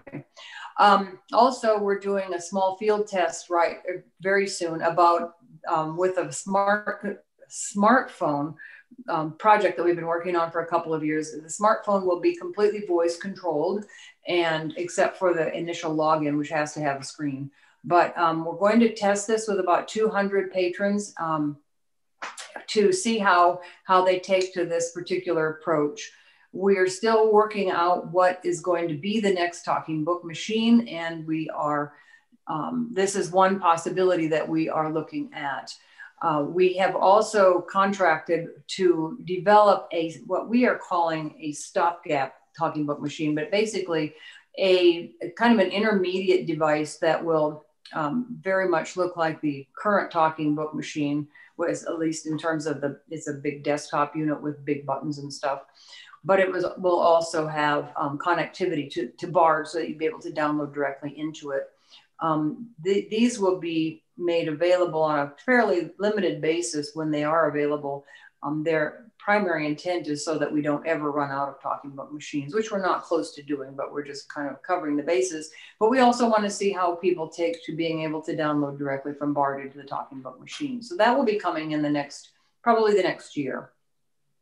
Um, the last thing I wanted to, to mention is that I am planning to retire this spring. Um, it's been a fabulous nine years, and I've really appreciated ACB support throughout my, my tenure as director of NLS. And I particularly want to thank you for your support and as evidenced in the fabulous award that I was um, honored to receive last summer. So thank you so much. Um, the job of director of the National Library Service for the Blind and Print Disabled is posted on USA Jobs now. It will be closing March 29th. And if you know anybody or if you are anybody who's interested in applying for that position, uh, it's a big job, but it's a fabulous job. So I would encourage you to consider it. And that is basically my report for today. Thank you so much. Thank you, Karen, and thank you for being a friend and an ally of the American Council of the Blind. And we wanted to take just a moment here to uh, to recognize all of your efforts, and we would like to present you, of course, virtually. It will it will uh, be be arriving in the in the mail soon, but we would like to present to you an ACB Lifetime Member Award and Scholarship. So you will forever be a member of the American Council of the Blind. It's one of our highest honors, and you are so deserving. And we just thank you so much for all you've done to help the blind and visually impaired community.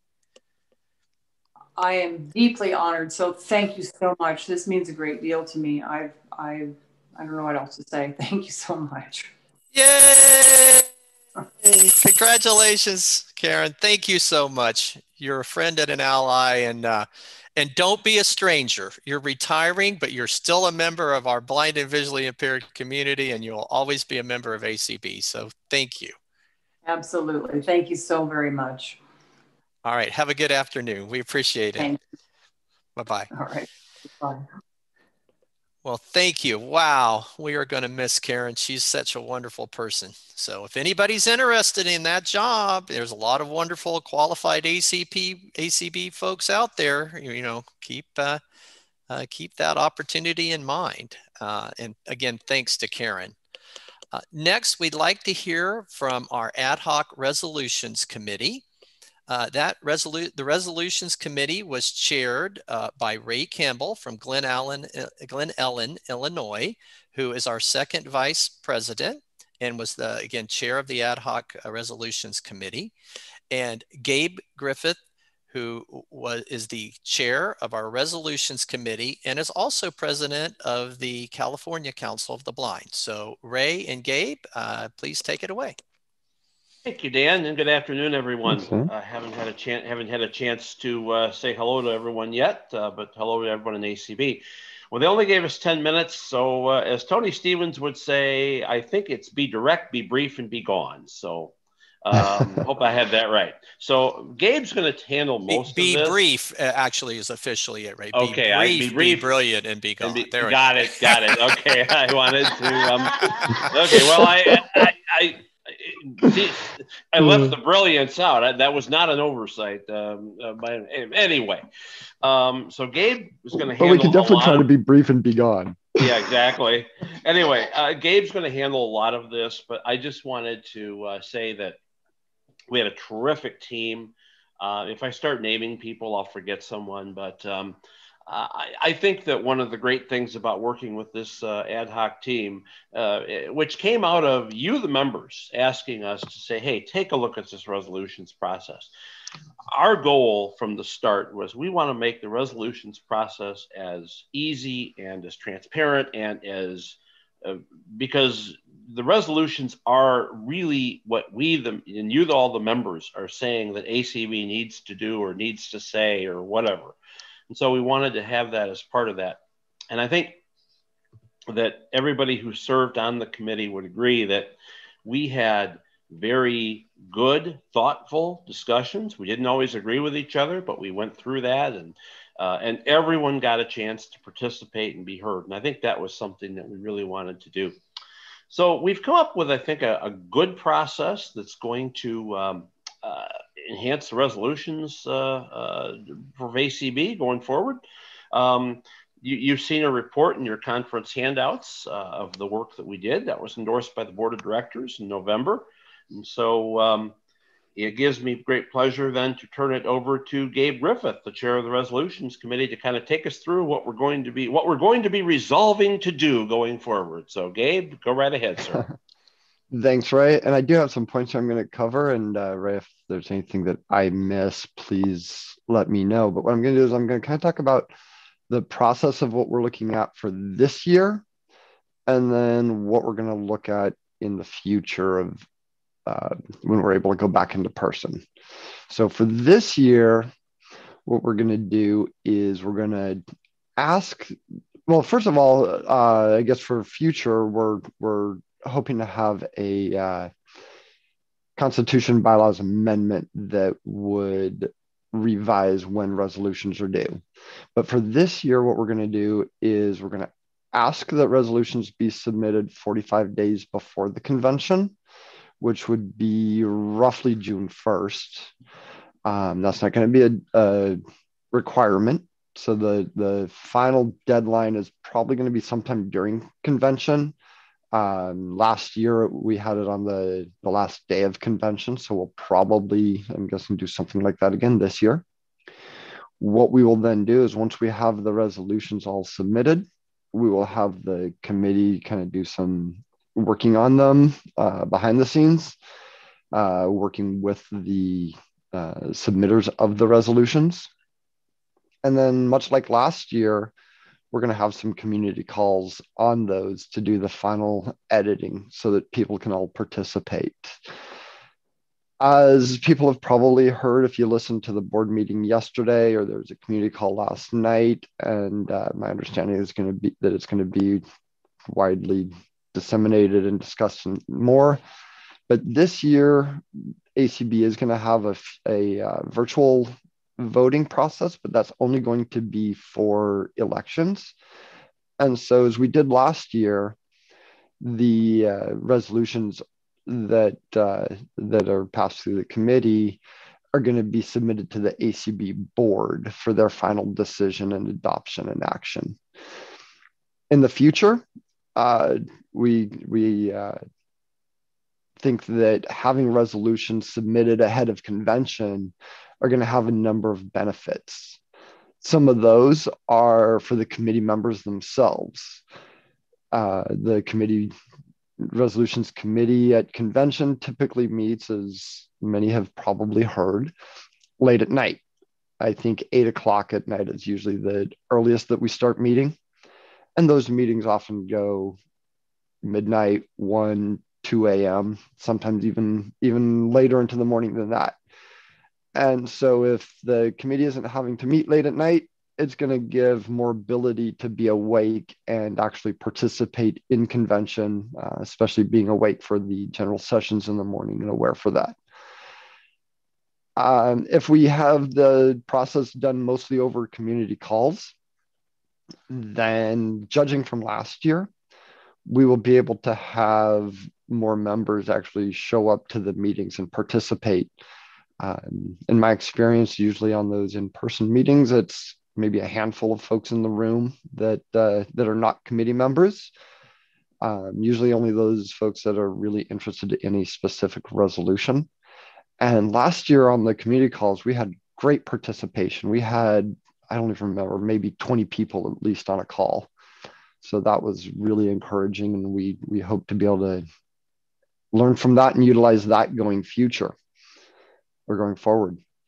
Also, if resolutions are done ahead of time, then we won't have to hopefully we'll be able to to do one or two a day throughout the the convention and therefore won't end up with the final day being an eight or nine hour day of listening to resolutions being read uh, and along with that we plan to be able to have hard copies of the resolutions you know sometimes we have resolutions that have 15, 18, 25 clauses to them and are very technical in nature.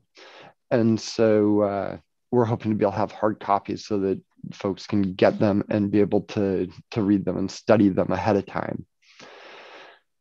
Um, also, we're going to be, uh, you know, I, I, don't know how widely this is, is known, but after the convention and after resolutions are adopted, members of the resolutions committee, of the of the staff and of the ACB board get together and figure out a prioritization of the resolutions.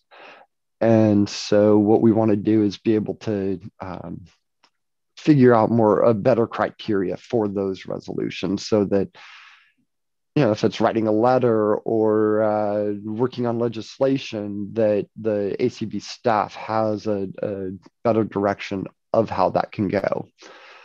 Um, and then finally, what I want to do is just give out my information, um, especially since it's, as uh, Dan had said, I'm the, also the president of California Council of the Blind. So my information is on our website anyway. So I'm not giving away any secrets here.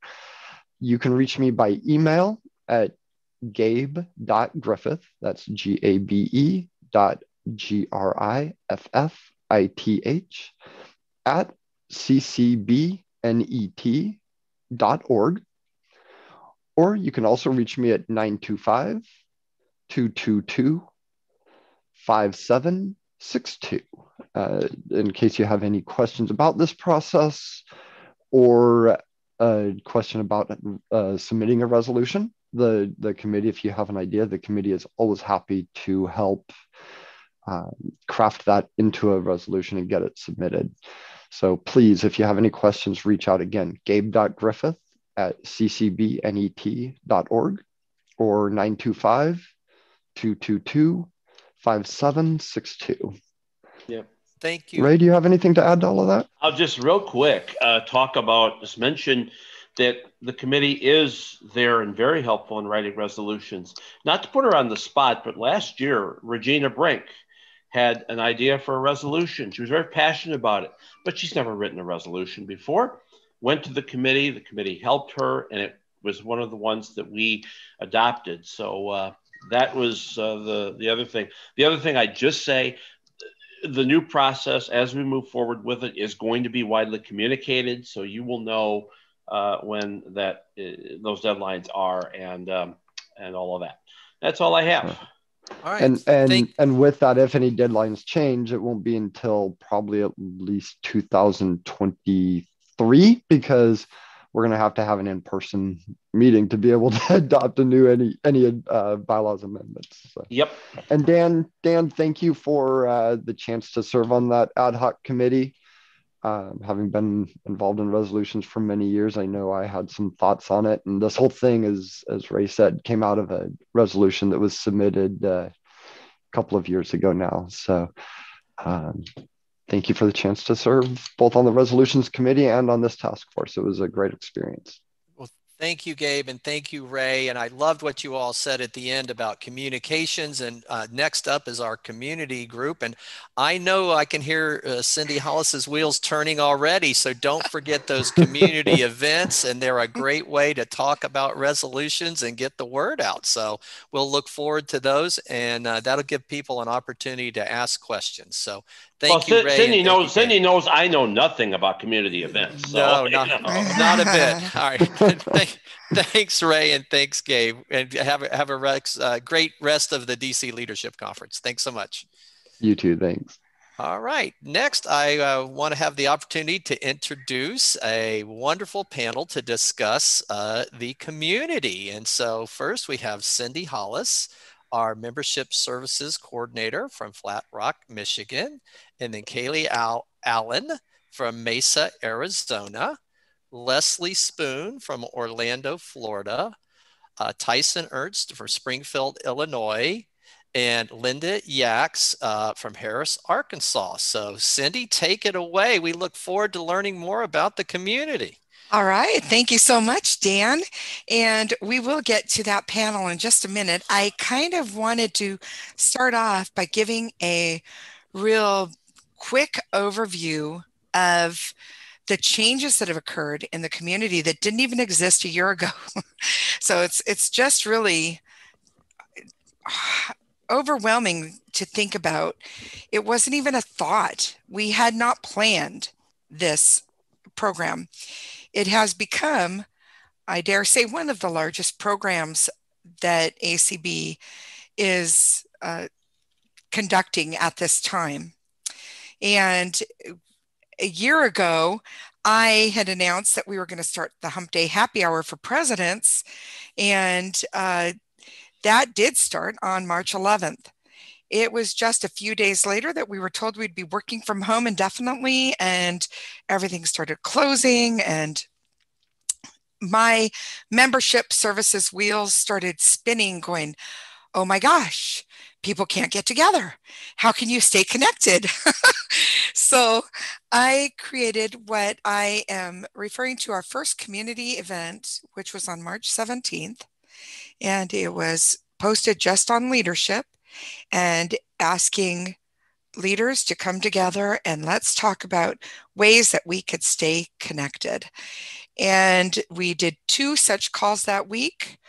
Uh, the next week, I planned to do a couple of just social events myself. I called them coffee socials.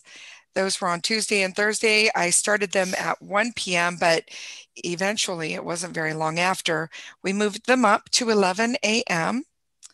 And I still do them, and they have evolved as well into something different. But it was that Friday, that first Friday, Dan, you and I talked and you said, what about reaching out and seeing if anybody else, you know, has uh, calls that they would be willing to open up to anybody and and the rest is history i did that i got a few emails from affiliates who were willing to do uh, that and put together a, a sort of calendar, sent that out. In those first two weeks, we had 11 calls. So that first real week, it was probably about nine calls that we opened up to everybody. Nine today would be like a bad day. I mean, you know, this in a week, we typically have anywhere from 10 to 19 calls in one day. In our in our first full month, we had, I believe, 68 events or calls. Uh, I don't even remember when we last had 68 calls in a week. Uh, this past week, we had 93. Uh, we have, I think, 77 this week, and that's with the DC Leadership Conference going on for three days. And some people that normally would hold an event have suspended for just this week. So you could see that there has been great growth, and a lot of people have been around since the beginning, but many continue to join us. And why? It's because they're invited. It's because people are sharing it on email lists, not just our affiliate email lists, but they're sharing them on guide dog lists and other organization lists. And we have uh, Voc rehab counselors and TVIs sharing it with their students or clients. And uh, so the word is getting out. And I like to think of the community as ACB and our doors are open and anybody can come in. So it's, we don't ask for ID at the door. When we have an event on the schedule, anyone is welcome anyone, and that means anyone, whether they're a member or not. It means, regardless of age, uh, we welcome everyone. Consequently, our youngest participant so far that we know of is 12 years old. And we know we have several people that are of our senior population and everything in between. And people of all ages have stepped up to help with whether it's putting together an event or hosting. We are blind people really working this community and doing for each other, which I feel like has made this so uh, not only organic in the growth, but authentic in what we do. And so some of the changes that have occurred, well, we, of course, over the course of the first few months, we added a community stream to ACB Radio. Thank you, thank you, ACB Radio, and their support. They started streaming for us some of our events, and next thing you knew, we had a community channel, and it is uh, turned into, of course, podcasts. About a third of our events are streamed and podcasted. And uh, we are so grateful for that and the hundreds of people that count on those podcasts and listening to the the recordings that continue to play on the community channel, whether we have something live going on or not, are, are appreciative as well. And of course, people can access our calls through Zoom, including on their regular phone. And they can also listen to ACB radio on their landline as well, which is really an important piece because we want this to be accessed by everyone. So we have pre recorded information about all of our calls, and you can listen to that via phone by calling 800 424 8666 and following the prompts there is a listing for every day. In the beginning, it was attempted to put all of that information in one mailbox. Well, we quickly moved to three and then five, and now we have a mailbox for every day because we just have so many calls. We formed a community uh, Facebook group, very active, positive, uplifting, supportive environment. I'm so proud of what is offered there because it really is a place for people to go and get questions answered and share information and just really be a continuance of the community that of these events that we do. We have, of course, the blog that has been mentioned in the past, and uh, the Voices blog is is another way for us to share what's going on in the community. So there's probably something else I'm missing, but I really want to focus on what kinds of calls or events you'll find in our community. And they have evolved. And in the beginning, they were mostly social. And social is still probably close to a third of the calls. So social calls are still very, very popular. But we have calls that are technology related. Uh, we we call these personal development so they can be learning the guitar or learning a craft. Uh, oh my goodness peer support lots of peer support being offered. Our first peer support call was our widows and widowers call and it has grown from there. Uh, and then we have let's see, I'm trying to remember health and wellness. One of our first calls was a yoga call. We're going to hear about that. Uh, but that has expanded substantially and significant participation from our uh, attendees in those calls, regulars. And we have something currently six days a week in that realm. And then many of the calls are topic driven and which really encompasses anything that I didn't mention already. So, a topic driven call could be something as serious as talking about resolutions or voting at convention uh, or voting in general. Uh, when, you know, we had a lot of calls on voting uh, for the elections it, last fall. They can also be uh, lighthearted, like talking about old time radio or radio in general, music, book chats. Uh, we have several of those popping up. So you, I don't think we can have enough of them. And so that gives you some idea. And then, of course, fun. We have a lot of fun calls.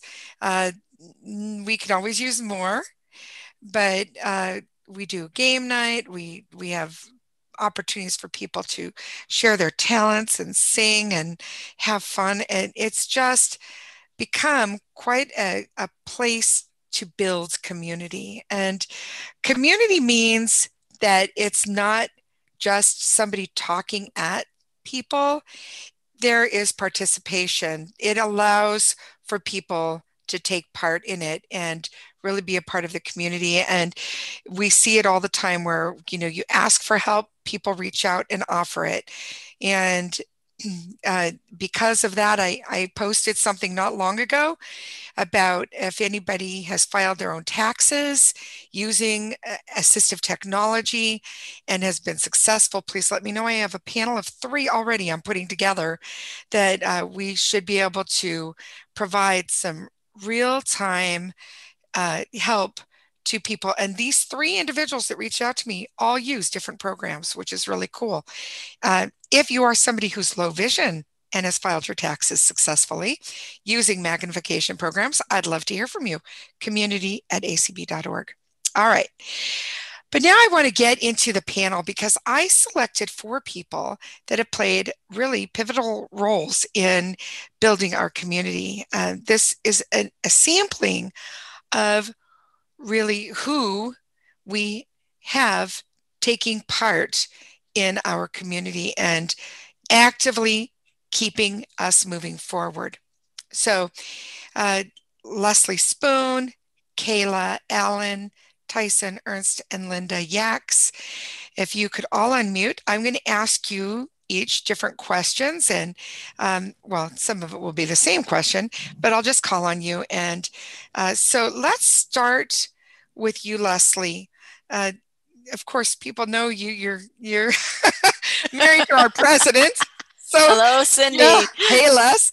Um, I am married to the president. Yes. You are, yeah.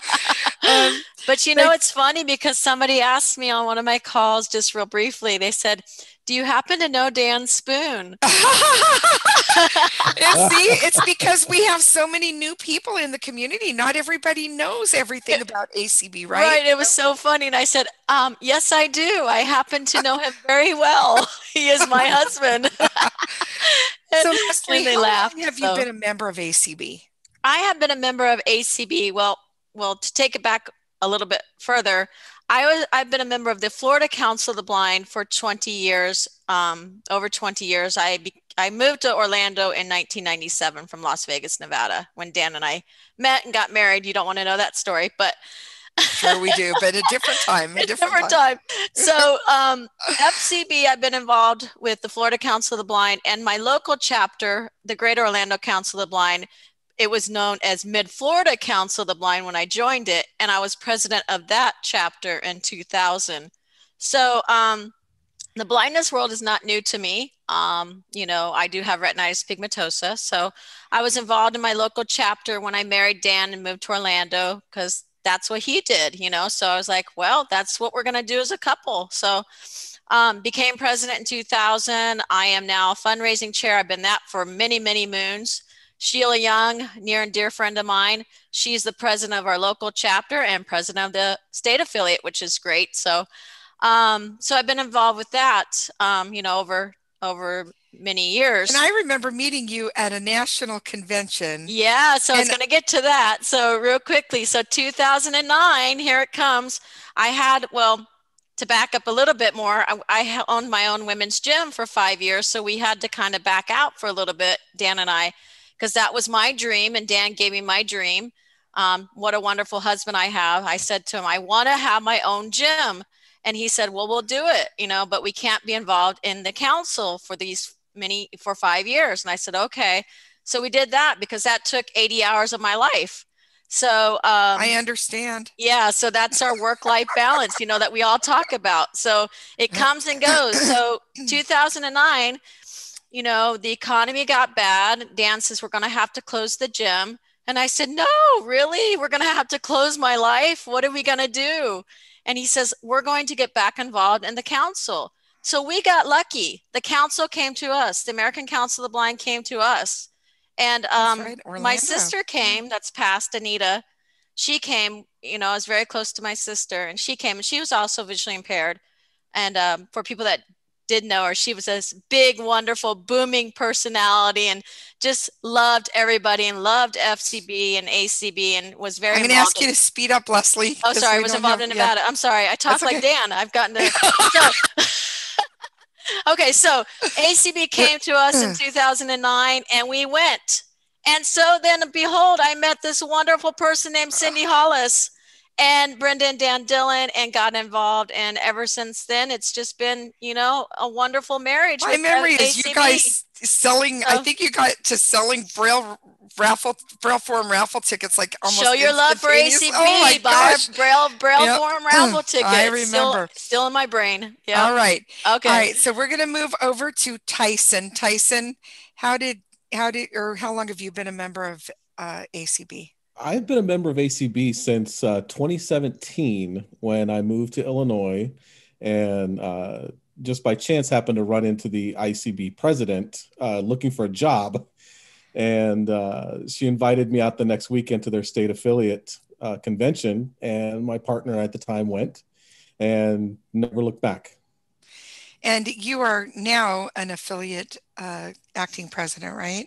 Currently, yes. Yep. I am the acting president for the Veterans Affiliate, Visually Impaired Veterans of America. All right. And Linda, how about you? I joined um, ACB in 1994. Um, my children were grown by then, and I had the time to devote to it. It's pretty much been my volunteer go to since.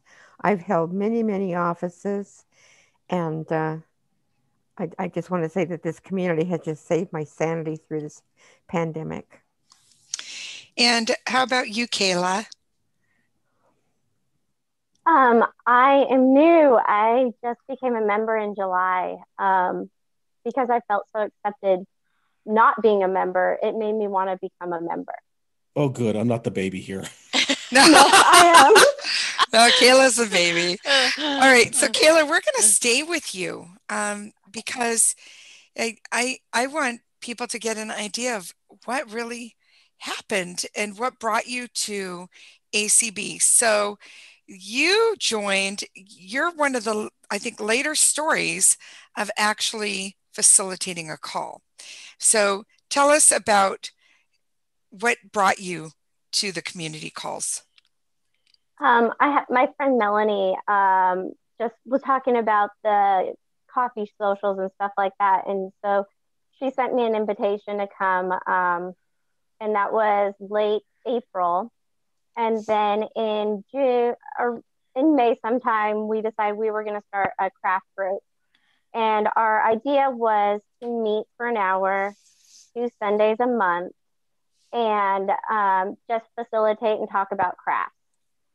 Um, okay. So that first meeting was June 7th. Yes. So that's and my, I, that was my first hosting. and and then eventually you you were there to support Melanie and eventually now it's become your baby pretty quickly. It yeah, did, right? Yeah. Yeah. Yeah. So, it was too much for her. She's like, I can't handle this is too I, much. And we're going to talk about the too much because you're the one we're going to talk about all the changes that have happened with those craft calls. They've been amazing. But I want people to be hearing that Kayla came because somebody invited her to come to the community. And because of that, she became a, she went to convention, she became a member, and she is I she is leading the crafting kingdom. And we will we will come to that here in a in a little bit more about what all the changes that have occurred just in that area of community calls.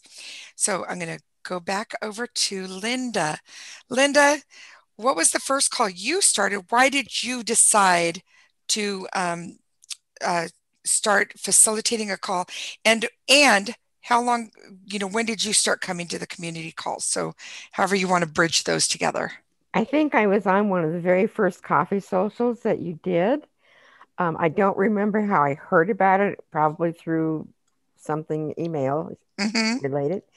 Uh, I terribly missed being able to go to church. I wasn't getting fed spiritually and felt that was probably happening throughout the community. So my friend Vicki Ireland and I started, let's just talk about Jesus. Back in, um, I think we had a meeting or two before the convention, and then we took off that week or so and came back. So that was my first call.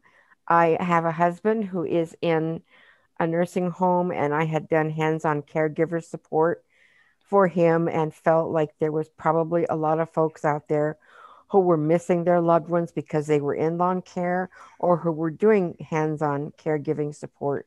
So I started the um, caregiver support group. And to be honest with you, I don't remember when we started that. And then just recently, there was a lot of discussion about finances and wanting to have a call on that. So we've had, I think, three let's just talk finance calls now. And so that's what I've been doing, and I love it. And then Linda is also a host and has been hosting for quite a while now and uh, uh, hosts webinar calls as well.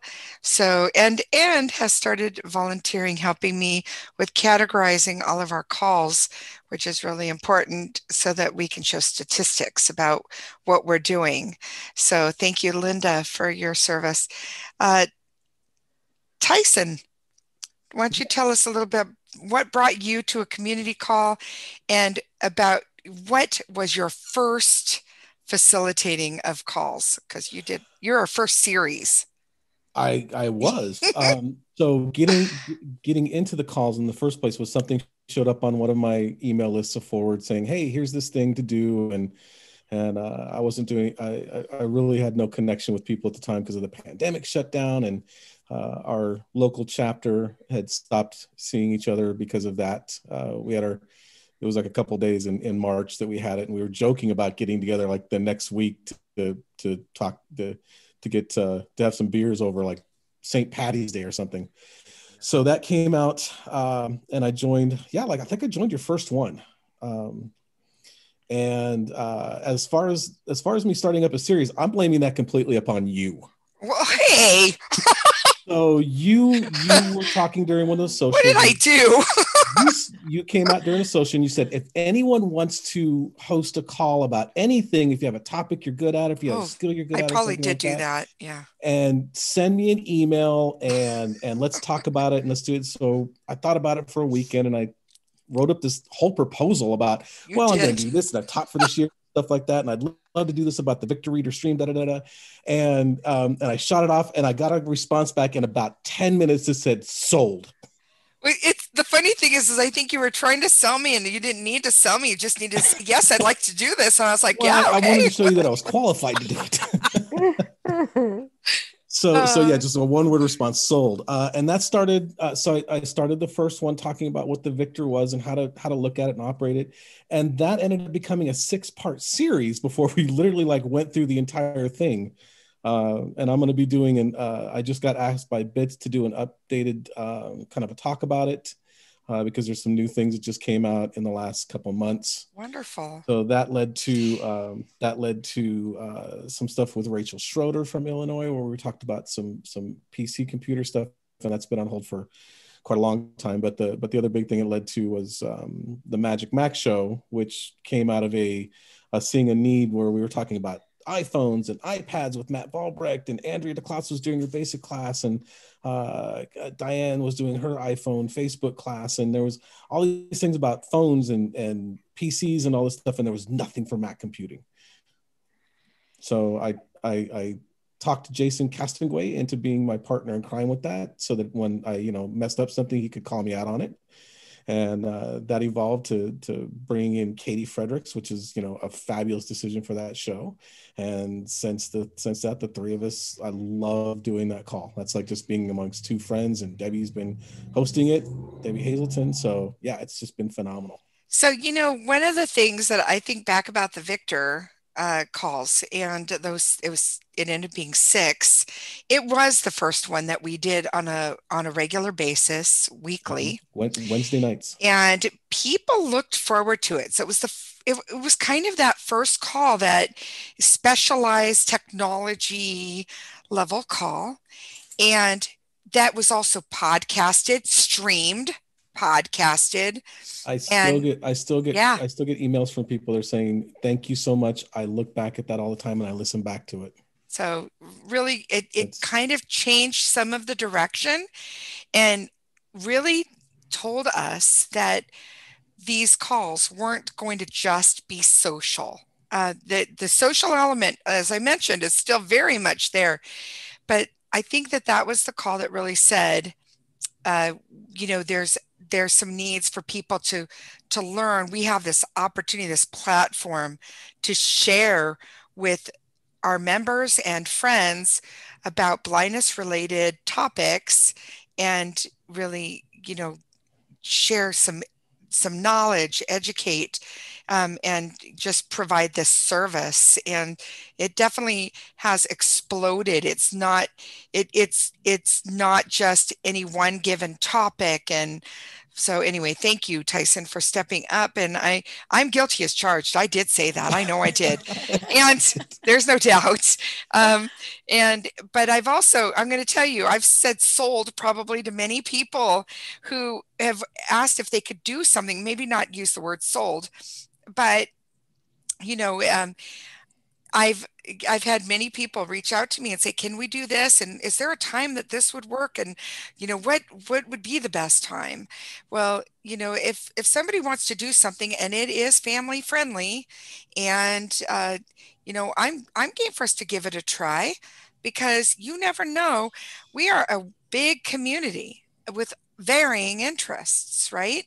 Including some of us who want to stay healthy and well. And and so uh, before the Get Up, Get Moving campaign even gets starting, uh, we Should we had, get up? Should we, get up and get moving?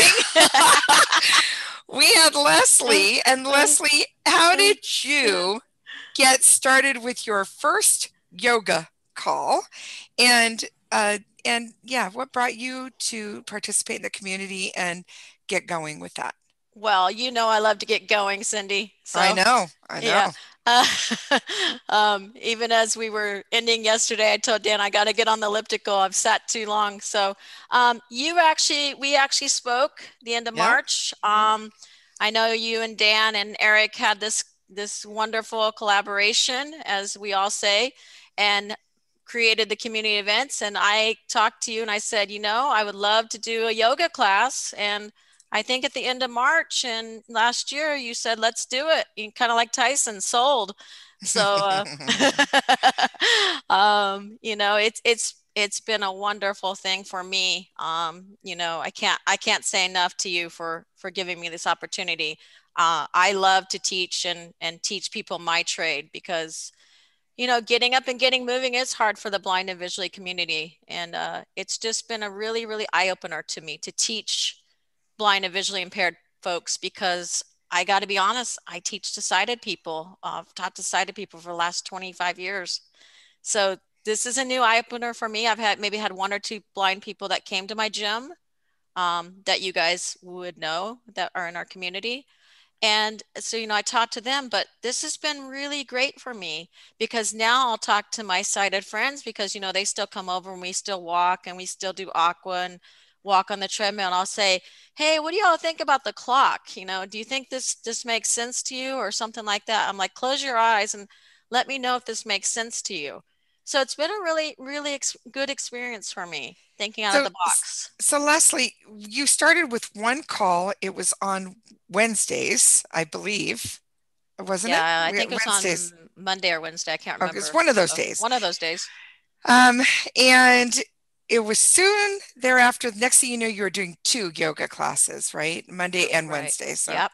Mhm. um, and and it's evolved. So tell everyone what are the calls you are doing now. So Monday is easy chair yoga, which we're very easy. And then Wednesday is more advanced, more on the floor yoga. So we call it full flexibility yoga. And those are both at 4 p.m. Eastern. Tuesday and Thursday is resistance um, 101. And you can have bands, you can have soup cans, you can have weights. That's um, se- seated or standing. And that's the resistance. So I'm teaching them all about their muscles and their body. I'm teaching them how, you know, what their muscles mean. What what is your gastrocnemius soleus, which is your calf? What is your anterior tibialis, which is your shin? You know, so they're getting they're getting the body. They're You learning the speak body. very well. Thank you. Can you, know. spell those words? No. Uh, I could, but you don't want me to. Uh, so tho- those are Uh. on Tuesdays and Thursdays at 3:30 p.m. And then we you know New Year's comes and we all say, "What are our New Year's resolutions? I want to lose weight. I want to I want to work out, but I really don't like yoga, and I really don't want resistance. I really want some cardio." So we have added a happy hour cardio on Fridays at 3:30. This is so much fun, guys. I tell you, you don't even have to have any equipment. I'm telling people how to dance around. It's just a half hour cardio, and then we do balance and abs, which is, you know, your stomach, but you don't say stomach anymore. Thank you for letting me know. That's Yeah, good. don't say stomach. It's either your core or your abs. So Okay. so it's evolved. And you know the great thing, Cindy, and I know I'm trying to be quick. The great thing is anybody can come to these. You don't have to come to yoga or you don't have to come to resistance. Come to happy hour cardio. You don't want to do cardio? Come to yoga. So there's something for everybody. So get up and get going. There you go. All right. Thank you, Leslie.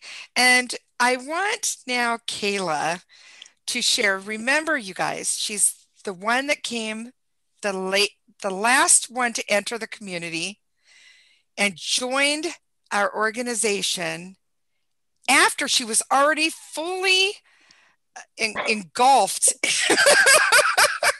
in in community activities through the craft activities. So tell us now today, uh, and you can you can certainly share the um, progression if you'd like, but tell us where you are today, Kayla, with these craft activities. Well, specifically today, um, my partner in crime, Courtney, is hosting our 75th event Right now. since June. right now. Yeah. Uh-huh. So um, that's pretty. When I counted that up this week just to see where we were at, I was pretty impressed. I didn't. That is realize, amazing. You know. So, it also um, tells it also tells us that uh, that is not doing something just twice a month. I mean, you know, whether you're good at math or not. yeah. Yeah. So um, we've we've slowly evolved. Um, w- like I said, we started with just doing chats, and people that was available to them already was just doing a craft chat. Um, Hadley already did that, um, which they do a great job, but they wanted more. They wanted hands on. They wanted to learn the skills and get their hands messy. And so I my first class that I taught was um, we took a glass jar and we decorated it and told each other about it. And then the next one was origami. Um, because it happens so quickly, I wanted to do things that they already had the materials to do in their home. So that's kind of where it started. Um, now we have um, a variety of people from the community helping teach classes. Um, some of them provide kits and mail them out and do all the payment, and I don't do anything to do, you know, they take care of it all. Thank goodness. Um, so people are able to get kits for a craft that they've never done before. And the nice thing about that is you get what you need for that project and you don't have to go buy a whole bunch of materials and then decide um, you know this really isn't for me i don't want you know and have a whole bunch of materials to um, store get rid of or or even try to have to get to the store so that's been really cool um, so we had two events in june and march i have 16 events uh, scheduled right now so we stay busy again. Repeat that. How many?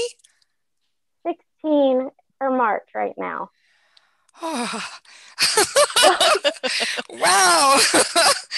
um, and a lot of them are two hours, right?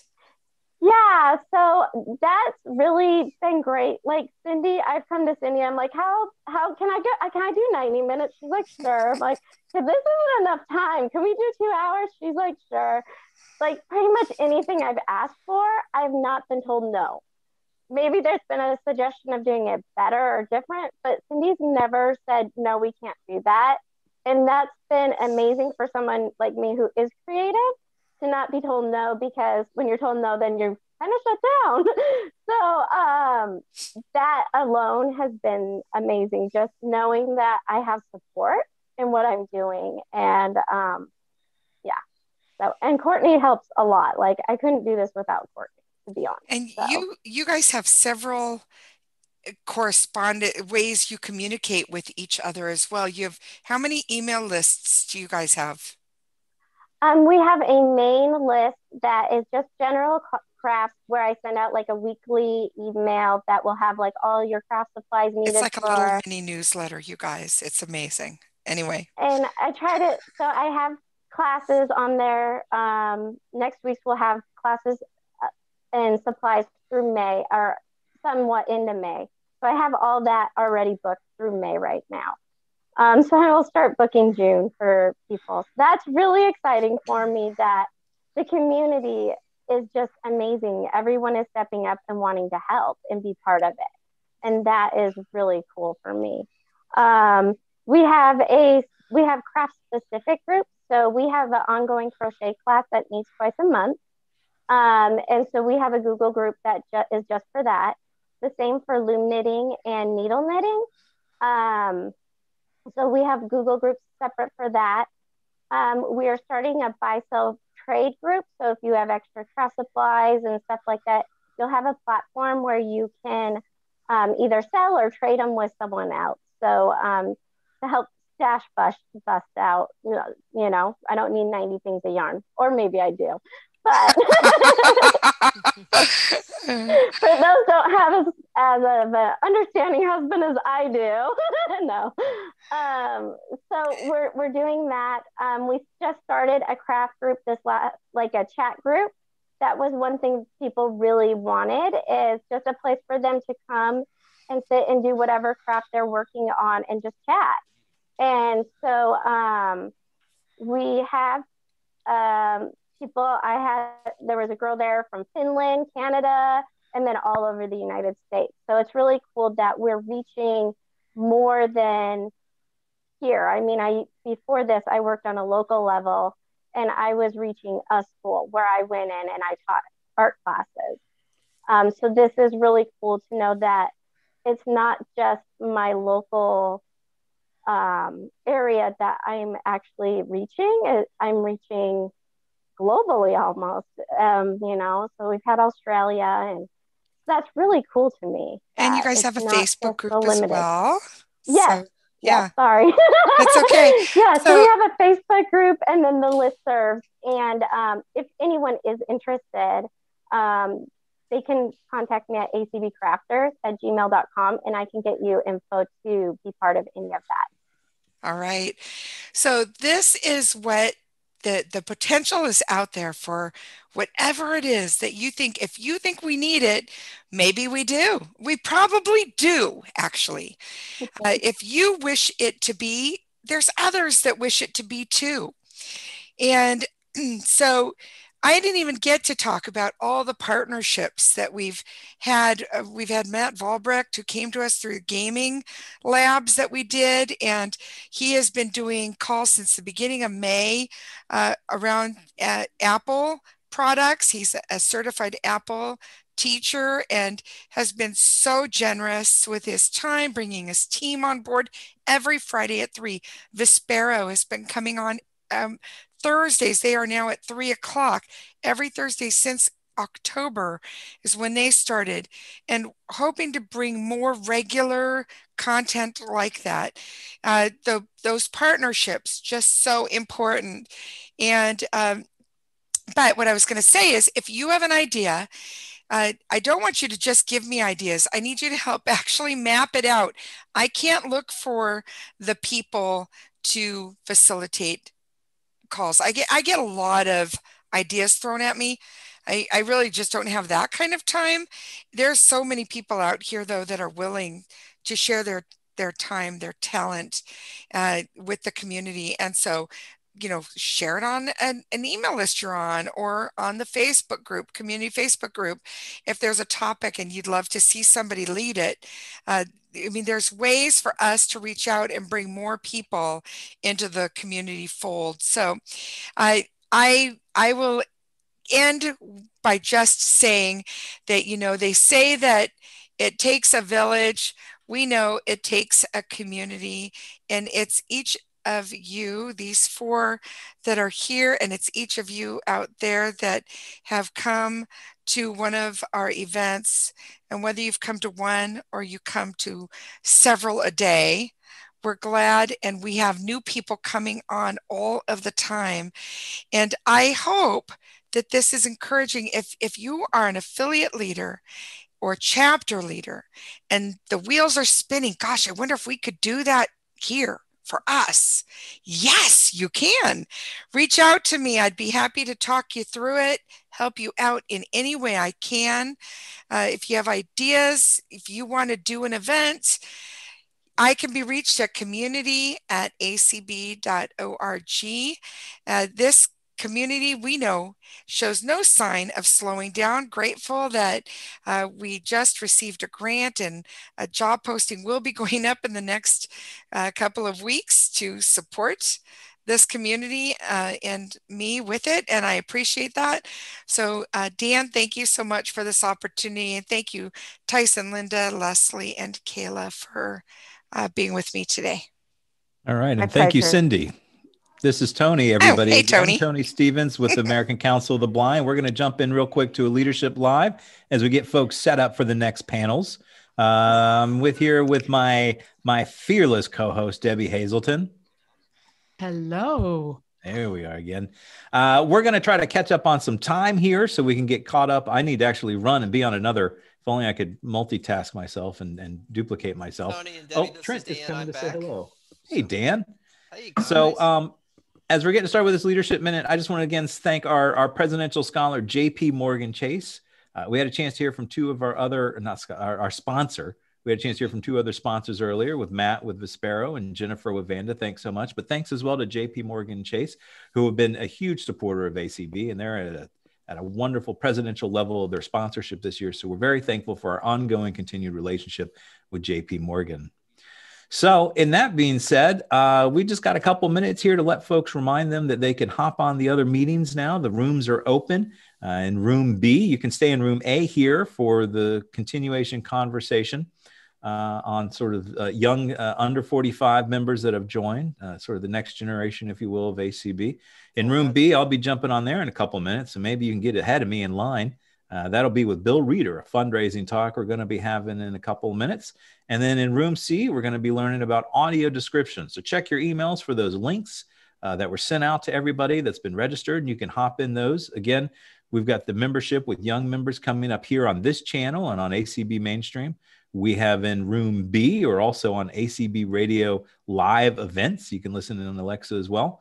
That live events channel for ACB Radio and on room B with your links for the registered members. We're going to have fundraising. And again, in room C, we're going to be having the audio description project, which is going to be on ACB Radio special events. So I can now breathe. Oh, yeah. Pretty exciting, fundraising though. as well. Thanks to everybody that's given to ACB Radio. So Yeah, exciting stuff. definitely. We've had some So great presentations. We have. It's Great been it's been excellent. from- So exciting to hear from the community. And Yeah, and Karen Keninger, oh my heavens, that woman has done so much for NLS and and particularly for Braille and getting that e-reader going, getting uh, funding behind that. I'm so excited when that comes out. And thanks to Gabe as well for the resolutions committee and the Yes, wonderful work that they're doing, and and Kenneth with the DKM. Uh, so for the Mhm. leaders, uh, you know, that, that we're able to, to have supported through Kenneth and for others. So it's been great so far. And I hear President Spoone on the line again. He's back in the in the uh, the William Shatner of our organization since flying the Enterprise. Uh, so welcome back, Dan. Well, thank you, Tony and Debbie. And wasn't Will Butler really uh, great? I was so insightful. He was and, great, and yeah. seeing, boy, this is well, we're we're we're touching, right? We're touching on the edges of this with with com- with our different communications channels and outreach and and talking about the in the earlier ses- session the kind of transformation of ACB radio Mhm. and and then what we're seeing with the community events. And it, it continues to resonate with me. It's that it's that live it's that participation. I loved when he said being vulnerable and really kind of being honest and and and it's it's not that polished uh, performance anymore it's the reality it's the it's the genuineness of it all that really connects I think So- that's part of what community is. You know, it's not like we're really on stage. We're just, you know, we're, you're with us in this, you know, it's like we're in living rooms at times. We're just everywhere. Definitely. yeah. So I think we got time for a mini mall minute. I'm going to use that as an excuse for me to hop on my other meeting to run down the hall All and jump in front of another camera. But I'm going to turn this video off and throw it to you, Debbie. And Sure. uh, and then I think is Patty on as well. Are you with us Yes. again, Patty? Yeah. Okay. Wonderful. Well, let's get that I'm mini mall here. minute, and folks can get in their rooms and uh, stretch their legs for a minute. And I'll I'll see you again in an hour, Debbie. Very good. enjoy Thank room Tony. room b on uh, acb radio live right with uh, bill reeder that'll be a great great Yeah. conversation B and C and uh, and right here in A we have things happening. So Patty, sure, go ahead with the mini mall minute. I'm going to show you one of the newest items that we have. It's only a $4 item. It is a little pouch and it has ACB written on the flap of the pouch. It has a microfiber cloth that is five and three quarters by five and three quarters in it. You can clean your phone with it, especially after you've eaten before you get back on your next ACB Zoom call so everybody can see you clearly. These are $4. Our number again is 877 630 7190 or 877 um, 969 Mall, which is 969 6255. Give us a call. Thank you. That's excellent. Okay. Is our presenter ready for this first session here? Debbie, I'd be happy to to introduce them. Okay. First, I just want to, for those that are traveling over to Room C, which is on ACB Radio special event, that's going to be all about audio description with uh, Kim Charlson from Watertown, Massachusetts, Carl Richardson from Brighton, Massachusetts, which are going to uh, to talk a lot about, you know, kind of what's new with smart TVs, how you get access if you're having problems with your audio description signal on your television and cable channels. And then Carl is going to interview Jonathan Sweet from Spectrum Access about what's new there. And then Joel Snyder, our audio description uh, director, is going to talk about uh, virtual museum tours. So great stuff happening with audio description on Room C. And then right here on uh, Room A, you don't have to go anywhere on mainstream. I would like to introduce uh, Michael Talley, uh, member of our ACB board of directors from uh, Alabama. And he's got a panel of folks all under the age of 45 who've only, you know, been involved with ACB for a few years and really wanted to have a good discussion about you know what has brought them to ACB, what what is really uh, you know what they see as their value add and getting involved, and and maybe even a little bit of discussion for our affiliate presidents and members out there, or where do they see some of the barriers sometimes for inclusion? And that panel has uh, uh, um, Desiree Christian from Portland, uh, Oregon as well, well as Greg Wansniger. Uh, they call him Triple G, very involved in the community calls from Wisconsin. Christian Kellen from Michigan, uh, as well as Matt Selm from Kentucky, and Maria Christic uh, from uh, Albany, New York, who's involved in both guide dog users and BPI. So, uh, Michael, we welcome your panel. Hey, very good. Well, good afternoon, Dan. Can you hear me okay? Yes, you sound great. Uh, great. Thank you. Thank you so much um, for inviting me to, to host this panel. I'm excited about this. Um, it has just been a wonderful day. Let me say from uh, your opening speech this morning uh, to the trainings to just the information that has uh, been presented today, it has been a wonderful day. Um, and I, I, appreciate everybody that is joining us, and especially my panelists. I, would like to thank each and every one of them. So, what we thought we'd do is take about 30 minutes, uh, 25 to 30 minutes, and talk for a little bit, and then open up for questions and answers. And we definitely want it to be interactive. We want you to um, ask questions and, and, and pick our brains a little bit um, about what is working and what's um, what what maybe you could do in your local chapters and affiliates. So um, at this time, I will ask the uh, panel to introduce themselves. I'll give my story uh, at the end. The panelists go first. But uh, whoever would like to go first, um, y'all speak up and introduce yourselves. And then after we introduce introductions, we'll uh, I'll present a question to you and we'll go from there. Sure. I'll go first, Michael, if that's okay. My name Absolutely. Is, my name is Greg Wansnyder. They do call me Triple G in the community. Mm-hmm. I live in Waukesha, Wisconsin, which is just a hop, skip, and a jump away from Milwaukee. And I have been involved in ACB since last summer, since the, uh, and I got involved through uh, convention last summer. And so a good friend uh, was actually on a Zoom call, and they kind of told me about ACB and more of uh, more of what it's about. And uh, I just got involved through actually one of the social events. So that's my story of kind of how I found ACB and yep. So that's, a great story, and we're very fortunate to have you. And and um, you do you host uh, some Zoom rooms? And just speaking of Zoom, I, I do. I do. Yes. I, I host a few community calls and um, webinars in the community. And I, I might talk about that more. Um, I But I facilitate an open mic night every Wednesday night that people are welcome to come to. It's uh, any music people want to share, poetry or stories.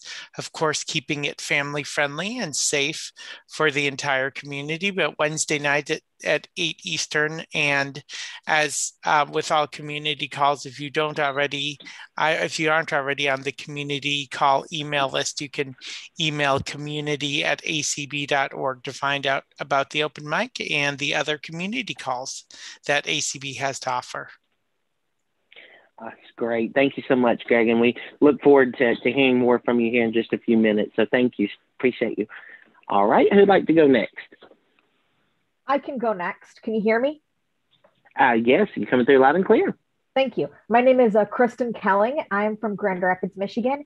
And I first joined ACB, I believe it was back in 2018. Um, in end of 2017, by that point, I had been nagged so much by some of my dear friends to go to a local chapter meeting. Um, so here in Grand Rapids, it's um, visually impaired persons for progress, also known as VIP, as you may often hear me refer to it as, um, which is affiliated with the Michigan Council of the Blind and Visually Impaired, also known as MCBVI, because who wants to say all that? That's a mouthful. Um, I so then in 2018, I officially became a member.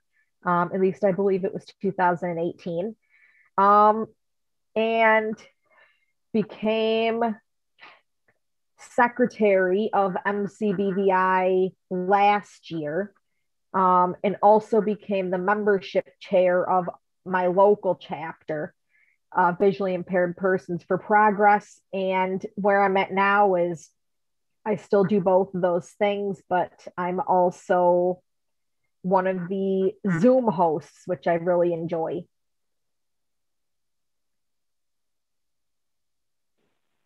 That is great. So you as well hit the ground running and have uh, made a big difference. And so we're so uh, fortunate to have you uh, with ACB and involved and, in helping to change lives for so many as well. So thank you for for that.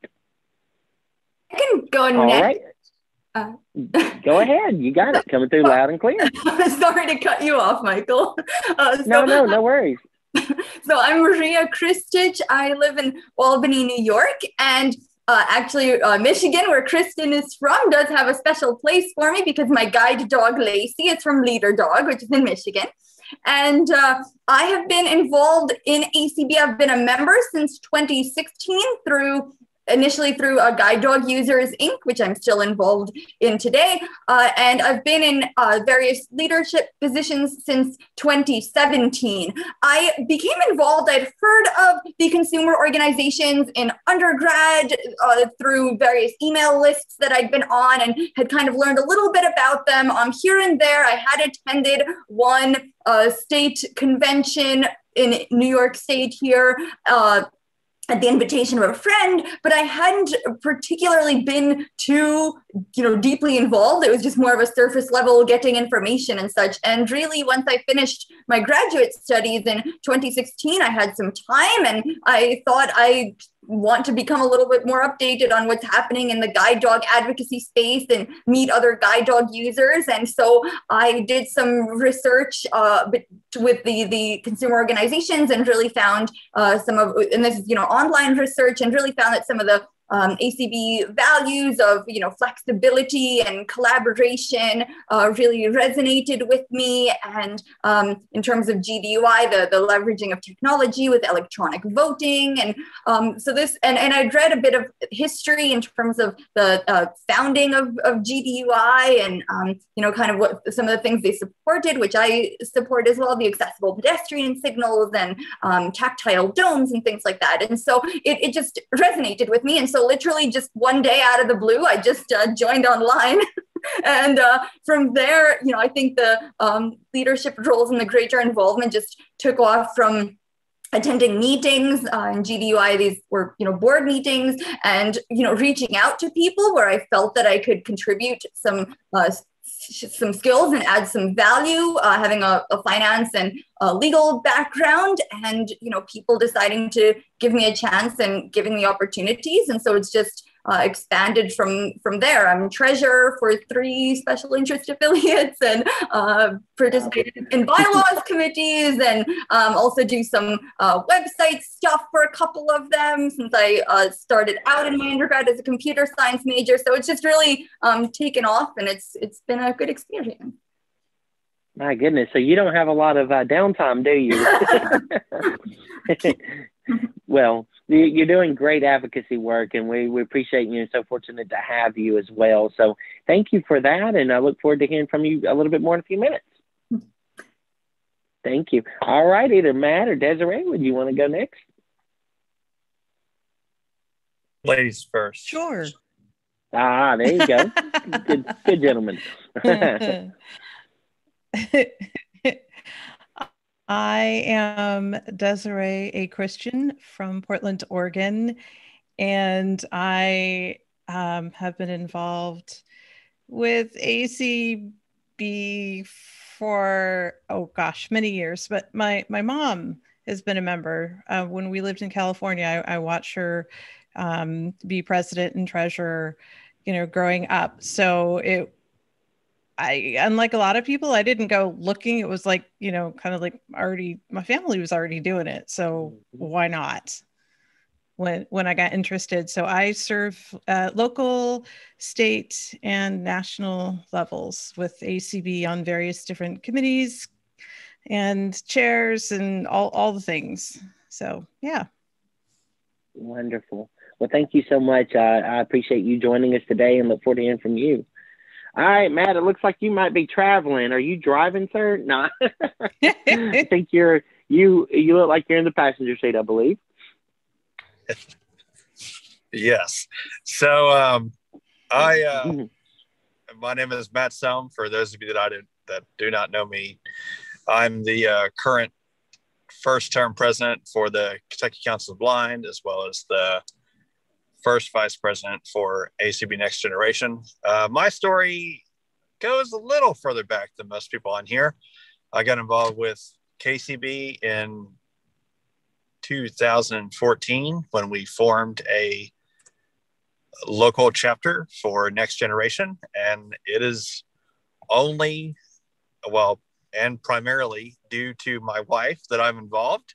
Uh, she she drugged me to a meeting and it's kind of taken off from there. Um, I've served a few a few different roles in the local group, and have since primarily under her leadership helped to form ACB Next Generation, and have also continued to be involved in my state affiliate where I'm now president. And for those of you that have been there or are there, it's a lot of work. There's no rest for the wicked. So um, I I would say I've I've primarily stayed because I, you know I really um, I I really enjoy seeing the growth, and I really enjoy the the people. Um, you know, and I and I enjoy helping out. I'm a I'm a sucker to work, so you know. Never have. Well, no. How how long have you been president of the KCB? Since November I, I, of last year. So Ah, so so you just got in that seat. All right. Well, you know, earlier today we heard about the wonderful uh, things that are going on with ACB Radio, soon to be ACB Media, um, and they were talking about podcasts. You guys have put out a podcast for a very long time called Soundprints. It's very well done, and um, I know you guys are very active. And even before COVID, I mean, y'all were just constantly uh, having get-togethers and fundraisers, and KCB is a very very active uh, affiliate? We are extremely active and we are uh, very blessed to have some strong and powerful leaders that contribute to the organization. Um, one person cannot do it all. It, it does take a lot of hands sometimes to get things done. Yeah. And, um, you know, we've we've just we've we've been very very lucky in that amount. And I know, uh, you know, I'm sure everyone knows Carla, uh, Ruschival. Everybody knows Carla, And so, um, you know, I've been I've been lucky to sit under her learning tree for a time or two and learn a few things. And uh, you know, so I'm sure we'll talk about some of that more. But you know, we yeah, we're we're we're striving here. So yes. Well, um, and I'll just throw this out there for anyone that would like to, to speak up. So the last year has been very challenging, and as you all know, and not being able to have meetings in person and uh, and state conventions in person, and, and not even sure what to do about this year. But let's talk about what is is working well in your uh, your affiliates. What what um, what have you seen? We know that the community calls have just exploded on a national level, but what's going well in your organizations, and what what has that meant to you personally, being so involved and and and and having such an impact? What what has that meant to you as well? Uh, this is Maria. I'll actually piggyback a little off of what you're saying, Michael, with the community calls exploding nationally, and say that we've really found them to be working well in uh, in the affiliates that I've certainly been involved with. Uh, with GDUI, we've had a couple, you know, relating to the new revisions to the Air Carrier Access Act, where we've been able to talk to members about the new changes. Uh, we are going to be hosting one soon about uh, people's experiences in guide dog uh, classes during COVID and such. So it's absolutely helped. And uh, you know, I know with BPI we've had uh, we're uh, just recently had a book club, and we've had some chats relating to audio description, and certainly next gen with the Saturday Night Live hangouts and such. So it's most definitely been a boon, you know, on the affiliates uh, level, on the affiliate level as well. Um, and so and you know and i think also from um, you know what is working you know in my just involvement in general i really just appreciated how down to earth and approachable people have been at acb you know i i think in Rochester uh, in at the convention, and I approached the International Relations Committee table of ACB, thinking, you know, I'm from Bosnia originally, and perhaps I, uh, you know, could have some involvement there. I was interested, and there was, you know, then President-elect Dan Spoone, and you know, we just had the most friendly conversation. There was none of this sense of like, oh, I'm so nervous. I'm talking to the future president of this organization. Um, so, so um, you know what? I've really just found, you know, it's been certainly there's been the you know learning advocacy strategies with um, especially some of these, these trainings that have happened recently through the community channels, but you know in general, but even just the networking. You know, when I was um, one of the the people that I met um, through guide dog users um, and in, in guide dog users of New York that I'm the secretary of, she actually was kind enough to write uh, to be one of my references for my job application for this job oh, that I wow. Yeah and um and then for sure. And and you know just the um you know networking and but you know there's also th- this aspect of feeling like i can make a difference. You know back to the, the the gdui just this recent you know i was providing um comments through gdui to the department of transportation on these new forms that are being used for guide dog travel. And you know tomorrow we're going to get to hear this amazing panel um on from uh, the air with with representatives from the airlines on this you know regulation through acb that's something i never would have just you know me as an individual gotten right? And so yeah. so it's that both that professional i think and you know personal networking as well. And BPI, they've even done some wonderful sensitivity trainings uh, uh, that have really made an impact. Yes, and I think that speaks to you know to the grassroots approach of ACB that really you know works well. Whether it's that having the the idea we think we can add value and approaching the leadership to have it done, or you know you look at next gen just forming together as a you know group. Do we want to do this? And here we are a year later, you know turning turning one as a special interest affiliate. So um, again, just that uh, cohesive spirit and the fact that um, you know you have a, a collective action and and can get things uh, you know done and have a have a sense of you're not alone right? That's that's definitely absolutely. Yes it's so important these days. Absolutely. Well thank you. Thank you so much for that. All right anyone else? Would you like to to speak to what's working well for you guys and what it's meant to you?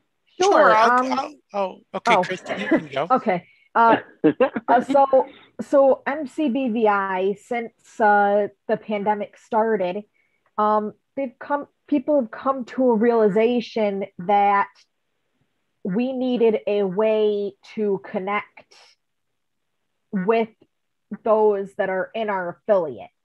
So within the three chapters within MCBVI. Um, and so now, now remember when we started them, it was sometime last year during the pandemic.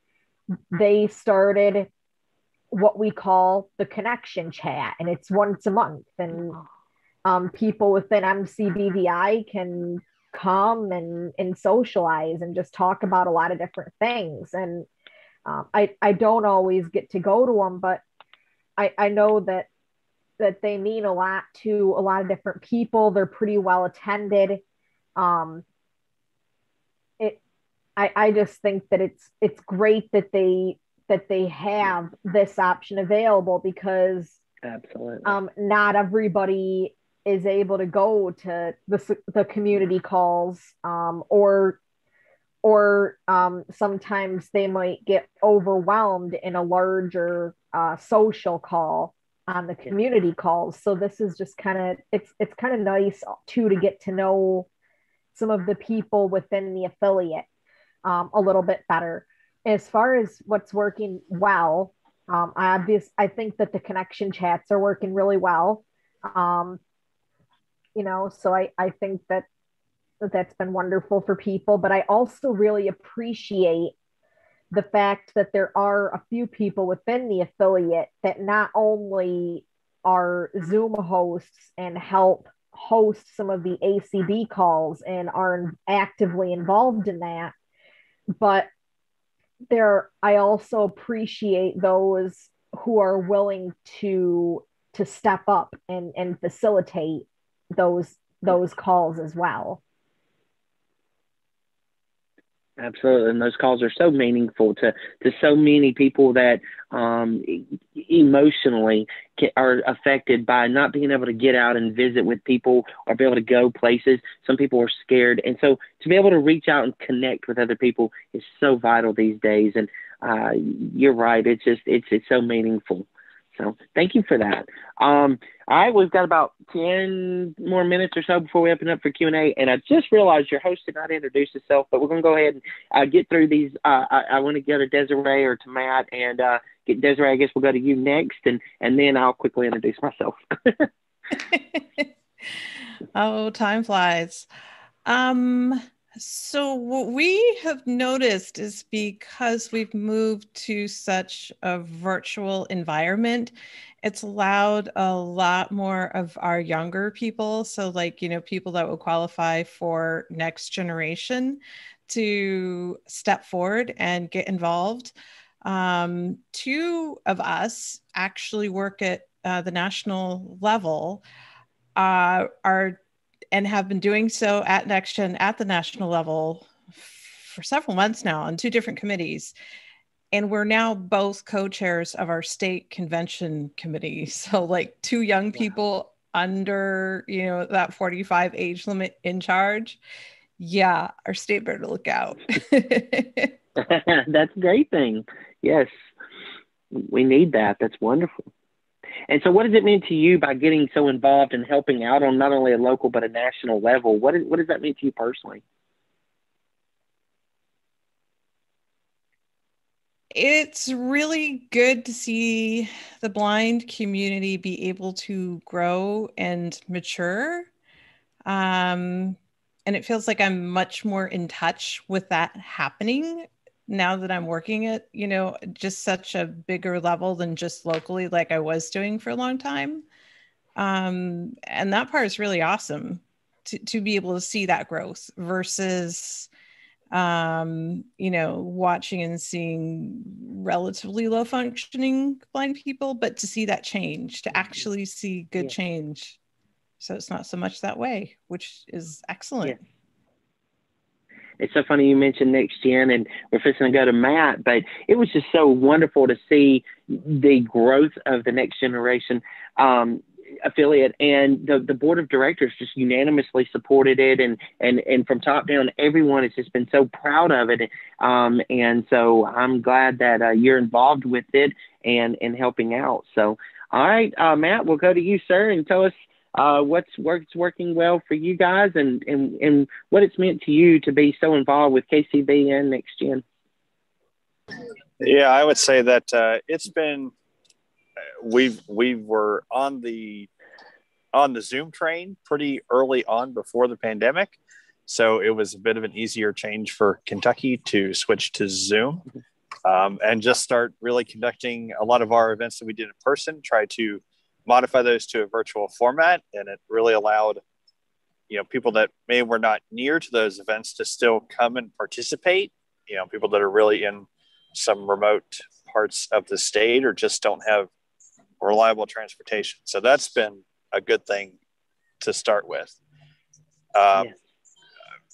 Personally, for me, I you know I think as much as the pandemic has been a hindrance to the country and the economy and people's um, health, you know, I think as a overall as a whole, we've sort of risen to the challenge and tried to adapt and be flexible, you know.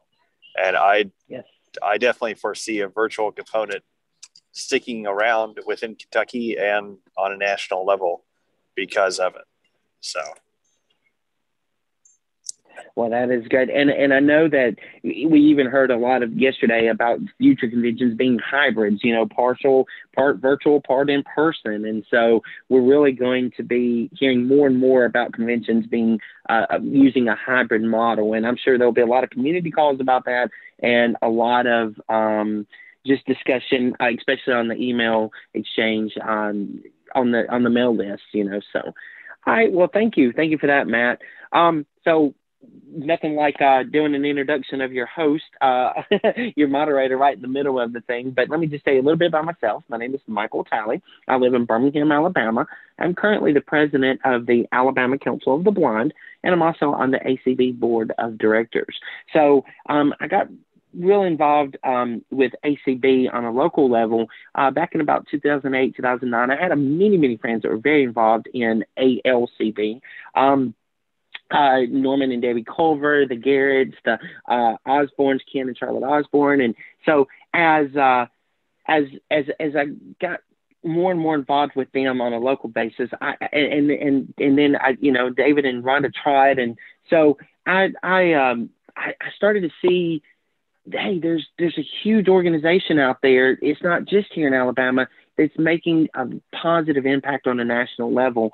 And so I started looking at the national, um, what the national organization was doing. And the more I looked at it, the more impressed I became. And then I started attending national conventions. And um, it's kind of funny, the uh, I was at a convention and and the, my I was first vice president of Alabama Council of the Blind and my president Joan Gary she said Michael I'd like for you to go to the nominating meeting yes ma'am I'll go and so I went and as we're sitting there um, they're they're taking nominations for uh, a board position and someone leans over is a real sweet lady I won't say her name here but she says hey Michael would you would you be willing to to run I was like sure whatever you know knowing I had no chance whatsoever and uh, so they put my name up there, and next thing you know, I have been elected to the board of directors. But it's been a great experience. I, I got to work under Kim Charlson and uh, under uh, President Kurt President Dan Spoone, and it's just been uh, just amazing, an incredible opportunity.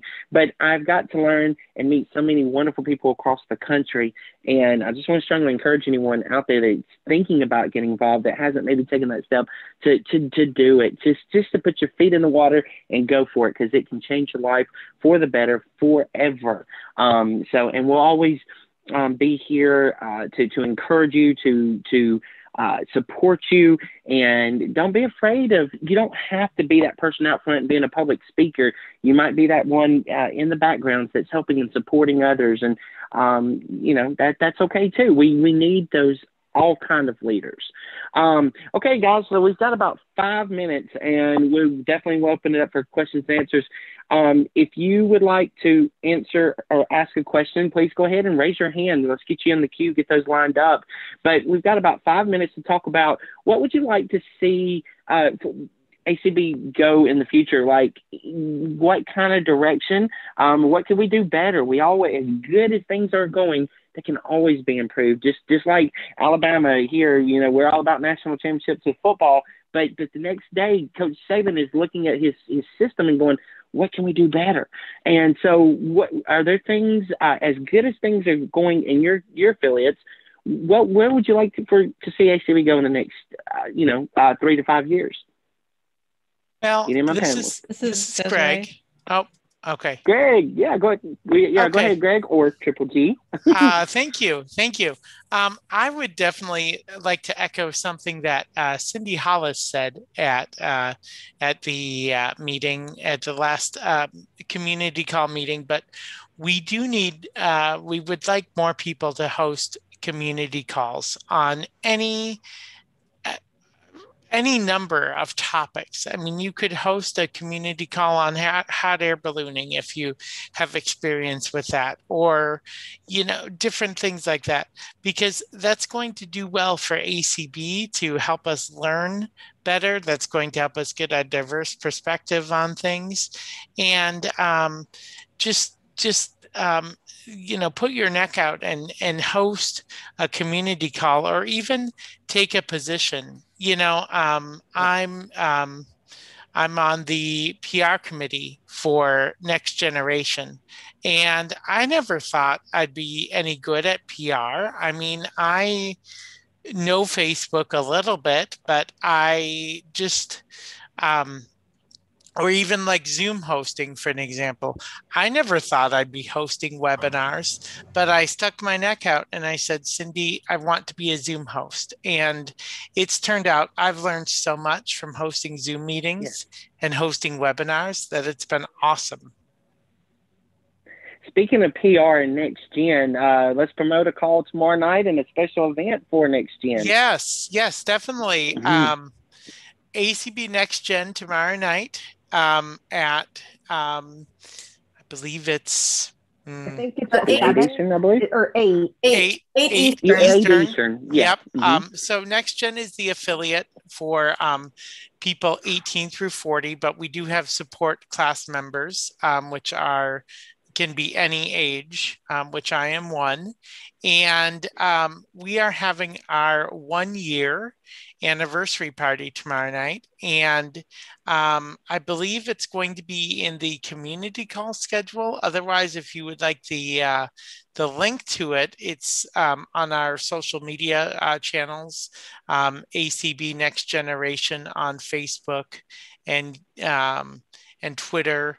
Um, and you can find the link to that, eh, or you can just email acbnextgen at gmail.com. But we're, um, we're very proud, and Matt can probably speak to this more, but we're very proud of uh, celebrating one year of in existence as an affiliate. Hi, this is Linda Yax. I'm your host, and I thought you were ready to start taking hands, so I um, allowed Mhm. Joseph to unmute. So, Joseph, if- Okay. Can you hear me now? yes, we can hear you now. Joseph, we can. Oh, You're well, loud and clear. I- Go ahead. Where are you from, my- Joseph? Tell us what Well, state. I'm from near Philadelphia, uh, in a, a sort of semi town, town called Doylestown. So I'm taking notes for your meeting, and a few odd technical things are happening. But anyway, I'll ask someone else that after it's over.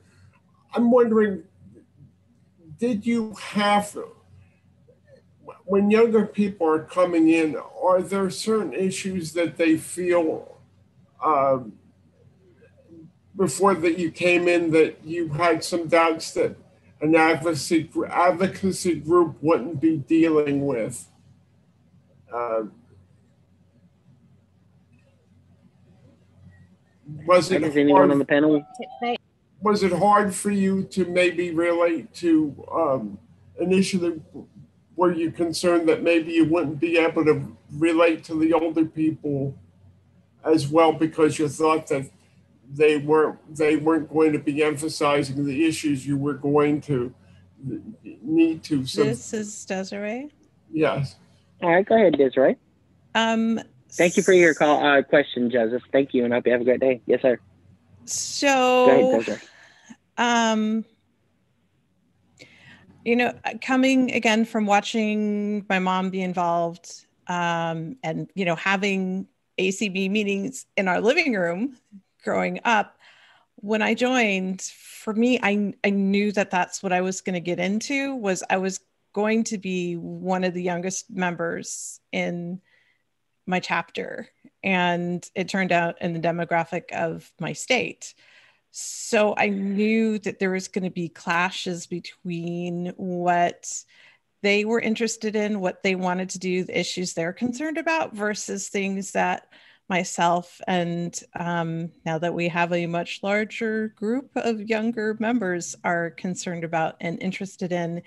And I knew that it was going to be somewhat of an uphill battle, but I also knew if I went in there shouting that they're not going to listen to me because I don't know anybody that likes mm. to get shouted at. I, you know, that's such a turn off.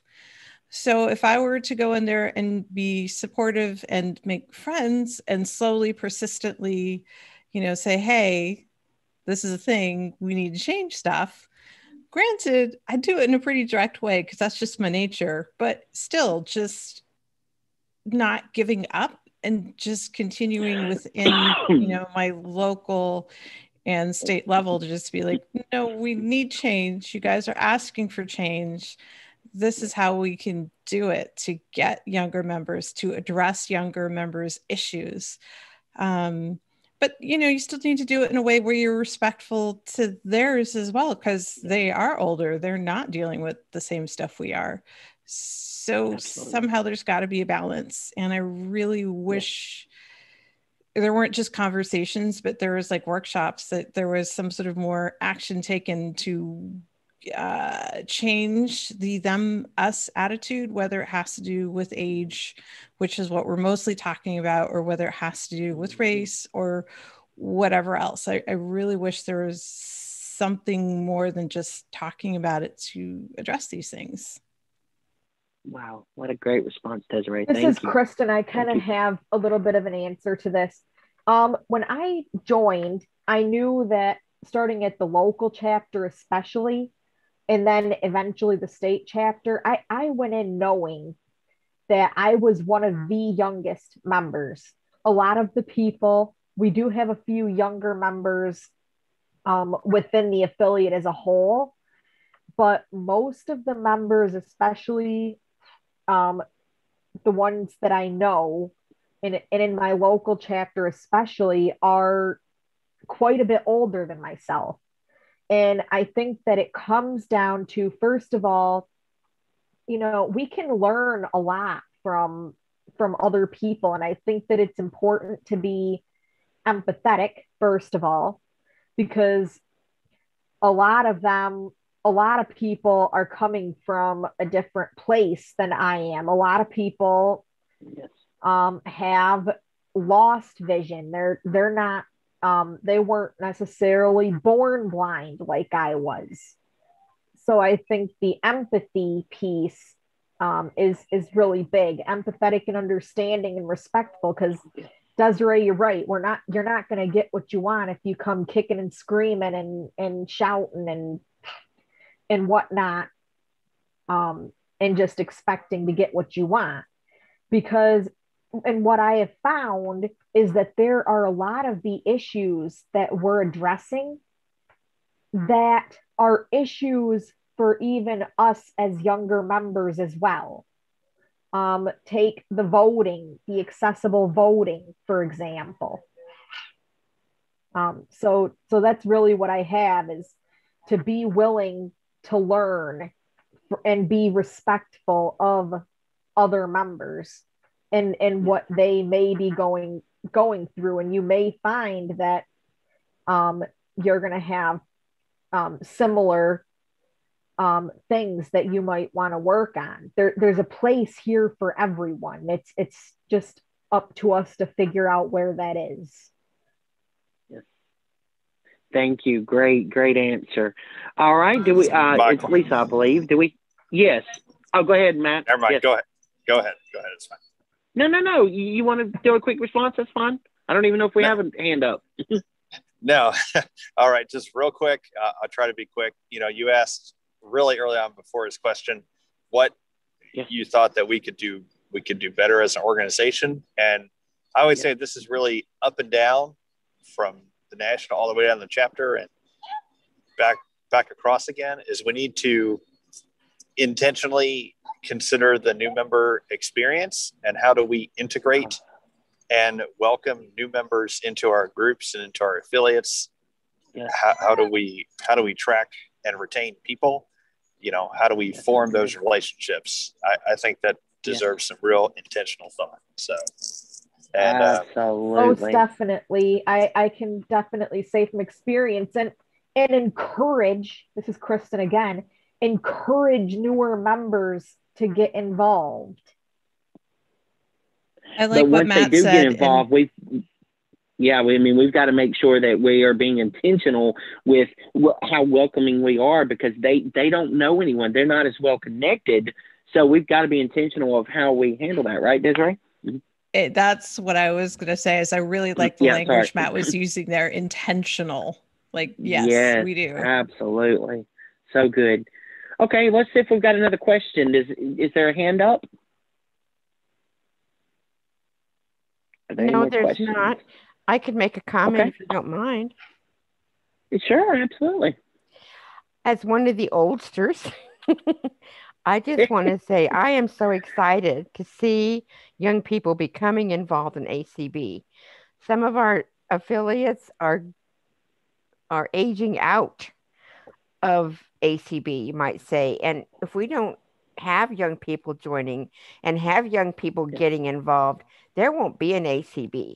So I am so excited to see Next Gen form, and I'm so excited to have you guys working toward this. And I'm so excited to hear the desire to collaborate with all ages and all uh, groups, and and because we all face issues, we just all face them a little bit differently. So that's all I wanted to say. Thank you. Mi- Michael, this is Ray Campbell. I'm on the panel side. Can I make a comment? Yeah, sure. Go ahead, Ray. Okay, sure. Uh, first of all, uh, I'm like like Linda said, I'm I'm really excited to see this, and I look forward to attending a one year old birthday party tomorrow night. It's going to be exciting. Um, but um, I just wanted to to touch on you were talking about uh, Kristen was talking about the affiliate calls, and uh, we found that in ICB. Granted, we have a small group, but we have been doing some affiliate calls, and I know uh, because they've shared uh, for some of our members, it's really meant a lot to have the affiliate calls because uh, we do a we do a lunch bunch call every Saturday, or almost every Saturday. We and we've done a couple of book club calls and a couple of other calls on some things, and um, I know it's it's meaningful to people, and uh, we've been doing that since the start of the pandemic. Really starting with just a call to check in and see how people were doing, and it kind of evolved from there. So the message I'm leaving is you can do it, and it's going to get your members more connected. And we've met people from other parts of the state, some of whom have become members that we didn't know were out there, uh, thanks to that. To that, and we hope to get more people on them. So uh, you can do it. Well, and Ray, just to piggyback off something Ray said, Michael, real quick, if I may, um, community community is just community, right? Community doesn't specify an age group, you know, an age requirement. Like uh and and so we're all part of this community together.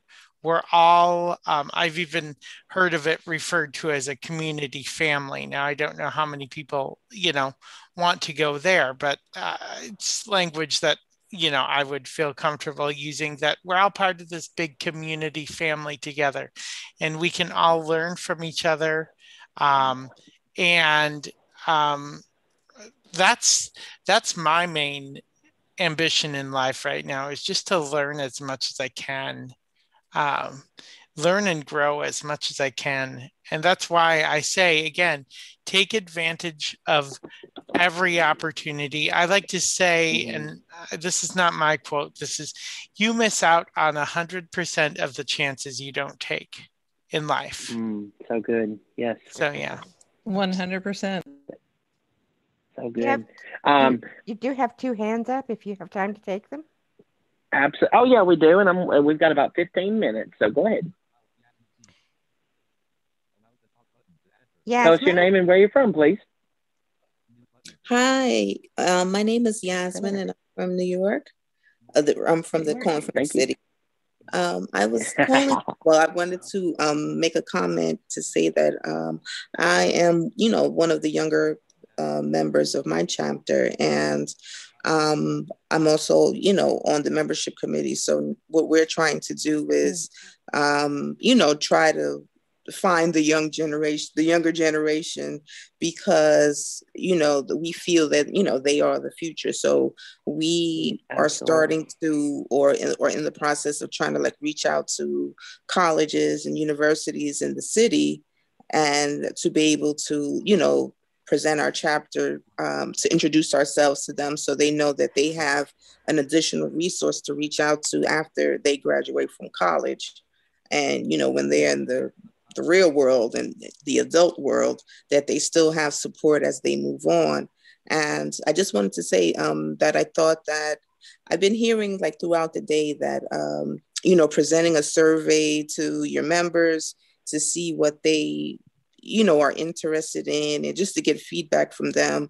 And uh, my chapter has done that and we we are finding it more um, helpful to see like when they could attend you know meetings or events and things like that. And yes. um, you know we do have you know a little issue with uh, some of the older members like wanting you know trying to transfer over from like just doing the, the teleconference to actually using zoom. And you know it's so far it's it's been okay. You know we tried it with a meeting and um, for the most part people were able to you know get on and still be a part of it. So um, i would say it's you know when i first came in i just kind of sat back and, and just watched you know as a new member like how things worked and who you know who was on what committee and things like that and now you know with our president um, you know he has done a very good job in um, you know, bridging the gap between the older members and, you know, some of the younger members and, you know, to get everyone involved. So um, I think that, you know, as we, you know, go forward, you know, things are starting to, to, to look up in that way. Do you feel like you're getting the support that you need in in the effort of reaching out to um, the younger folks? So, does your chapter fully uh, have they bought into that?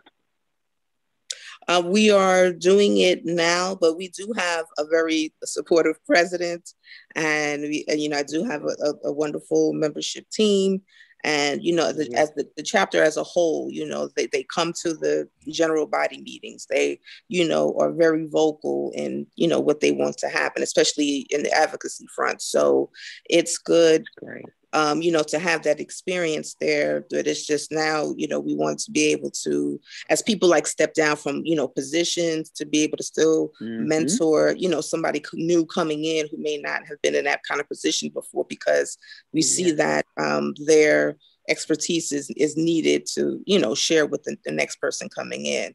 So, you know, it, so far it, has been, you know, working out pretty good for us. Um, I uh, thank you so much. And Go ahead, Triple G. Yep. This is Triple G. I will just say that mm-hmm. um, mm-hmm. surveys are great. I get about 10 to 15 of them per day, actually, for different um, organizations I'm involved in. Um, but um, nothing um, like, and they're a tool in your toolkit, right? Just like all these tools um, that that we've talked about uh, this week. Um, but nothing nothing passes nothing is better than word of mouth than personal personal invitation. You know someone you know invite them get the message out. You yeah. know this is when this is where. Yeah that's what i want to say. Surveys are great but word of mouth is just such an awesome tool so please don't underestimate that. I think oh, that i have to agree. Um, this is Kristen. I tend to, to agree with um, personal connections and things.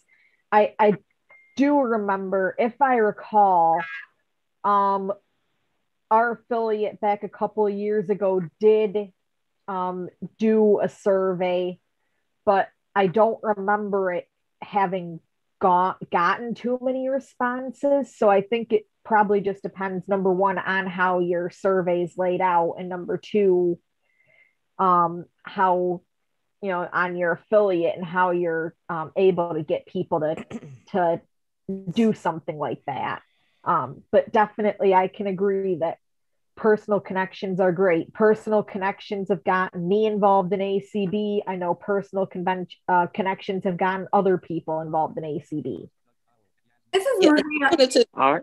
I'm sorry. I just wanted to say, like, as far as what I'm saying about the survey is like, um, you know, for our chapter members to see, because, um, you know, we had, you know, a, a few like of the the um, main folks that always showed up to the meetings. So we wanted to find out, okay, um, may, is it the time that you know we hold an event that's a problem for you, or you know Mhm. what day of the week it is, or you know what Yeah. is the issue that you know that uh, we're not getting the turnout that we want so as far as the survey we thought you know we we got a small response with it but it was good to know so as we plan events then we know you know we're going to get the most um, attendees because they you know they told us okay this is like the afternoon is the best time for us to hold something Yes.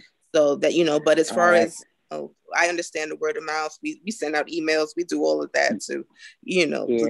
word out Thank you so much for raising your hand and speaking, uh, Yasmin. I really appreciate it. Thank you. And I look forward to, to meeting you one day in, in person and just continue the great work, the advocacy work, and, and becoming a leader in your, your affiliate. Thank you so much. I know that we've got one hand up for sure. Uh, Linda, if you Doug will, go ahead. Powell? And, Doug Powell.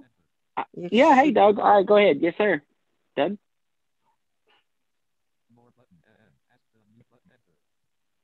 See if you're muted on your end. You should be able to unmute, Doug. Yeah. Can't hear you just yet, Doug. Doug is one of our ACB board of directors, and uh, he is a very uh, an outstanding advocate for sure. For some reason, it's not. He's. I mean, it keeps Hmm. telling me. You there now, Doug? Hmm. i keep hearing somebody's jaws is that, That his might. That might be mine. I'm sorry. Oh no it's fine i It's just okay. was wondering if it was Yeah. his Can I just Well, Doug, I apologize. This is Maria. Can I just make a very quick comment while we're just waiting? Um, I definitely agree on what's been said on, on the surveys and the personal connection, but I also want to urge, you know, affiliates to work on making sure your web presence is also up to date and um, informative because you really, really never know how people are going to find you. I know someone told me with BPI that they literally found it by doing some search for blind LGBT. And obviously they found BPI through the website and, you know, it changed their life. And on, you know, on the other side of the spectrum, I've had an example where, okay, I've just moved somewhere and I do a search for, you know, blind in that uh, location. And there's this nice website and it shows affiliates and it shows the chapter in the location I'm looking for. And then I click on the link and it goes, page not found. You know, that's not what you want your result to be.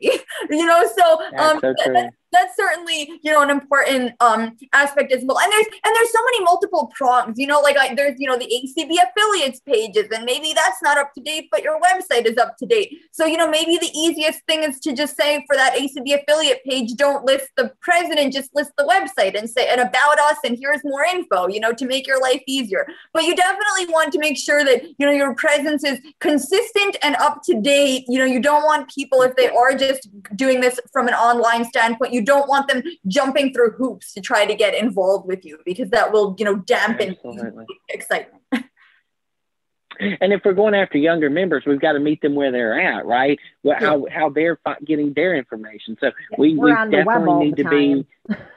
yeah. So there you go. Um, do we ever get Doug unmuted? We've got just a few minutes. We've got about three or four minutes. We need to start wrapping up. Doug, you should be able to unmute. This is Hi, Yas. can you hear I me? keep, I keep getting his hey, message. there you are. There I he am. is. Hey, All right, yeah, it took a while for me to get the unmute button. I'm Um, sorry. Uh, no problem.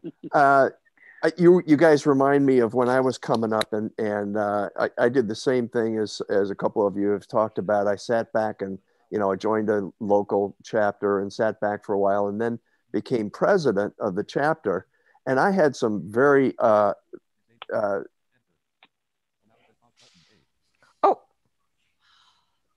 oh, they can get muted again.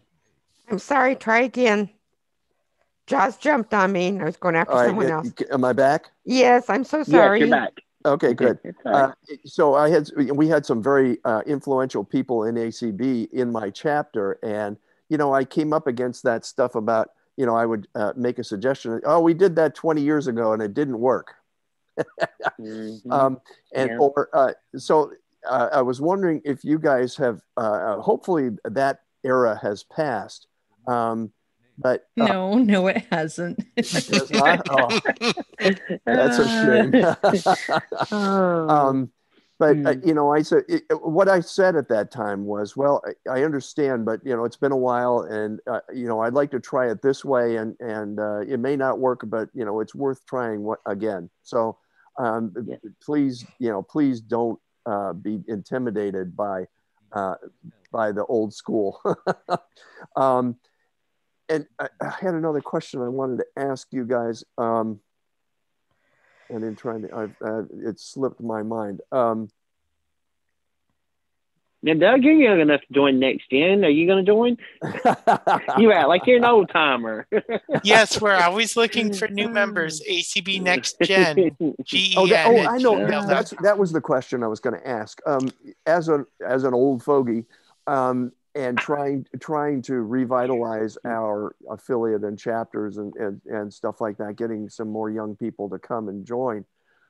Where do we old fogies find the next generation?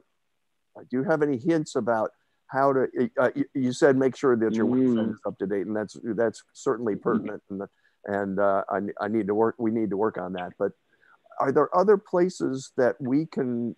Um, This is Maria. I'll speak to that because we've recently we've recently had a couple of younger people join my local uh, state local chapter state affiliate here. Um, you know, I think definitely the if you have local colleges and universities, you know, someone here mentioned reaching out to them. You know, maybe forwarding the, an ACB scholarship to the Disability Services Office at the university and say, hey, if you want to, you know, send this out to students and we're a you know consumer organization, people might be interested, or even you know if you have um, you know, an association for the blind or some kind of a rehabilitation center that has youth programs, you know, that's definitely a possibility of, you know, coming and speaking about your organization to let people know that you uh, exist. And, you know, I think some of it too, resources. I know, um, you know, and again, coming back to guide dogs, I know, you know, GDUI is listed as a resource on the website of my guide dog school and such. So, and there are people of all ages who, um, you know, get guide dogs, but those are, you know, a couple, perhaps my other panelists here have other uh, ideas, but I know those are a couple that have worked for us and have gotten us a couple of recently younger members in the local chapter. Michael, I got a comment if I may, just to That's fine. in Just keep, please keep in mind we we got we got about two minutes. Yes, go ahead.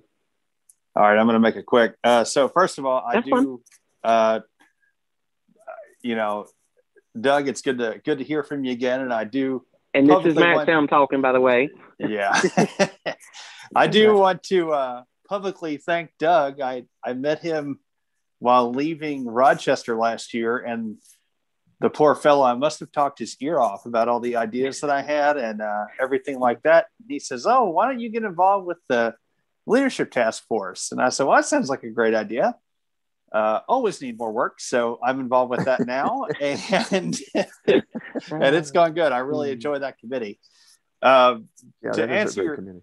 yeah, it is a great committee. To answer your question, um, I think so. What Maria said is true. You know, making sure that your presence online and everything is up to date, um, making sure that you know you're actively using your channels of communicating, whatever whatever that may be. Um, you know, in Kentucky, we have a list of colleges and professionals that are in the field that we send our newsletter to and send information, especially highlighting scholarship opportunities. Um, I I would say that a lot of times when we talk about growing as an organization, we often talk about that in the context of getting younger and sometimes getting younger to a group may not necessarily be you know if our average age of the group is is 60 you know, maybe getting younger just involves bringing in some people that are a little younger than us in our 50s and you know sometimes these things they they they trickle down. Yeah. And so it's never an overnight solution. It is a long term it's very long term extremely long term um, you know i don't think we're ever going to sprinkle fairy dust and people just pop up overnight. You know it takes momentum and you know sometimes momentum begets more momentum you know? Intentionality. and, yeah. Yeah. Well, yeah. all right guys. Well all right and and and just real quick, if you will because we got to wrap it up and hand it back over to uh, dan. Okay. Go ahead so Desiree.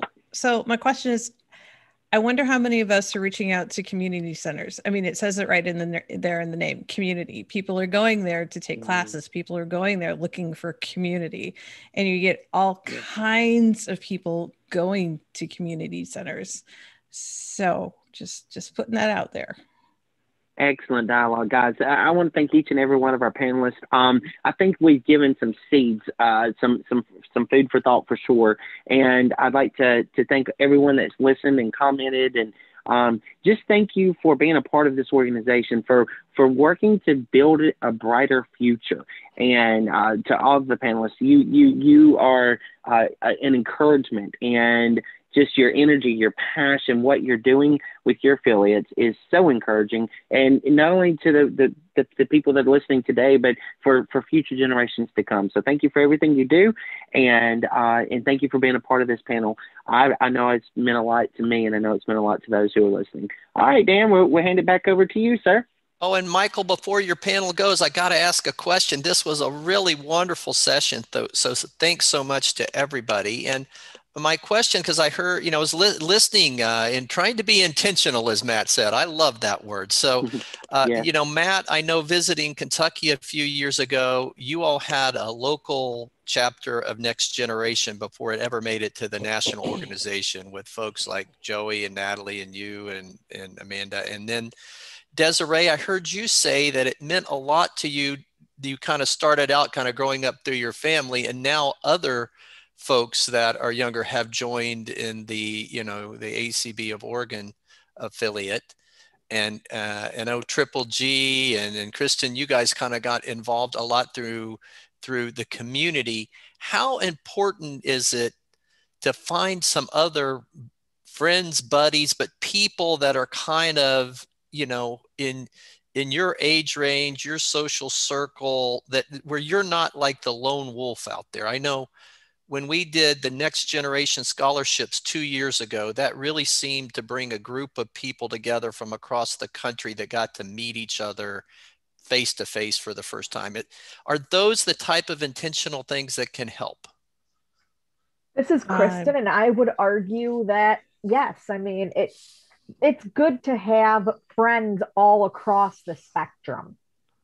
Um, I think in part because when you're friends with those who are older, you're learning from them. They they bring a lot of years of experience and um, and stuff like that. But it's also important to have people that are more in your age range, at least for me, because then it kind of helps you to know that you know it helps me to know I'm not alone in this. You know, I I can you know like like we can we can do this you know we have similar interests similar things that we're concerned about. So i would argue that yes it is quite important.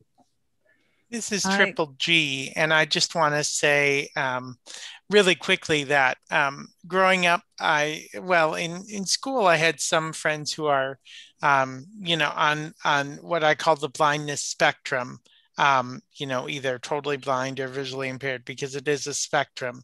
But uh, what I would say to that is, um, yes, it's really important to have friends of all you know backgrounds of um, i believe that um, i was told once by a science teacher that the key to stability is diversity and that starts in your friend group friend group and um, i enjoy having friends of mine throughout the country the, throughout the world through ACB now. You know, I have a friend from Dubai that I've made uh, through ACB, and um, someone who comes on the community calls, and I just have.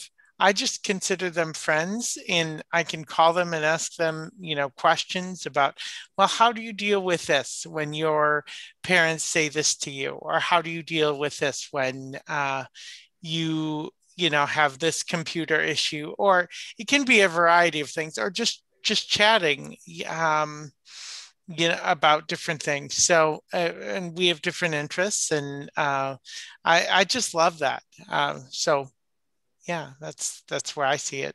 This is desiree?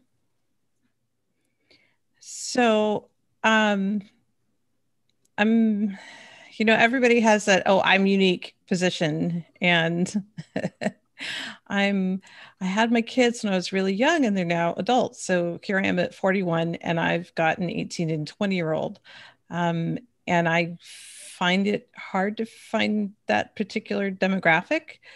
However, with my interests, I end up getting those needs met outside of ACB. And this is just me being my direct, real self. And so I actually volunteer with a geek oriented organization um, that again is about benefiting, you know, doing charitable works of good. But that's where I've ended up finding more of my people per se.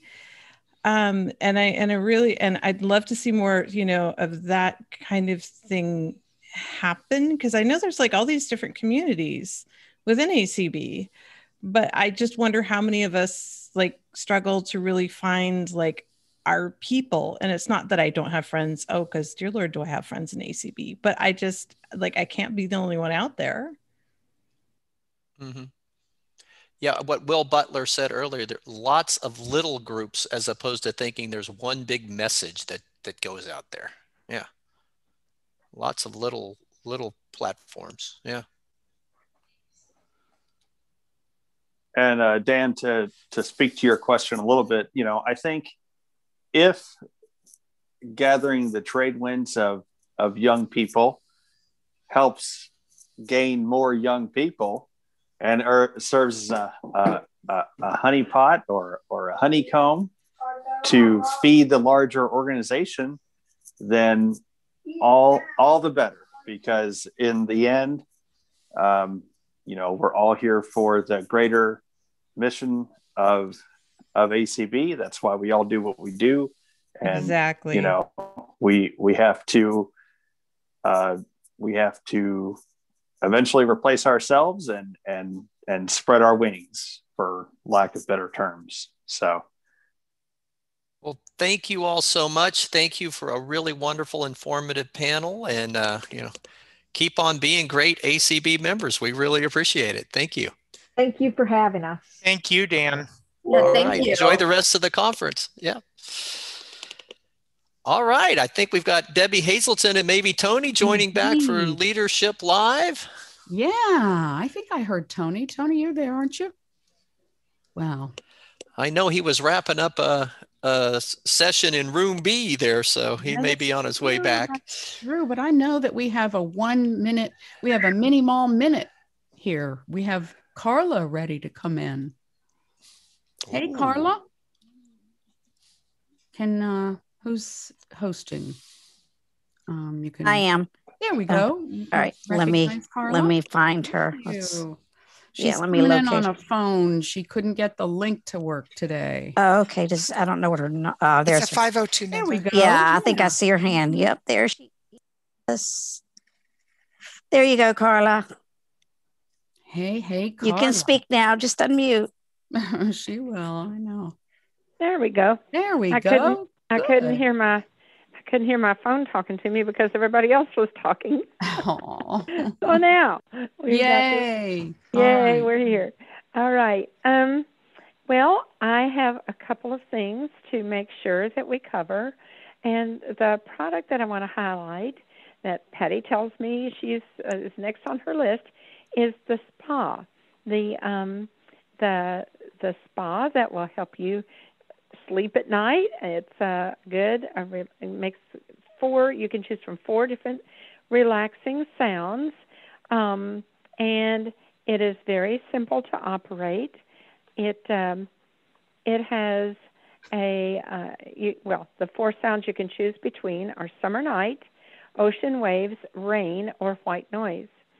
Um, it helps you to drift off to a good night's sleep.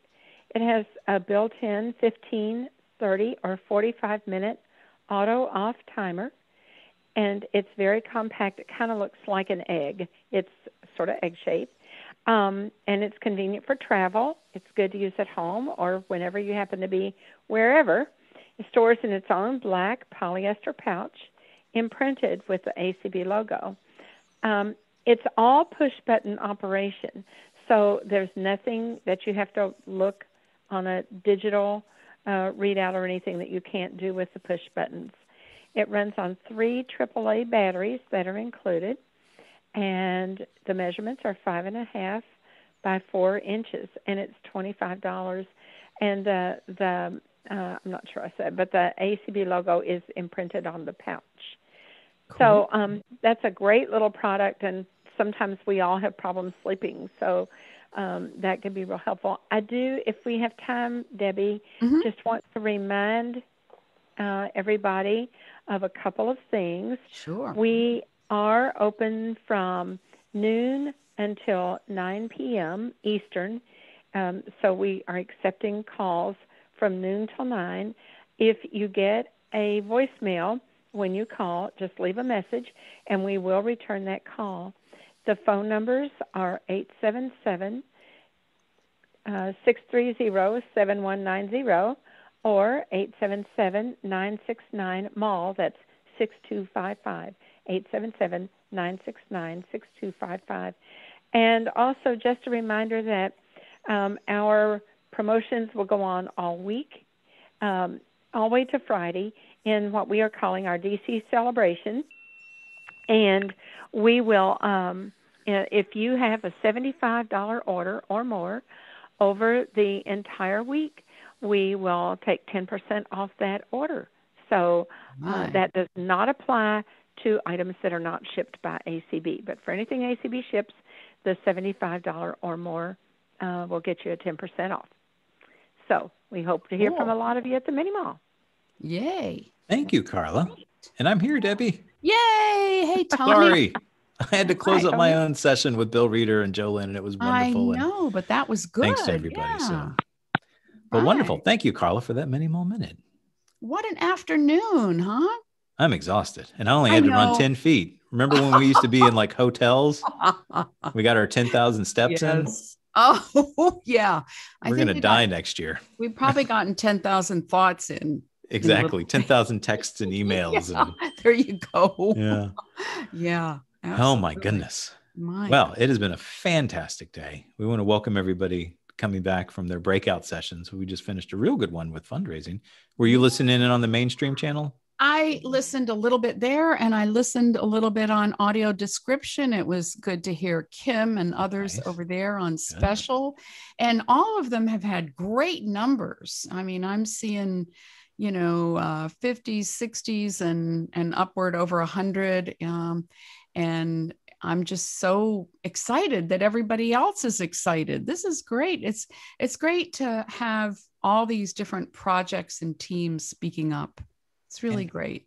what's been exciting is you know we're talking about this we we are doing more now than we have in past leadership conferences i mean we're having triple as many people attend which has been wonderful Yeah. but we're also really having just so many more people be a part of this and we're giving them more stuff to be able to do. So i mean people are kind of going their different ways as if we have different you know conference rooms kind of things. But it's been exciting to have you know three concurrent meetings. We're going to have two consecutive tracks each day of the legislative seminar. So essentially like 4 Mhm. uh, you know separate tracks. And so there's a lot of a lot of diversity now for the leadership conference which is excellent that we're able to do this through zoom. And so thanks to all of our, our uh, all of our volunteers thanks to larry if you talked to him debbie he was streaming our last I one know so he was. I heard I heard that. and uh and on the list, we're trying to get the NVDA things together that people are asking for. And Mm-hmm. you know what I'm noticing is that people are expressing the things they're wanting.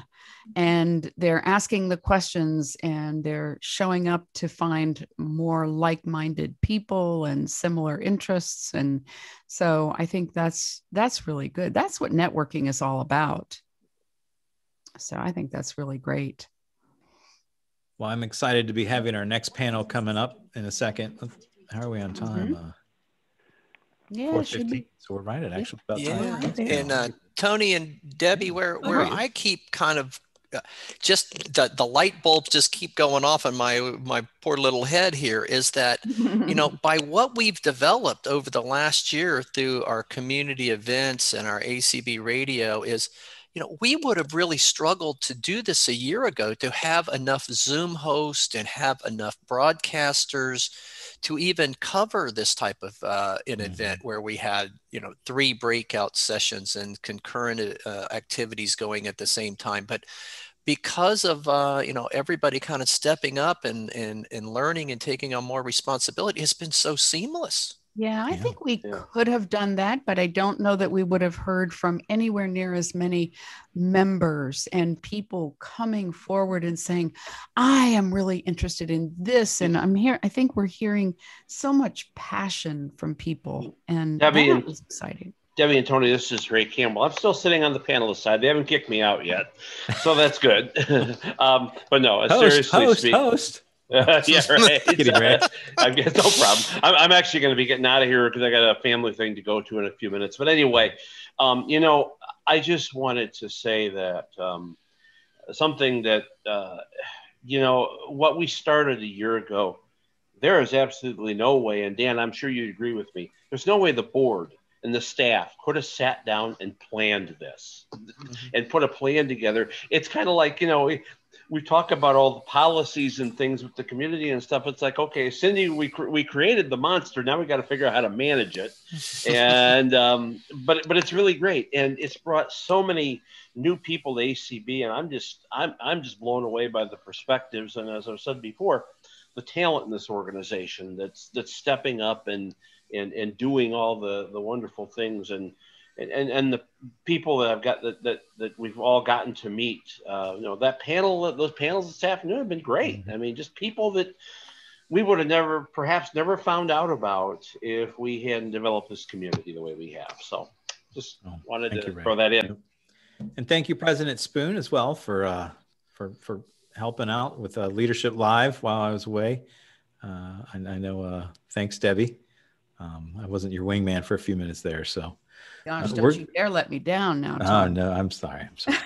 failed in my responsibilities as a as a as a co-host. I'm counting on you, counting on you. Yes, indeed. Well, we're in this together. So So shall we pass the torch back to you as, as we come so. back together, uh, President yeah. Spoone? Oh well, yes, thank you. Thank you, Tony, and thank you, Debbie. Uh-huh. And uh, again, we will hear more from uh, Debbie and Tony uh, tomorrow. We have uh, two mm-hmm. more uh, leadership live breakouts uh, tomorrow and Monday, and also two on Tuesday. And thank you all so much. You all are the glue that kind of keep uh, keeps us rolling here and gives us flexibility as we move from one event to the other, and well, and keeps that constant communications going. I'll so thanks so much. this fireside uh, chat later, so I'll be back for that. Oh, I am so mm-hmm. glad you're going to be part of that, and uh, we're really looking forward to that at uh, yeah. 7:30 tonight here on ACB Radio Mainstream. So yes, uh, indeed, okay. Well, thank you. And I guess it's uh, now my opportunity to uh, introduce our next uh, panel as part of general session, uh, introducing uh, the, the uh, topic of Get Up and Get Moving, our new health and wellness campaign. we're going to hear from Uh, Tony Stephens, our development director, who's going to talk to us uh, about what's going on with that campaign and, and the different uh, development activities that are taking place inside of ACB. And then we're going to hear from members of our Resource Development Committee, our RDC committee, uh, chaired by Dan Dillon from Hermitage, Tennessee, and co chaired by Leslie Spoone from Orlando, Florida, who is also our uh, auction committee chair. And then we have uh, Donna Brown uh, from Romney, West Virginia, who is our ACB Brenda Dillon Memorial Walk Chair. Uh, we have George Holliday, who is co chair of our monthly monetary support MMS program. And we have uh, David Trott, who is our ACB treasurer, and him and Alan Peterson are kind of our leaders uh, for our Braille Forum raffle. So we want to welcome our overall uh, development team and uh, hand it to you, Tony. We look forward to an exciting uh, late afternoon of uh, development activities. And thank you so much again, uh, Dan. I'm, I'm back again. I was only gone for like just time to take a breath. I'm excited because the the list you you announced is really the the rock of uh, the work I do in the sense that uh, you know in the last session we were on those that were listening in with with Bill Reeder and Joe Lynn Bailey Page earlier about volunteers. Um, all those people Dan just mentioned are volunteers for the organization, and they do an amazing job of helping to raise money and raise funds. And for that, we're extremely thankful. Um, you know, we have uh, the opportunity uh, to uh, really engage with them uh, in, in a lot of ways. Um, but as volunteers, they really help uh, in sustaining us through a number of programs. What I'm going to be sharing with you all is, um, is in opportunities uh, that we have around a major health and wellness campaign that we have. And that campaign uh, is something that we've really been working on. And, and the whole purpose of it, in a sense, is really to empower our community, particularly those that are most vulnerable, toward being able to take back their health, coming after a really long year and what will be more than a year of isolation and challenges that we've had in our community. Uh, but that's you know only challenges that that we've recognized for the year, but they helped us uncover so many other larger challenges. And knowing the work that Clark's been doing in advocacy, we were really trying to think of what ways can we focus in on the health and wellness because that's where so much foundations are focusing. That's where so many corporations are focusing, other nonprofits. Where can we focus in? And that led us towards the creation of the Get Up and Get Moving campaign. And that campaign has been wonderful in as much to say that it's been something we've been sort of crowdsourcing with a number of corporate partners and stakeholders behind the scenes and have been getting support and ongoing support. So we're excited that it's been taking traction. And you're going to be hearing a lot more about it uh, in other ways that we try to work to, to raise money and things like that through ACB. Um, to that end, I just want to take a liberty just for a minute um, and talk about health and wellness because I don't know. Um, are, do we still have uh, any of our California folks are on? Debbie, uh, did were they able to chat during the last leadership live while I was running back into the room or not?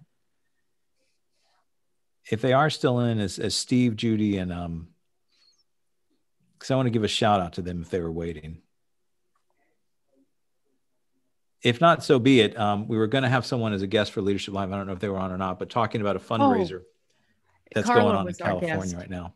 Okay, right. Carla was our guest, but mm-hmm. uh, you know, if if Judy and Steve, we are going to try to get them on the Leadership Live today. They'll be coming back as well on Tuesday during our health and wellness segment, where we'll be talking a lot more about this campaign. But they had a fun fundraiser. I thought that was great. Uh, because this campaign is all about get up and get moving. And California is working on a fundraiser literally for treadmills under my desk at my desk right now. So I could be sitting here and I don't even have to get up. I can just get moving. Uh, but why get moving? Why is that important? Uh, you know, there's been a lot of data and a lot of research that shows the more we move, the more we can help get our health under control, things like obesity, but particularly for our community with diabetes, for our diabetic community. Uh, you know, it has been very critical. Uh, and we've had some, some, some great, you know, success stories uh, that, that are wonderful from some of our members. Uh, Jeff Bishop and Brian Charlson shared in a podcast series we did as we started to launch this Get Up and Get Moving sort of campaign uh, earlier in December. Um, but uh, the essentially the idea is, uh, you know, for us to be out in the community, to know how technology and how how things can can make us independent in our community. And so it's tied to advocacy. Uh, it's the first time in that, you know I've talked with Eric about that we can really think of with ACB, where um, we're sort of making a large campaign, if you will, that's going to be several years in the running. And the idea of the Get Up and Get Moving campaign is, you know, there's going to be things like uh, a challenge is going to be tied to it. There's going to be live events, uh, so a couple of events each year for the next three years or so uh, in major metropolitan cities where we're going to be doing some meeting opportunities. Um, so it's, it's going to be rather sophisticated. We are now currently scoping it out, trying to find out realistically what can we do within our bandwidth and where are the opportunities with our partners that we've been engaging with on the corporate side that are enthusiastic about it, knowing that we're all excited to come out of isolation, but particularly for some folks in our community, it's going to be even more challenging. But it's also a large public awareness piece, right? So the idea is it's a campaign that'll help bring in revenue, bring in opportunities, sponsorships, and through other ways we can raise money in the organization. Uh, through foundation support, a lot of foundations are focusing on health and wellness, particularly in some of these areas that are impacting diverse communities of color and other groups like that, uh, where there have been additional struggles.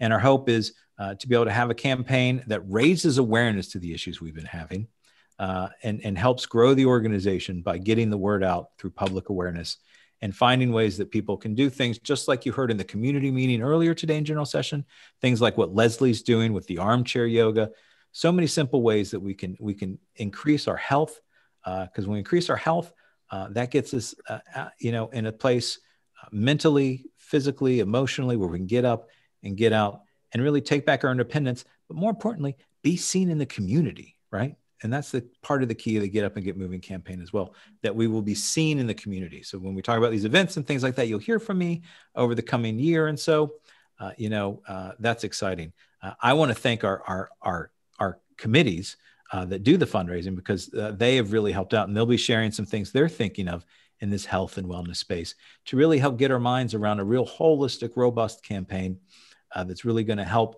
uh, drive the conversation as we come out of this pandemic, as we come out of isolation, uh, particularly those that, like I said, are more vulnerable in our community, and we take back our health, we take back our independence, and we get out into the community. And we're going to be showcasing and spotlighting and working with our partners on ways that technology can really help empower our lives as we get out, as we experience public parks, as we experience getting back on mass transit and feeling like we can safely be back in our community again. But we want the whole world to see us. And that's what the campaign is about. Uh, we're not come out quietly. Steve is here. And Steve is there. Hey, Steve, how's yep, it he's going? raised his hand. Hey, how you doing, Tony? Thanks Uh, for having us on here. You're And I've got- welcome. and uh, you know, we don't have too much time, but I'll just throw it to you just for a minute. What's the name of the the, the thing you guys are doing? Because I need it right now on my treadmill under my desk. It's a little foot treadmill that you all are doing for a creative. Well, that that's exactly it. Uh, Is why we're actually, there, there's there's two devices. The uh, one is called the Mini Tread, and that's a motorized device, and one is called the Sit Mill, which is a self-powered device that you uh, and they're you know very very small, size of an airline seat. Put on your desk. Uh, you can get in some uh, good uh, movement while you're uh, w- listening to ACB radio or whatever else we're doing at our desks. Uh, it's from a company called On the Move. That's O N T H E M U V, which uh, they talk of as uh, uh, movement unleashes vitality. So it's on the move. And Patrick Netter, who is actually the inventor of the uh, both these devices, is here with us also uh, this afternoon. Wonderful. Thank, thank you, Patrick. And and you know, I think in a sense of um, uh, I think you all will be with us on Tuesday, so tune in to one of our leadership lives, and we'll get a chance to talk more about that. Um, and I expect to hear a lot of these treadmills running during your California team walk this summer. Uh, during our walk that Donna is going to be talking. You're you're reading my mind. That's what we're going to do. We're going to do the virtual so- walk with California uh, on our on our mini treads. We'll have to think of a California challenge or people that have these devices. Uh, they're pretty cool devices. So, but um, but in that sense, uh, thank you, Stephen. I'm glad we got you on because I know we wanted to get you on in the Leadership Live, and I apologize. Um, but thanks for jumping in there real quick. You know, to close out the part on the health and wellness campaign, and then I'll, I'll yield my time to the other people, the communities that are, uh, you know, the committee chairs that are doing such fabulous work in fundraising, uh, and the success that we had over the past year has been incredible. Um, you know, the health and wellness campaign is, is essentially just this. Uh, you know, technology can help us take back our life, uh, and the campaign is meant to, to tell the world about how we're, we're coming out of isolation and we are, uh, you know, uh, looking to be in a world that is much more inclusive uh, after this pandemic. And, you know, keep your ears open uh, because we're going to be talking about ways that you can get involved with the campaign, talk about the Get Up and Get Moving challenge as that comes to comes to greater sort of granularity, and we'll be sharing that with folks as well. Uh, but it's just something to think about, and it ties to a way uh, that maybe your affiliate, your organization, you know, what ways can you think of of being able to look at, you know, uh, the the the side of your advocacy and what you're doing, and to be able to find partners who can help lift you up and support you. Because in a lot of ways, the fundraising side of this campaign is specifically that to get people behind us that support us, and how can we have them, in a sense, as we get up and get moving, walk with us, right, and be a part of our community. And that that in of itself, you know, we'll be doing some fundraising talks and conversations on ways that you can think of ways to have similar uh, positive experience uh, because it's exciting when people that aren't directly impacted. These, you know, corporations are not people, many of them blind themselves and are, not uh, in that way.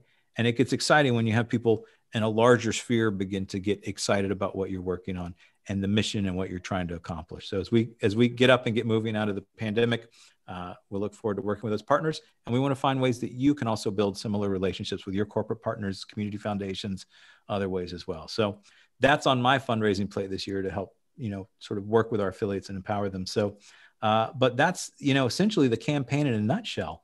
Uh, and so uh, you know I want to thank Eric and and Dan and our leadership team for really being supportive of it, um, and as well for our committee members that I'll now turn to uh, when you talk about their own committees. And I think they've been wonderful in thinking of ways they can help support ACB and the national uh, advocacy and work we're doing uh, to help this campaign be a success as well. But, you know, I'll go and turn it over now to who's first on the list for coming up now and talking about the committee work and ways that, you know, uh, folks have been able to give over the past year that's been so amazing and so outstanding and the success that we've had and where we're looking for 2021. So I think who do we have? Tony, first? this is Dan Dillon. Dan. I, I was going to talk a little bit about the RDC, and most people out there listening know what the RDC is all about, but there's always a few that don't know. So I wanted to tell you that the RDC, RDC committee stands for Resource Development Committee, and we pretty much oversee the, the fundraising within the organization and uh, uh, the people that follow me will talk about the individual fundraisers. But um, I want to talk a little bit about our ACB Angels program, though, and that was started back in uh, 2014. It's been extremely successful. It's brought a lot of money into ACB, but more importantly, though, it recognizes members who have passed on, uh, specifically members who have contributed a lot to the American Council of the Blind. And uh, it takes a donation to ACB of $500, a minimum of $500 and it can be donated by an individual. It can be donated by an affiliate or a or chapter, or affiliates can go in together to uh, to come up with that $500. And in return for that $500, uh, the recipient will get their own web page with a picture, with a bio, and then they will, receive a, a plaque uh, that has raised lettering and it has braille on it, uh, stating the person's name and the and the, the, the date that they passed, and that'll be displayed on our angel wall. And when we when we have a face to face convention, that wall will be uh, d- displayed in our exhibit hall. So uh, that's that's what the Angel program is all about.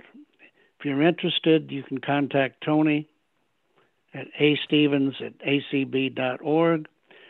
And I would like to uh, pass it on to, to Donna um, to talk about the walk.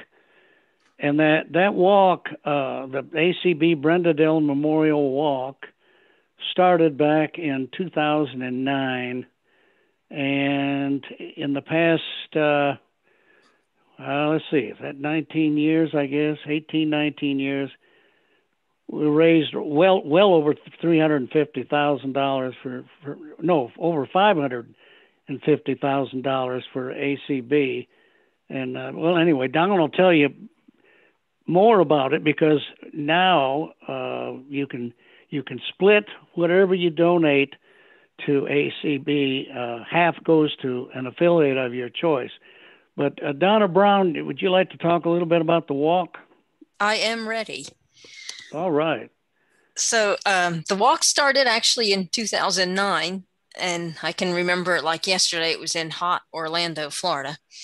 Yeah. Uh, but anyway, the 2021 walk, our theme goes right along with the um, health and wellness campaign campaign and our theme is get moving together uh, and so we chose that theme partly you know we're all going to be virtual this year and, and we know that and so the cool thing about the walk um, when you sign up for the walk it, it costs $25 to register uh, and each individual that that's what they pay to register for the walk when you register for the walk, you will actually have your own walk web page, uh, which is kind of cool.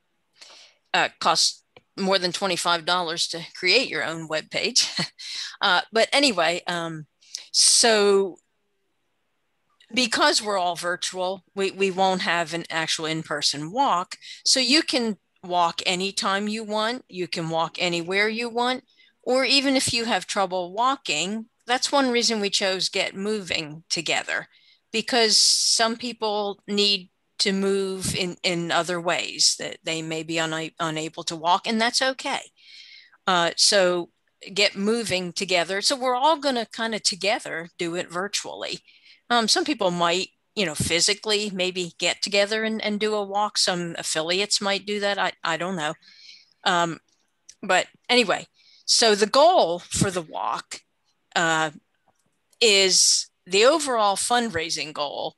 The walk truly is a, a fundraiser, but it is also an opportunity for for people to uh, have a, an opportunity for a fitness activity, get moving. Uh, so the goal for this year is $95,000. And you think, whoa, that's a lot. But we've come awful close to that uh, a couple of years. And so I believe this year we can exceed that probably. So, how it works when you go to register for the walk, um, you will be asked do you want to walk as an individual or do you want to be a member of a team.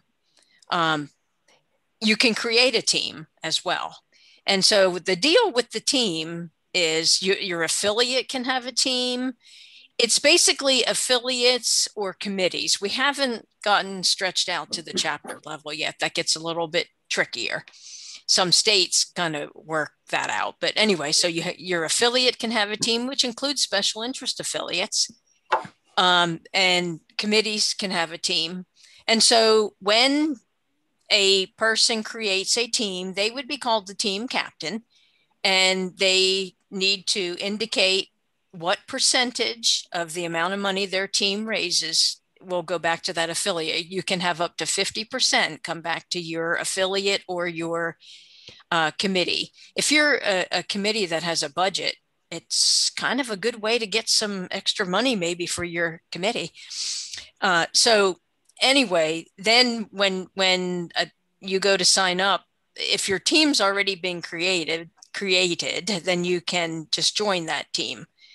Uh, so anyway, it's a, it's it's not as confusing as it sounds. Um, so before I forget, the website is not quite ready yet. There was just a little glitch in probably one of the most important parts of the website, and that's where they take your money. Uh, so as soon as that's worked out, which should be within the week, uh, emails will be everywhere telling people how they can sign up for the walk. So here's some incentives. Um, we really want to encourage new people, new teams, and, and people who've done it before to sign up for the walk um, the first five new teams that sign up for the walk will receive some Starbucks gift cards. Uh, so, and I already know of one team that's, you know, as soon as that website goes live, I think we'll be signed up and they're a new team. So, um, then what happens after you sign up you you are given a, a web page and that's what you want to use to share with your family friends uh, acquaintances co-workers you know whoever um, and that's how you one way to seek donations um, i always have some people who donate but aren't real tech savvy. So i print out a donation form and they fill it out and either you know give me the the donation or mail it in themselves to the minneapolis office. So if you have any questions you can contact me. Uh, my name will be on the walk website the walk announcement and and all that kind of thing. So let's get moving together and help us raise $95,000 and help your affiliate raise, you know, whatever amount. Uh, uh, you know, our Little Mountain State Council last year, we got a check for almost $1,500. That's a lot for us. So the sky's the limit. Thank you, Donna. Leslie, would you like to talk about the auction? I sure would, Dan. Can you hear me okay? Oh, oh real good. Good, good, good, good. So the auctions, I'll say auctions because um, we are now, the auction committee is doing the holiday auction also. So we're doing the summer auction and the holiday auction for the ACB radio. Um, they were wonderfully uh, participate. We had wonderful participation last year in our virtual world. So I can't say enough to everybody. Thank you, thank you, thank you. We raised over $52,000 for both auctions combined um, with the summer and the holiday auction. So thank you so, so much. This was um, created many years ago by Dan Dillon's um, late wife, Brenda Dillon, and Cindy Hollis and um, Jeff Thom. So uh, I came in as a member of the committee and now I'm the chair of the auction and it means so much to me. It's so near and dear to my heart. I love it. Uh, I can't say enough about the auction. I love to get up and get going also, but you know, auctions are just as near and dear to me. So um, we will be reaching out to you. Our name is the Diamond Jubilee. So it will be the Diamond Jubilee auction this year.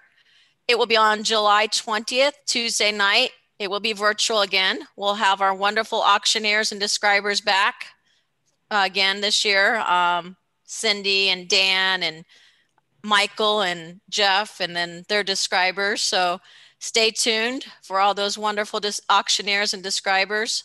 We will do an appetizer auction again. It'll be Thursday, July, oh, July, let me back up, uh, Thursday and Friday, so before the convention starts, and then the night of the auction will be July 20th. So the appetizer auction will be Thursday and Friday, um, like we've done before. This just kind of helps. Uh, it's a little appetizer, a little tease before the auction. So we have about, you know, 12 to 15 items each day, and they can contact me by email or calling me. It's kind of like um, I'm the um, you know, like a little auction house for those two days. So it's a wonderful, wonderful event. Mm-hmm. Um, my email is Leslie Spoone, L E S L I E S P O O N E at cfl.rr.com. You can email me. Uh, we are going to do pictures this year for the items. So stay tuned. If you do send out descriptions and you can do a picture, that would be great with your description. If you can't, no worries. We'll get the picture for you. Uh, so it's going to be exciting. We'll be the committee will be reaching out to you. So stay tuned and enjoy. And we just look forward to everybody contributing again. And again, I can't say enough. Thank you, thank you, thank you. This was the best year we've ever had. So uh, keep up the great work. Thank you, Leslie. George Holiday, would you like to talk about the MMS program? I sure would, Dan. Thank you. All right. And I want to thank my co chair, G Man, and all the members of the MMS team. but especially, I want to thank all the members of ACB who are participating in the MMS program. Last year for the convention, we set a goal of enrolling 321 total members in MMS. We started out with 258. We hit our goal and went up to 230, I'm sorry, 332. So our goal this year is 421, 421. 421 for the year 2021 we can do it. we have a lot of members in ACB, and we have a lot of people who want to do fundraising. So now, what I want to do is before I tell you how you can do it, I'm going to entice you a little bit by letting you know that just for this seminar, first prize for the all right, anybody who starts out with a $10 donation, a monthly donation, and or increases their donation by $5, their name goes in the hat for a drawing of a 32 inch smart television. But in addition to that, we're going to be drawing names for Sunday, Monday, and Tuesday for a $50 gift card. So, but to go further, your name will go in the hat additionally at the ACB convention for first prize of a five for $500 gift card. And second second prize will be Sonos second generation smart speaker. And we will also have daily prizes. Now, we need you to, I'll give the information where you can email or call, but you want to make sure you start out at at least $10 and or an increase of five. When you sign up, you can designate half of that amount to go the up to, up, up to half of that amount to go to your affiliate. It, it would be automatically withdrawn for your checking account or credit card. And so once the initial sign up is done, you have no worries. But on top of that, every quarter, whatever you split with an affiliate, they will receive you and, and your affiliate will receive a check every quarter with that amount. So it's a win-win situation for ACB and your affiliate, and there's no work, hard work behind it. Just the initial contact of getting your contact, you're getting your uh, initial initial payment. Uh, now, you can con- if for those who want to contact us via email, it's ask acbmms at gmail.com. And you can leave your name and number there on that email. And Gene or I will get back with you. Okay. And well, let me give you the telephone there also. It's 202 743 0755. Now, we only want to get the only information we want from you initially is your name and telephone number and what your initial start amount would be. I mean, it has to be a minimum of $10. It could be 20 or 30 or more. And if you are increasing increasing of, of a million of a minimum of five dollars, we need to know that. And then uh, later on in the month, that information will be given to the Minnesota office, and then they would initially contact you and follow up to confirm your donation and get your credit card information. And we go from there. Uh, so if you have any questions, you can use that email or, and or telephone number, and we'll be glad to assist you, and we'll be glad to sign you up. Thank you, Dan. Thank you, George. Mr. David Trott, would you like to talk about the ACB Braille Forum? Uh, uh, uh, yeah, raffle. yeah, uh, but first, as treasurer, I want to thank all of you, not just the members, but our friends, our sponsors, our corporate sponsors, and our great staff who've done such a great job at raising money for ACB this last year. When we thought it was critical, you made it happen and you made it happen in style. And we would be remiss if we didn't recognize you for it. So, wherever you are, give yourself a pat on the back. If you didn't give a dime, but you give your time, you gave the equivalent of money to ACB. So, we love you and appreciate what you've done for us. And it's for us, all of us, and that includes you. Now, let's talk about my buddy Alan. He's not with us today here, but he may be listening somewhere. But if he's listening and he's not, y'all tell him his goal this year is 150. Uh, he'll understand what you mean. 150 tickets. Alan is our greatest ticket seller. He is the greatest ticket seller for the Braille Forum raffle of all time. Uh, he he does a great job every year for us, and when you see him, thank him for it. Uh, board members and officers, if you thought I forgot y'all yesterday and you're smiling, thinking, "Oh, David's leaving us out this year," uh-uh. it's on the way. Don't worry about it. It'll happen for you. Um, I'm looking out for you because I know you don't want to miss out. Now, you out there, wouldn't you like a chance to win third prize of five hundred dollars, or maybe the second prize of a thousand? And I know there's even a few of you that'd like to win that first prize of five thousand dollars. Well, I've got that opportunity for you here today. Uh, between now and the ACB convention uh, banquet, actually, and even during the banquet, we're going to be selling our Braille Forum raffle tickets. They're $50 each. And you or you and four of your friends can go in together and buy a ticket. Uh, that's all it takes one little ticket. Of course, now we've had people buy more than one little ticket before, and we hope you will again.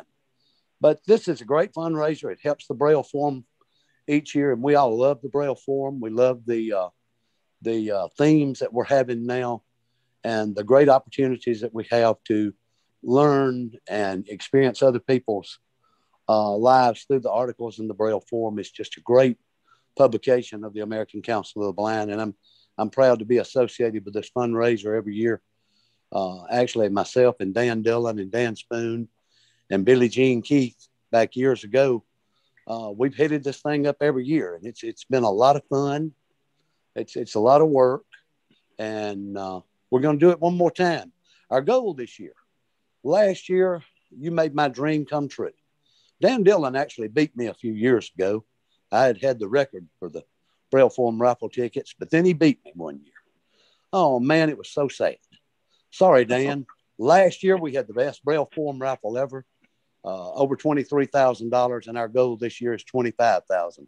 So y'all help us make that 25,000 uh, and raise some significant money for the Braille Forum, our, our star publication, and know that we appreciate whatever you do. If you join the walk, if you join MMS, uh, if you take part in uh, any of the auctions, any of our fundraisers, or if you know if you don't have the money and you have the ability and you host a Zoom call, anything that you do to help ACB comes back tenfold, I promise you. We love you, and I thank you for the opportunity to speak with you today. Thank you, David. And before I turn it back over to Tony, I would I would like to say that when we started the walk uh, back in 2009, one of the the, the the the things that we talked a lot about and and we did promote at the time was how important it was to get out and and and walk and, and get moving and exercise. And uh, and now I'd like to commend Tony Stephens because he's he's really the big the big push. He's spearheading this get up and get moving campaign and it's great for all of us guys. We we've we've we've got to try harder to to to uh, to stay in shape and exercise and get moving. Thank you, Tony.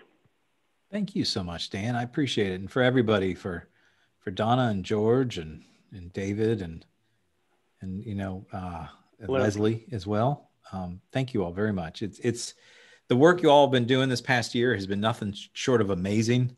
Uh, in in that you know all records were were blown and out of the water in a sense, and and it was exciting. So you know I'm I'm very fortunate myself to work with such an amazing team of dedicated volunteers who do such a wonderful job of raising money for the organization. You know, one of the things um, that you know we're we're very much uh, passionate about at ACB is really trying to find ways that that everybody uh, can get involved and and do something. You know, when we talk about a challenge, uh, it's it's a question: what can you do? You know, what can you do for the organization in a sense of just being support? Like David mentioned, even if it's a volunteer, that that has a huge significance, sometimes an even greater value. Um, even if you know you might not be able to give money if you can't give monthly, um, you you probably very well have friends and family and people in your network uh, that don't know of ACB yet. Invite them to one of our community events. Invite them to one of our activities, one of our functions, some way to help build the the footprint you know, David talking about the Braille raffle, it's real important to remember our community has very much grown this past year. We've brought in so many new members thanks to our community events and the work that Cindy Hollis was highlighting earlier in the day. Uh, but with that's going to come an additional cost, particularly around the Braille Forum, because we want to make sure that people get those issues in Braille for those that ask for them or in large print. And, and that's going to be a, more cost. Our Braille costs of Braille Forum is going to have to go up as our as our community grows, and that's a wonderful problem to have. Uh, so helping out with that Braille Forum raffle, thank you, David. That's going to help help us as we continue to grow this organization. Helping out with the auction, that's going to help you know really getting your friends and getting the enthusiasm together there's no more fun event at the convention i think than the auction event where everyone just gets excited right helping out with mms uh, not only can you have a chance to get a big screen tv or the you know wonderful clear sounds of Sonos in your house if you're one of the lucky winners but you're going to be giving a little bit each month it's a, it's you know the, the price essentially of two trips to starbucks um, you know one of those starbucks gift cards you can get uh, through you know registering for the walk. Uh, you know that's that's two drinks at Starbucks. Uh, you give that much a month, uh, you can help sustain this organization significantly. And with the walk as well, uh, you know if you can get up and get moving, uh, even if you can't give, if you're just getting up, getting moving, letting people know about it, you can start your own crowdfunding page and get other people to give to you, friends and family, and they can help you. You don't have to be the one that gives. so we want to make it easy for people to be able to get involved with the organization. And with our Get Up and Get Moving, Dan, thank you so much. And, and really emphasizing that fact that, you know, so much of this work started so many years ago after uh, the Brenda de Dillon Memorial Walk, named after your, your loved one who passed years ago. Um, and, and it's been such a wonderful opportunity to work with such an amazing group of fundraisers. So I'm the one that's thankful here. And in that sense, uh, you know, uh, stay tuned. We will be talking more somewhat about the health and wellness part that I shared at the beginning uh, during our health and wellness track at the legislative seminar. But be sure to check out all the times uh, for legislative seminar activities and events. We're going to be having this stuff recorded. Um, you know, share with your affiliates, share with your organizations and your members. Don't be afraid with the walk and you know the MMS. It's a win-win for you as well as an affiliate leader. So try to take advantage. I'll, I'll in fact give a challenge now. Wouldn't it be wonderful if every one of our affiliates, every one of our affiliates had a team for the walk this year? That would be fantastic. Mm-hmm. So let's see how many people we can we can give up for a Donna's challenge for new teams this year. So it'd be wonderful if every team could have one. So uh, to that being said, uh, we're going to see if anybody has any questions as we close things up. And as always, you can also reach out to me at astephens at acb.org with any questions about any of these programs, and we can help get you set up. A S T E P H E N S at acb.org. But does anybody have any questions before we close up for the day? There aren't any hands yet. All right. Well, we did such a wonderful job of laying things out for everybody, and we're so excited. So thank you so much. So I guess we are uh, on this end uh, going to be transitioning back to President Spoone. If you're available now, sir uh, we can pass the baton back to you. Well, yes, Tony, thank you. Thank you so much to the Development Steering Committee, to your uh, leadership as our development director, and thanks to the Resource Development Committee, the RDC, with Dan and Leslie and Donna and uh, David and uh, Jean and uh, and George and uh, Carla and all the folks uh, that really uh, pull our uh, member events, uh, fundraising events together. Uh, we had our best year ever last year, thanks to the wonderful outpouring of our membership and friends. And uh, Tony, again, congratulations on that uh, Gibney grant that we had come in just this last week. That's going to mean uh, the ability to hire an assistant uh, for Cindy Hollis with our community events. So, again, uh, the momentum and the good works of ACB just keep growing, and I think success breeds success. Well, thank you. Yeah, that was a wonderful, and congrats to Cindy for the work of the community. That presentation she gave was so moving earlier today and so exciting uh, because it's the organization that's gaining awareness for everything we're doing. They're they're helping spread the word, and that's that's getting the attention of foundations even now. So we're thankful for that. So thank you, Dan. Thank you, Tony. And I also have to just say again, um, it was very moving for me. But for our highlight video, uh, even though it was only five minutes long today, it really, to me, you know, as we go through these struggles day to day, you know, you're quote unquote in the trenches and you're just, mm-hmm. you know, working hard to survive till the next day and the next week. Uh, you lose sight sometimes of all the good work that ACB does. And so, uh, you know, when we when we had that highlight film today, and it showed kind of all we've gone through for the year and how many new and wonderful things have been created by this organization, and and the the commitment and just the pride of ownership of our members. Uh, so again, uh, thanks to all affiliate presidents, thanks to the ACB staff, and boy, uh, I know that highlight video will be out there on YouTube probably before tomorrow morning because I know there's a lot of people that like to watch it several times. It was really moving. Thanks. And before I just jump off as well, Dan, you know, thanks to our sponsors as well for this conference, uh, to JP Morgan Chase for our presidential sponsor, uh, to Vanda, uh, who's a congressional sponsor, and to Vispero, who's a Beltway sponsor. And they'll be featured in the uh, digital inclusion portion of our legislative seminar. Vispero is going to be you know that's uh, an opportunity that they've been able to help support and be associated with as a, as a beltway sponsor for that so thanks to all of our sponsors as well as our members that have given so much this past year all right. Well, thank you, Tony. And and again, so kind of wrapping up for today. Uh, first, I want to just thank everybody for all the wonderful uh, presentations, both in our general session and in the breakout sessions. We really had good participation and lively conversations. So, thanks to all of those that gave of their uh, talent and time uh, to be part of our presentations today.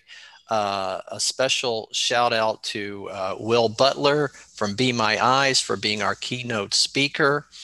And I want to encourage everybody that we are just getting started here with our ACB Leadership Conference. We have two wonderful days of legislative seminar activity coming up tomorrow on Monday and on Tuesday. Uh, both days will start at 12 noon Eastern. Uh, Clark Rachfal will be ho hosting uh, both of those days with all kinds of wonderful breakouts uh, from uh, government agencies, from members of industry, uh, from our local members, uh, and also driven a lot from our advocacy steering committee.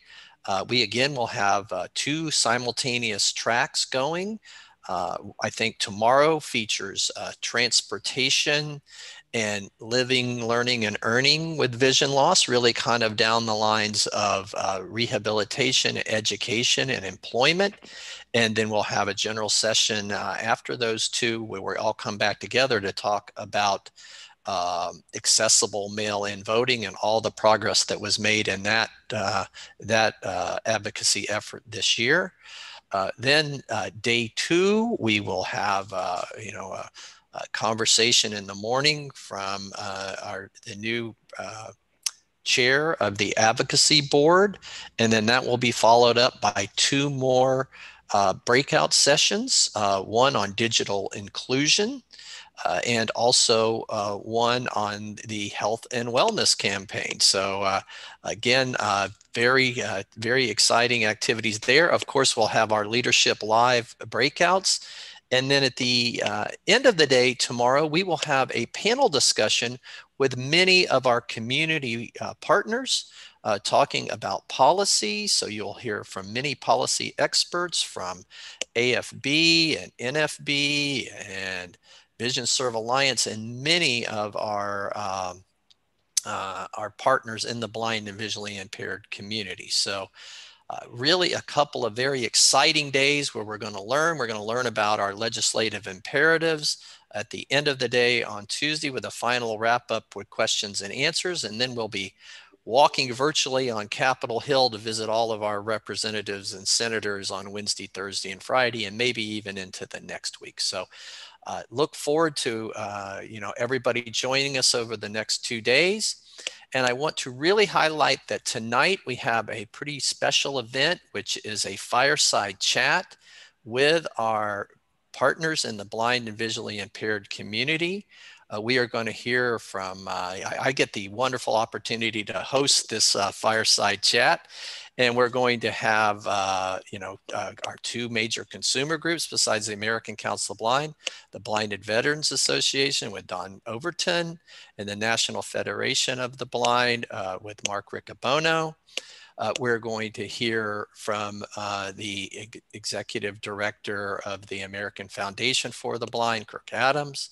We'll also hear from AER and Mark Richert, from VisionServe Alliance with Lee Nasehi, and from APH with Craig Meador. So it's really going to be a wonderful opportunity uh, for us to uh, listen to our fellow members in the blind and visually impaired community, hear what we went through in 2020, what the trials and tribulations and unexpected maybe pluses were that happened to us in uh, 2020 and look forward to how we can work together in 2021. So uh, please uh, stay tuned to your email list and to ACB website.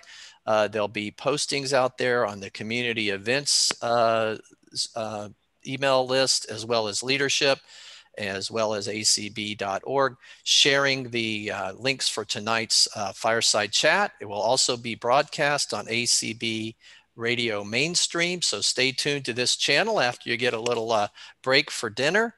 And once again, I just want to thank everybody for participating in our 2021 ACB DC Leadership Conference uh, in memory of Charlie Crawford. And wasn't that wonderful to hear those comments about Charlie today? Hey Dan, it's Jean. Can I put in a quick word for MMS? Please, Jean. Could you you have a anything you'd like to share with us, uh, Miss Mann? I, I would like to say that it's been a little bit slow. So if you'd like to win a fifty dollar gift card and have a chance at winning that smart TV, today might be a really good day for you to call. Ooh, so uh, uh, Leslie and I might be calling as soon as we're done with this show here, Jean. Yeah. Ask uh, email ask acb MMS or call that Google number, which I don't have in front of me.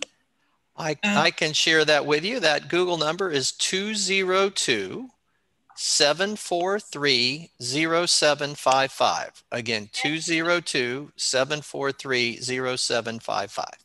And, and when you call it, Google is going to ask for your name and then they're going to, it's going to ring a little bit and then it's going to tell you that the Google um, subscriber isn't available, so just leave a message and I will get a, a an email uh, with your voicemail. So um, I will get back to you. Thank you very much. Oh, thank you, Jean, and thanks uh, for all you and George and the MMS committee do. And again, I want to thank everybody for being here for day one of our DC Leadership Conference. Thank you, affiliate presidents and affiliate members. Thank you, panelists. And stay tuned. We'll be back at 7:30 with our first ever fireside chat. So till then, uh, good afternoon, everybody, and thank you for being involved and a member and friend of the American Council of Blind. See ya. Stay tuned. And we'll be back on ACB Radio tonight on Mainstream. Thanks everyone for tuning in. Jeff, thanks for streaming. And remember, if you haven't, please go to tinyurl.com slash ACB Radio and donate to get that MP3 of Jason Castonguay. Thank you.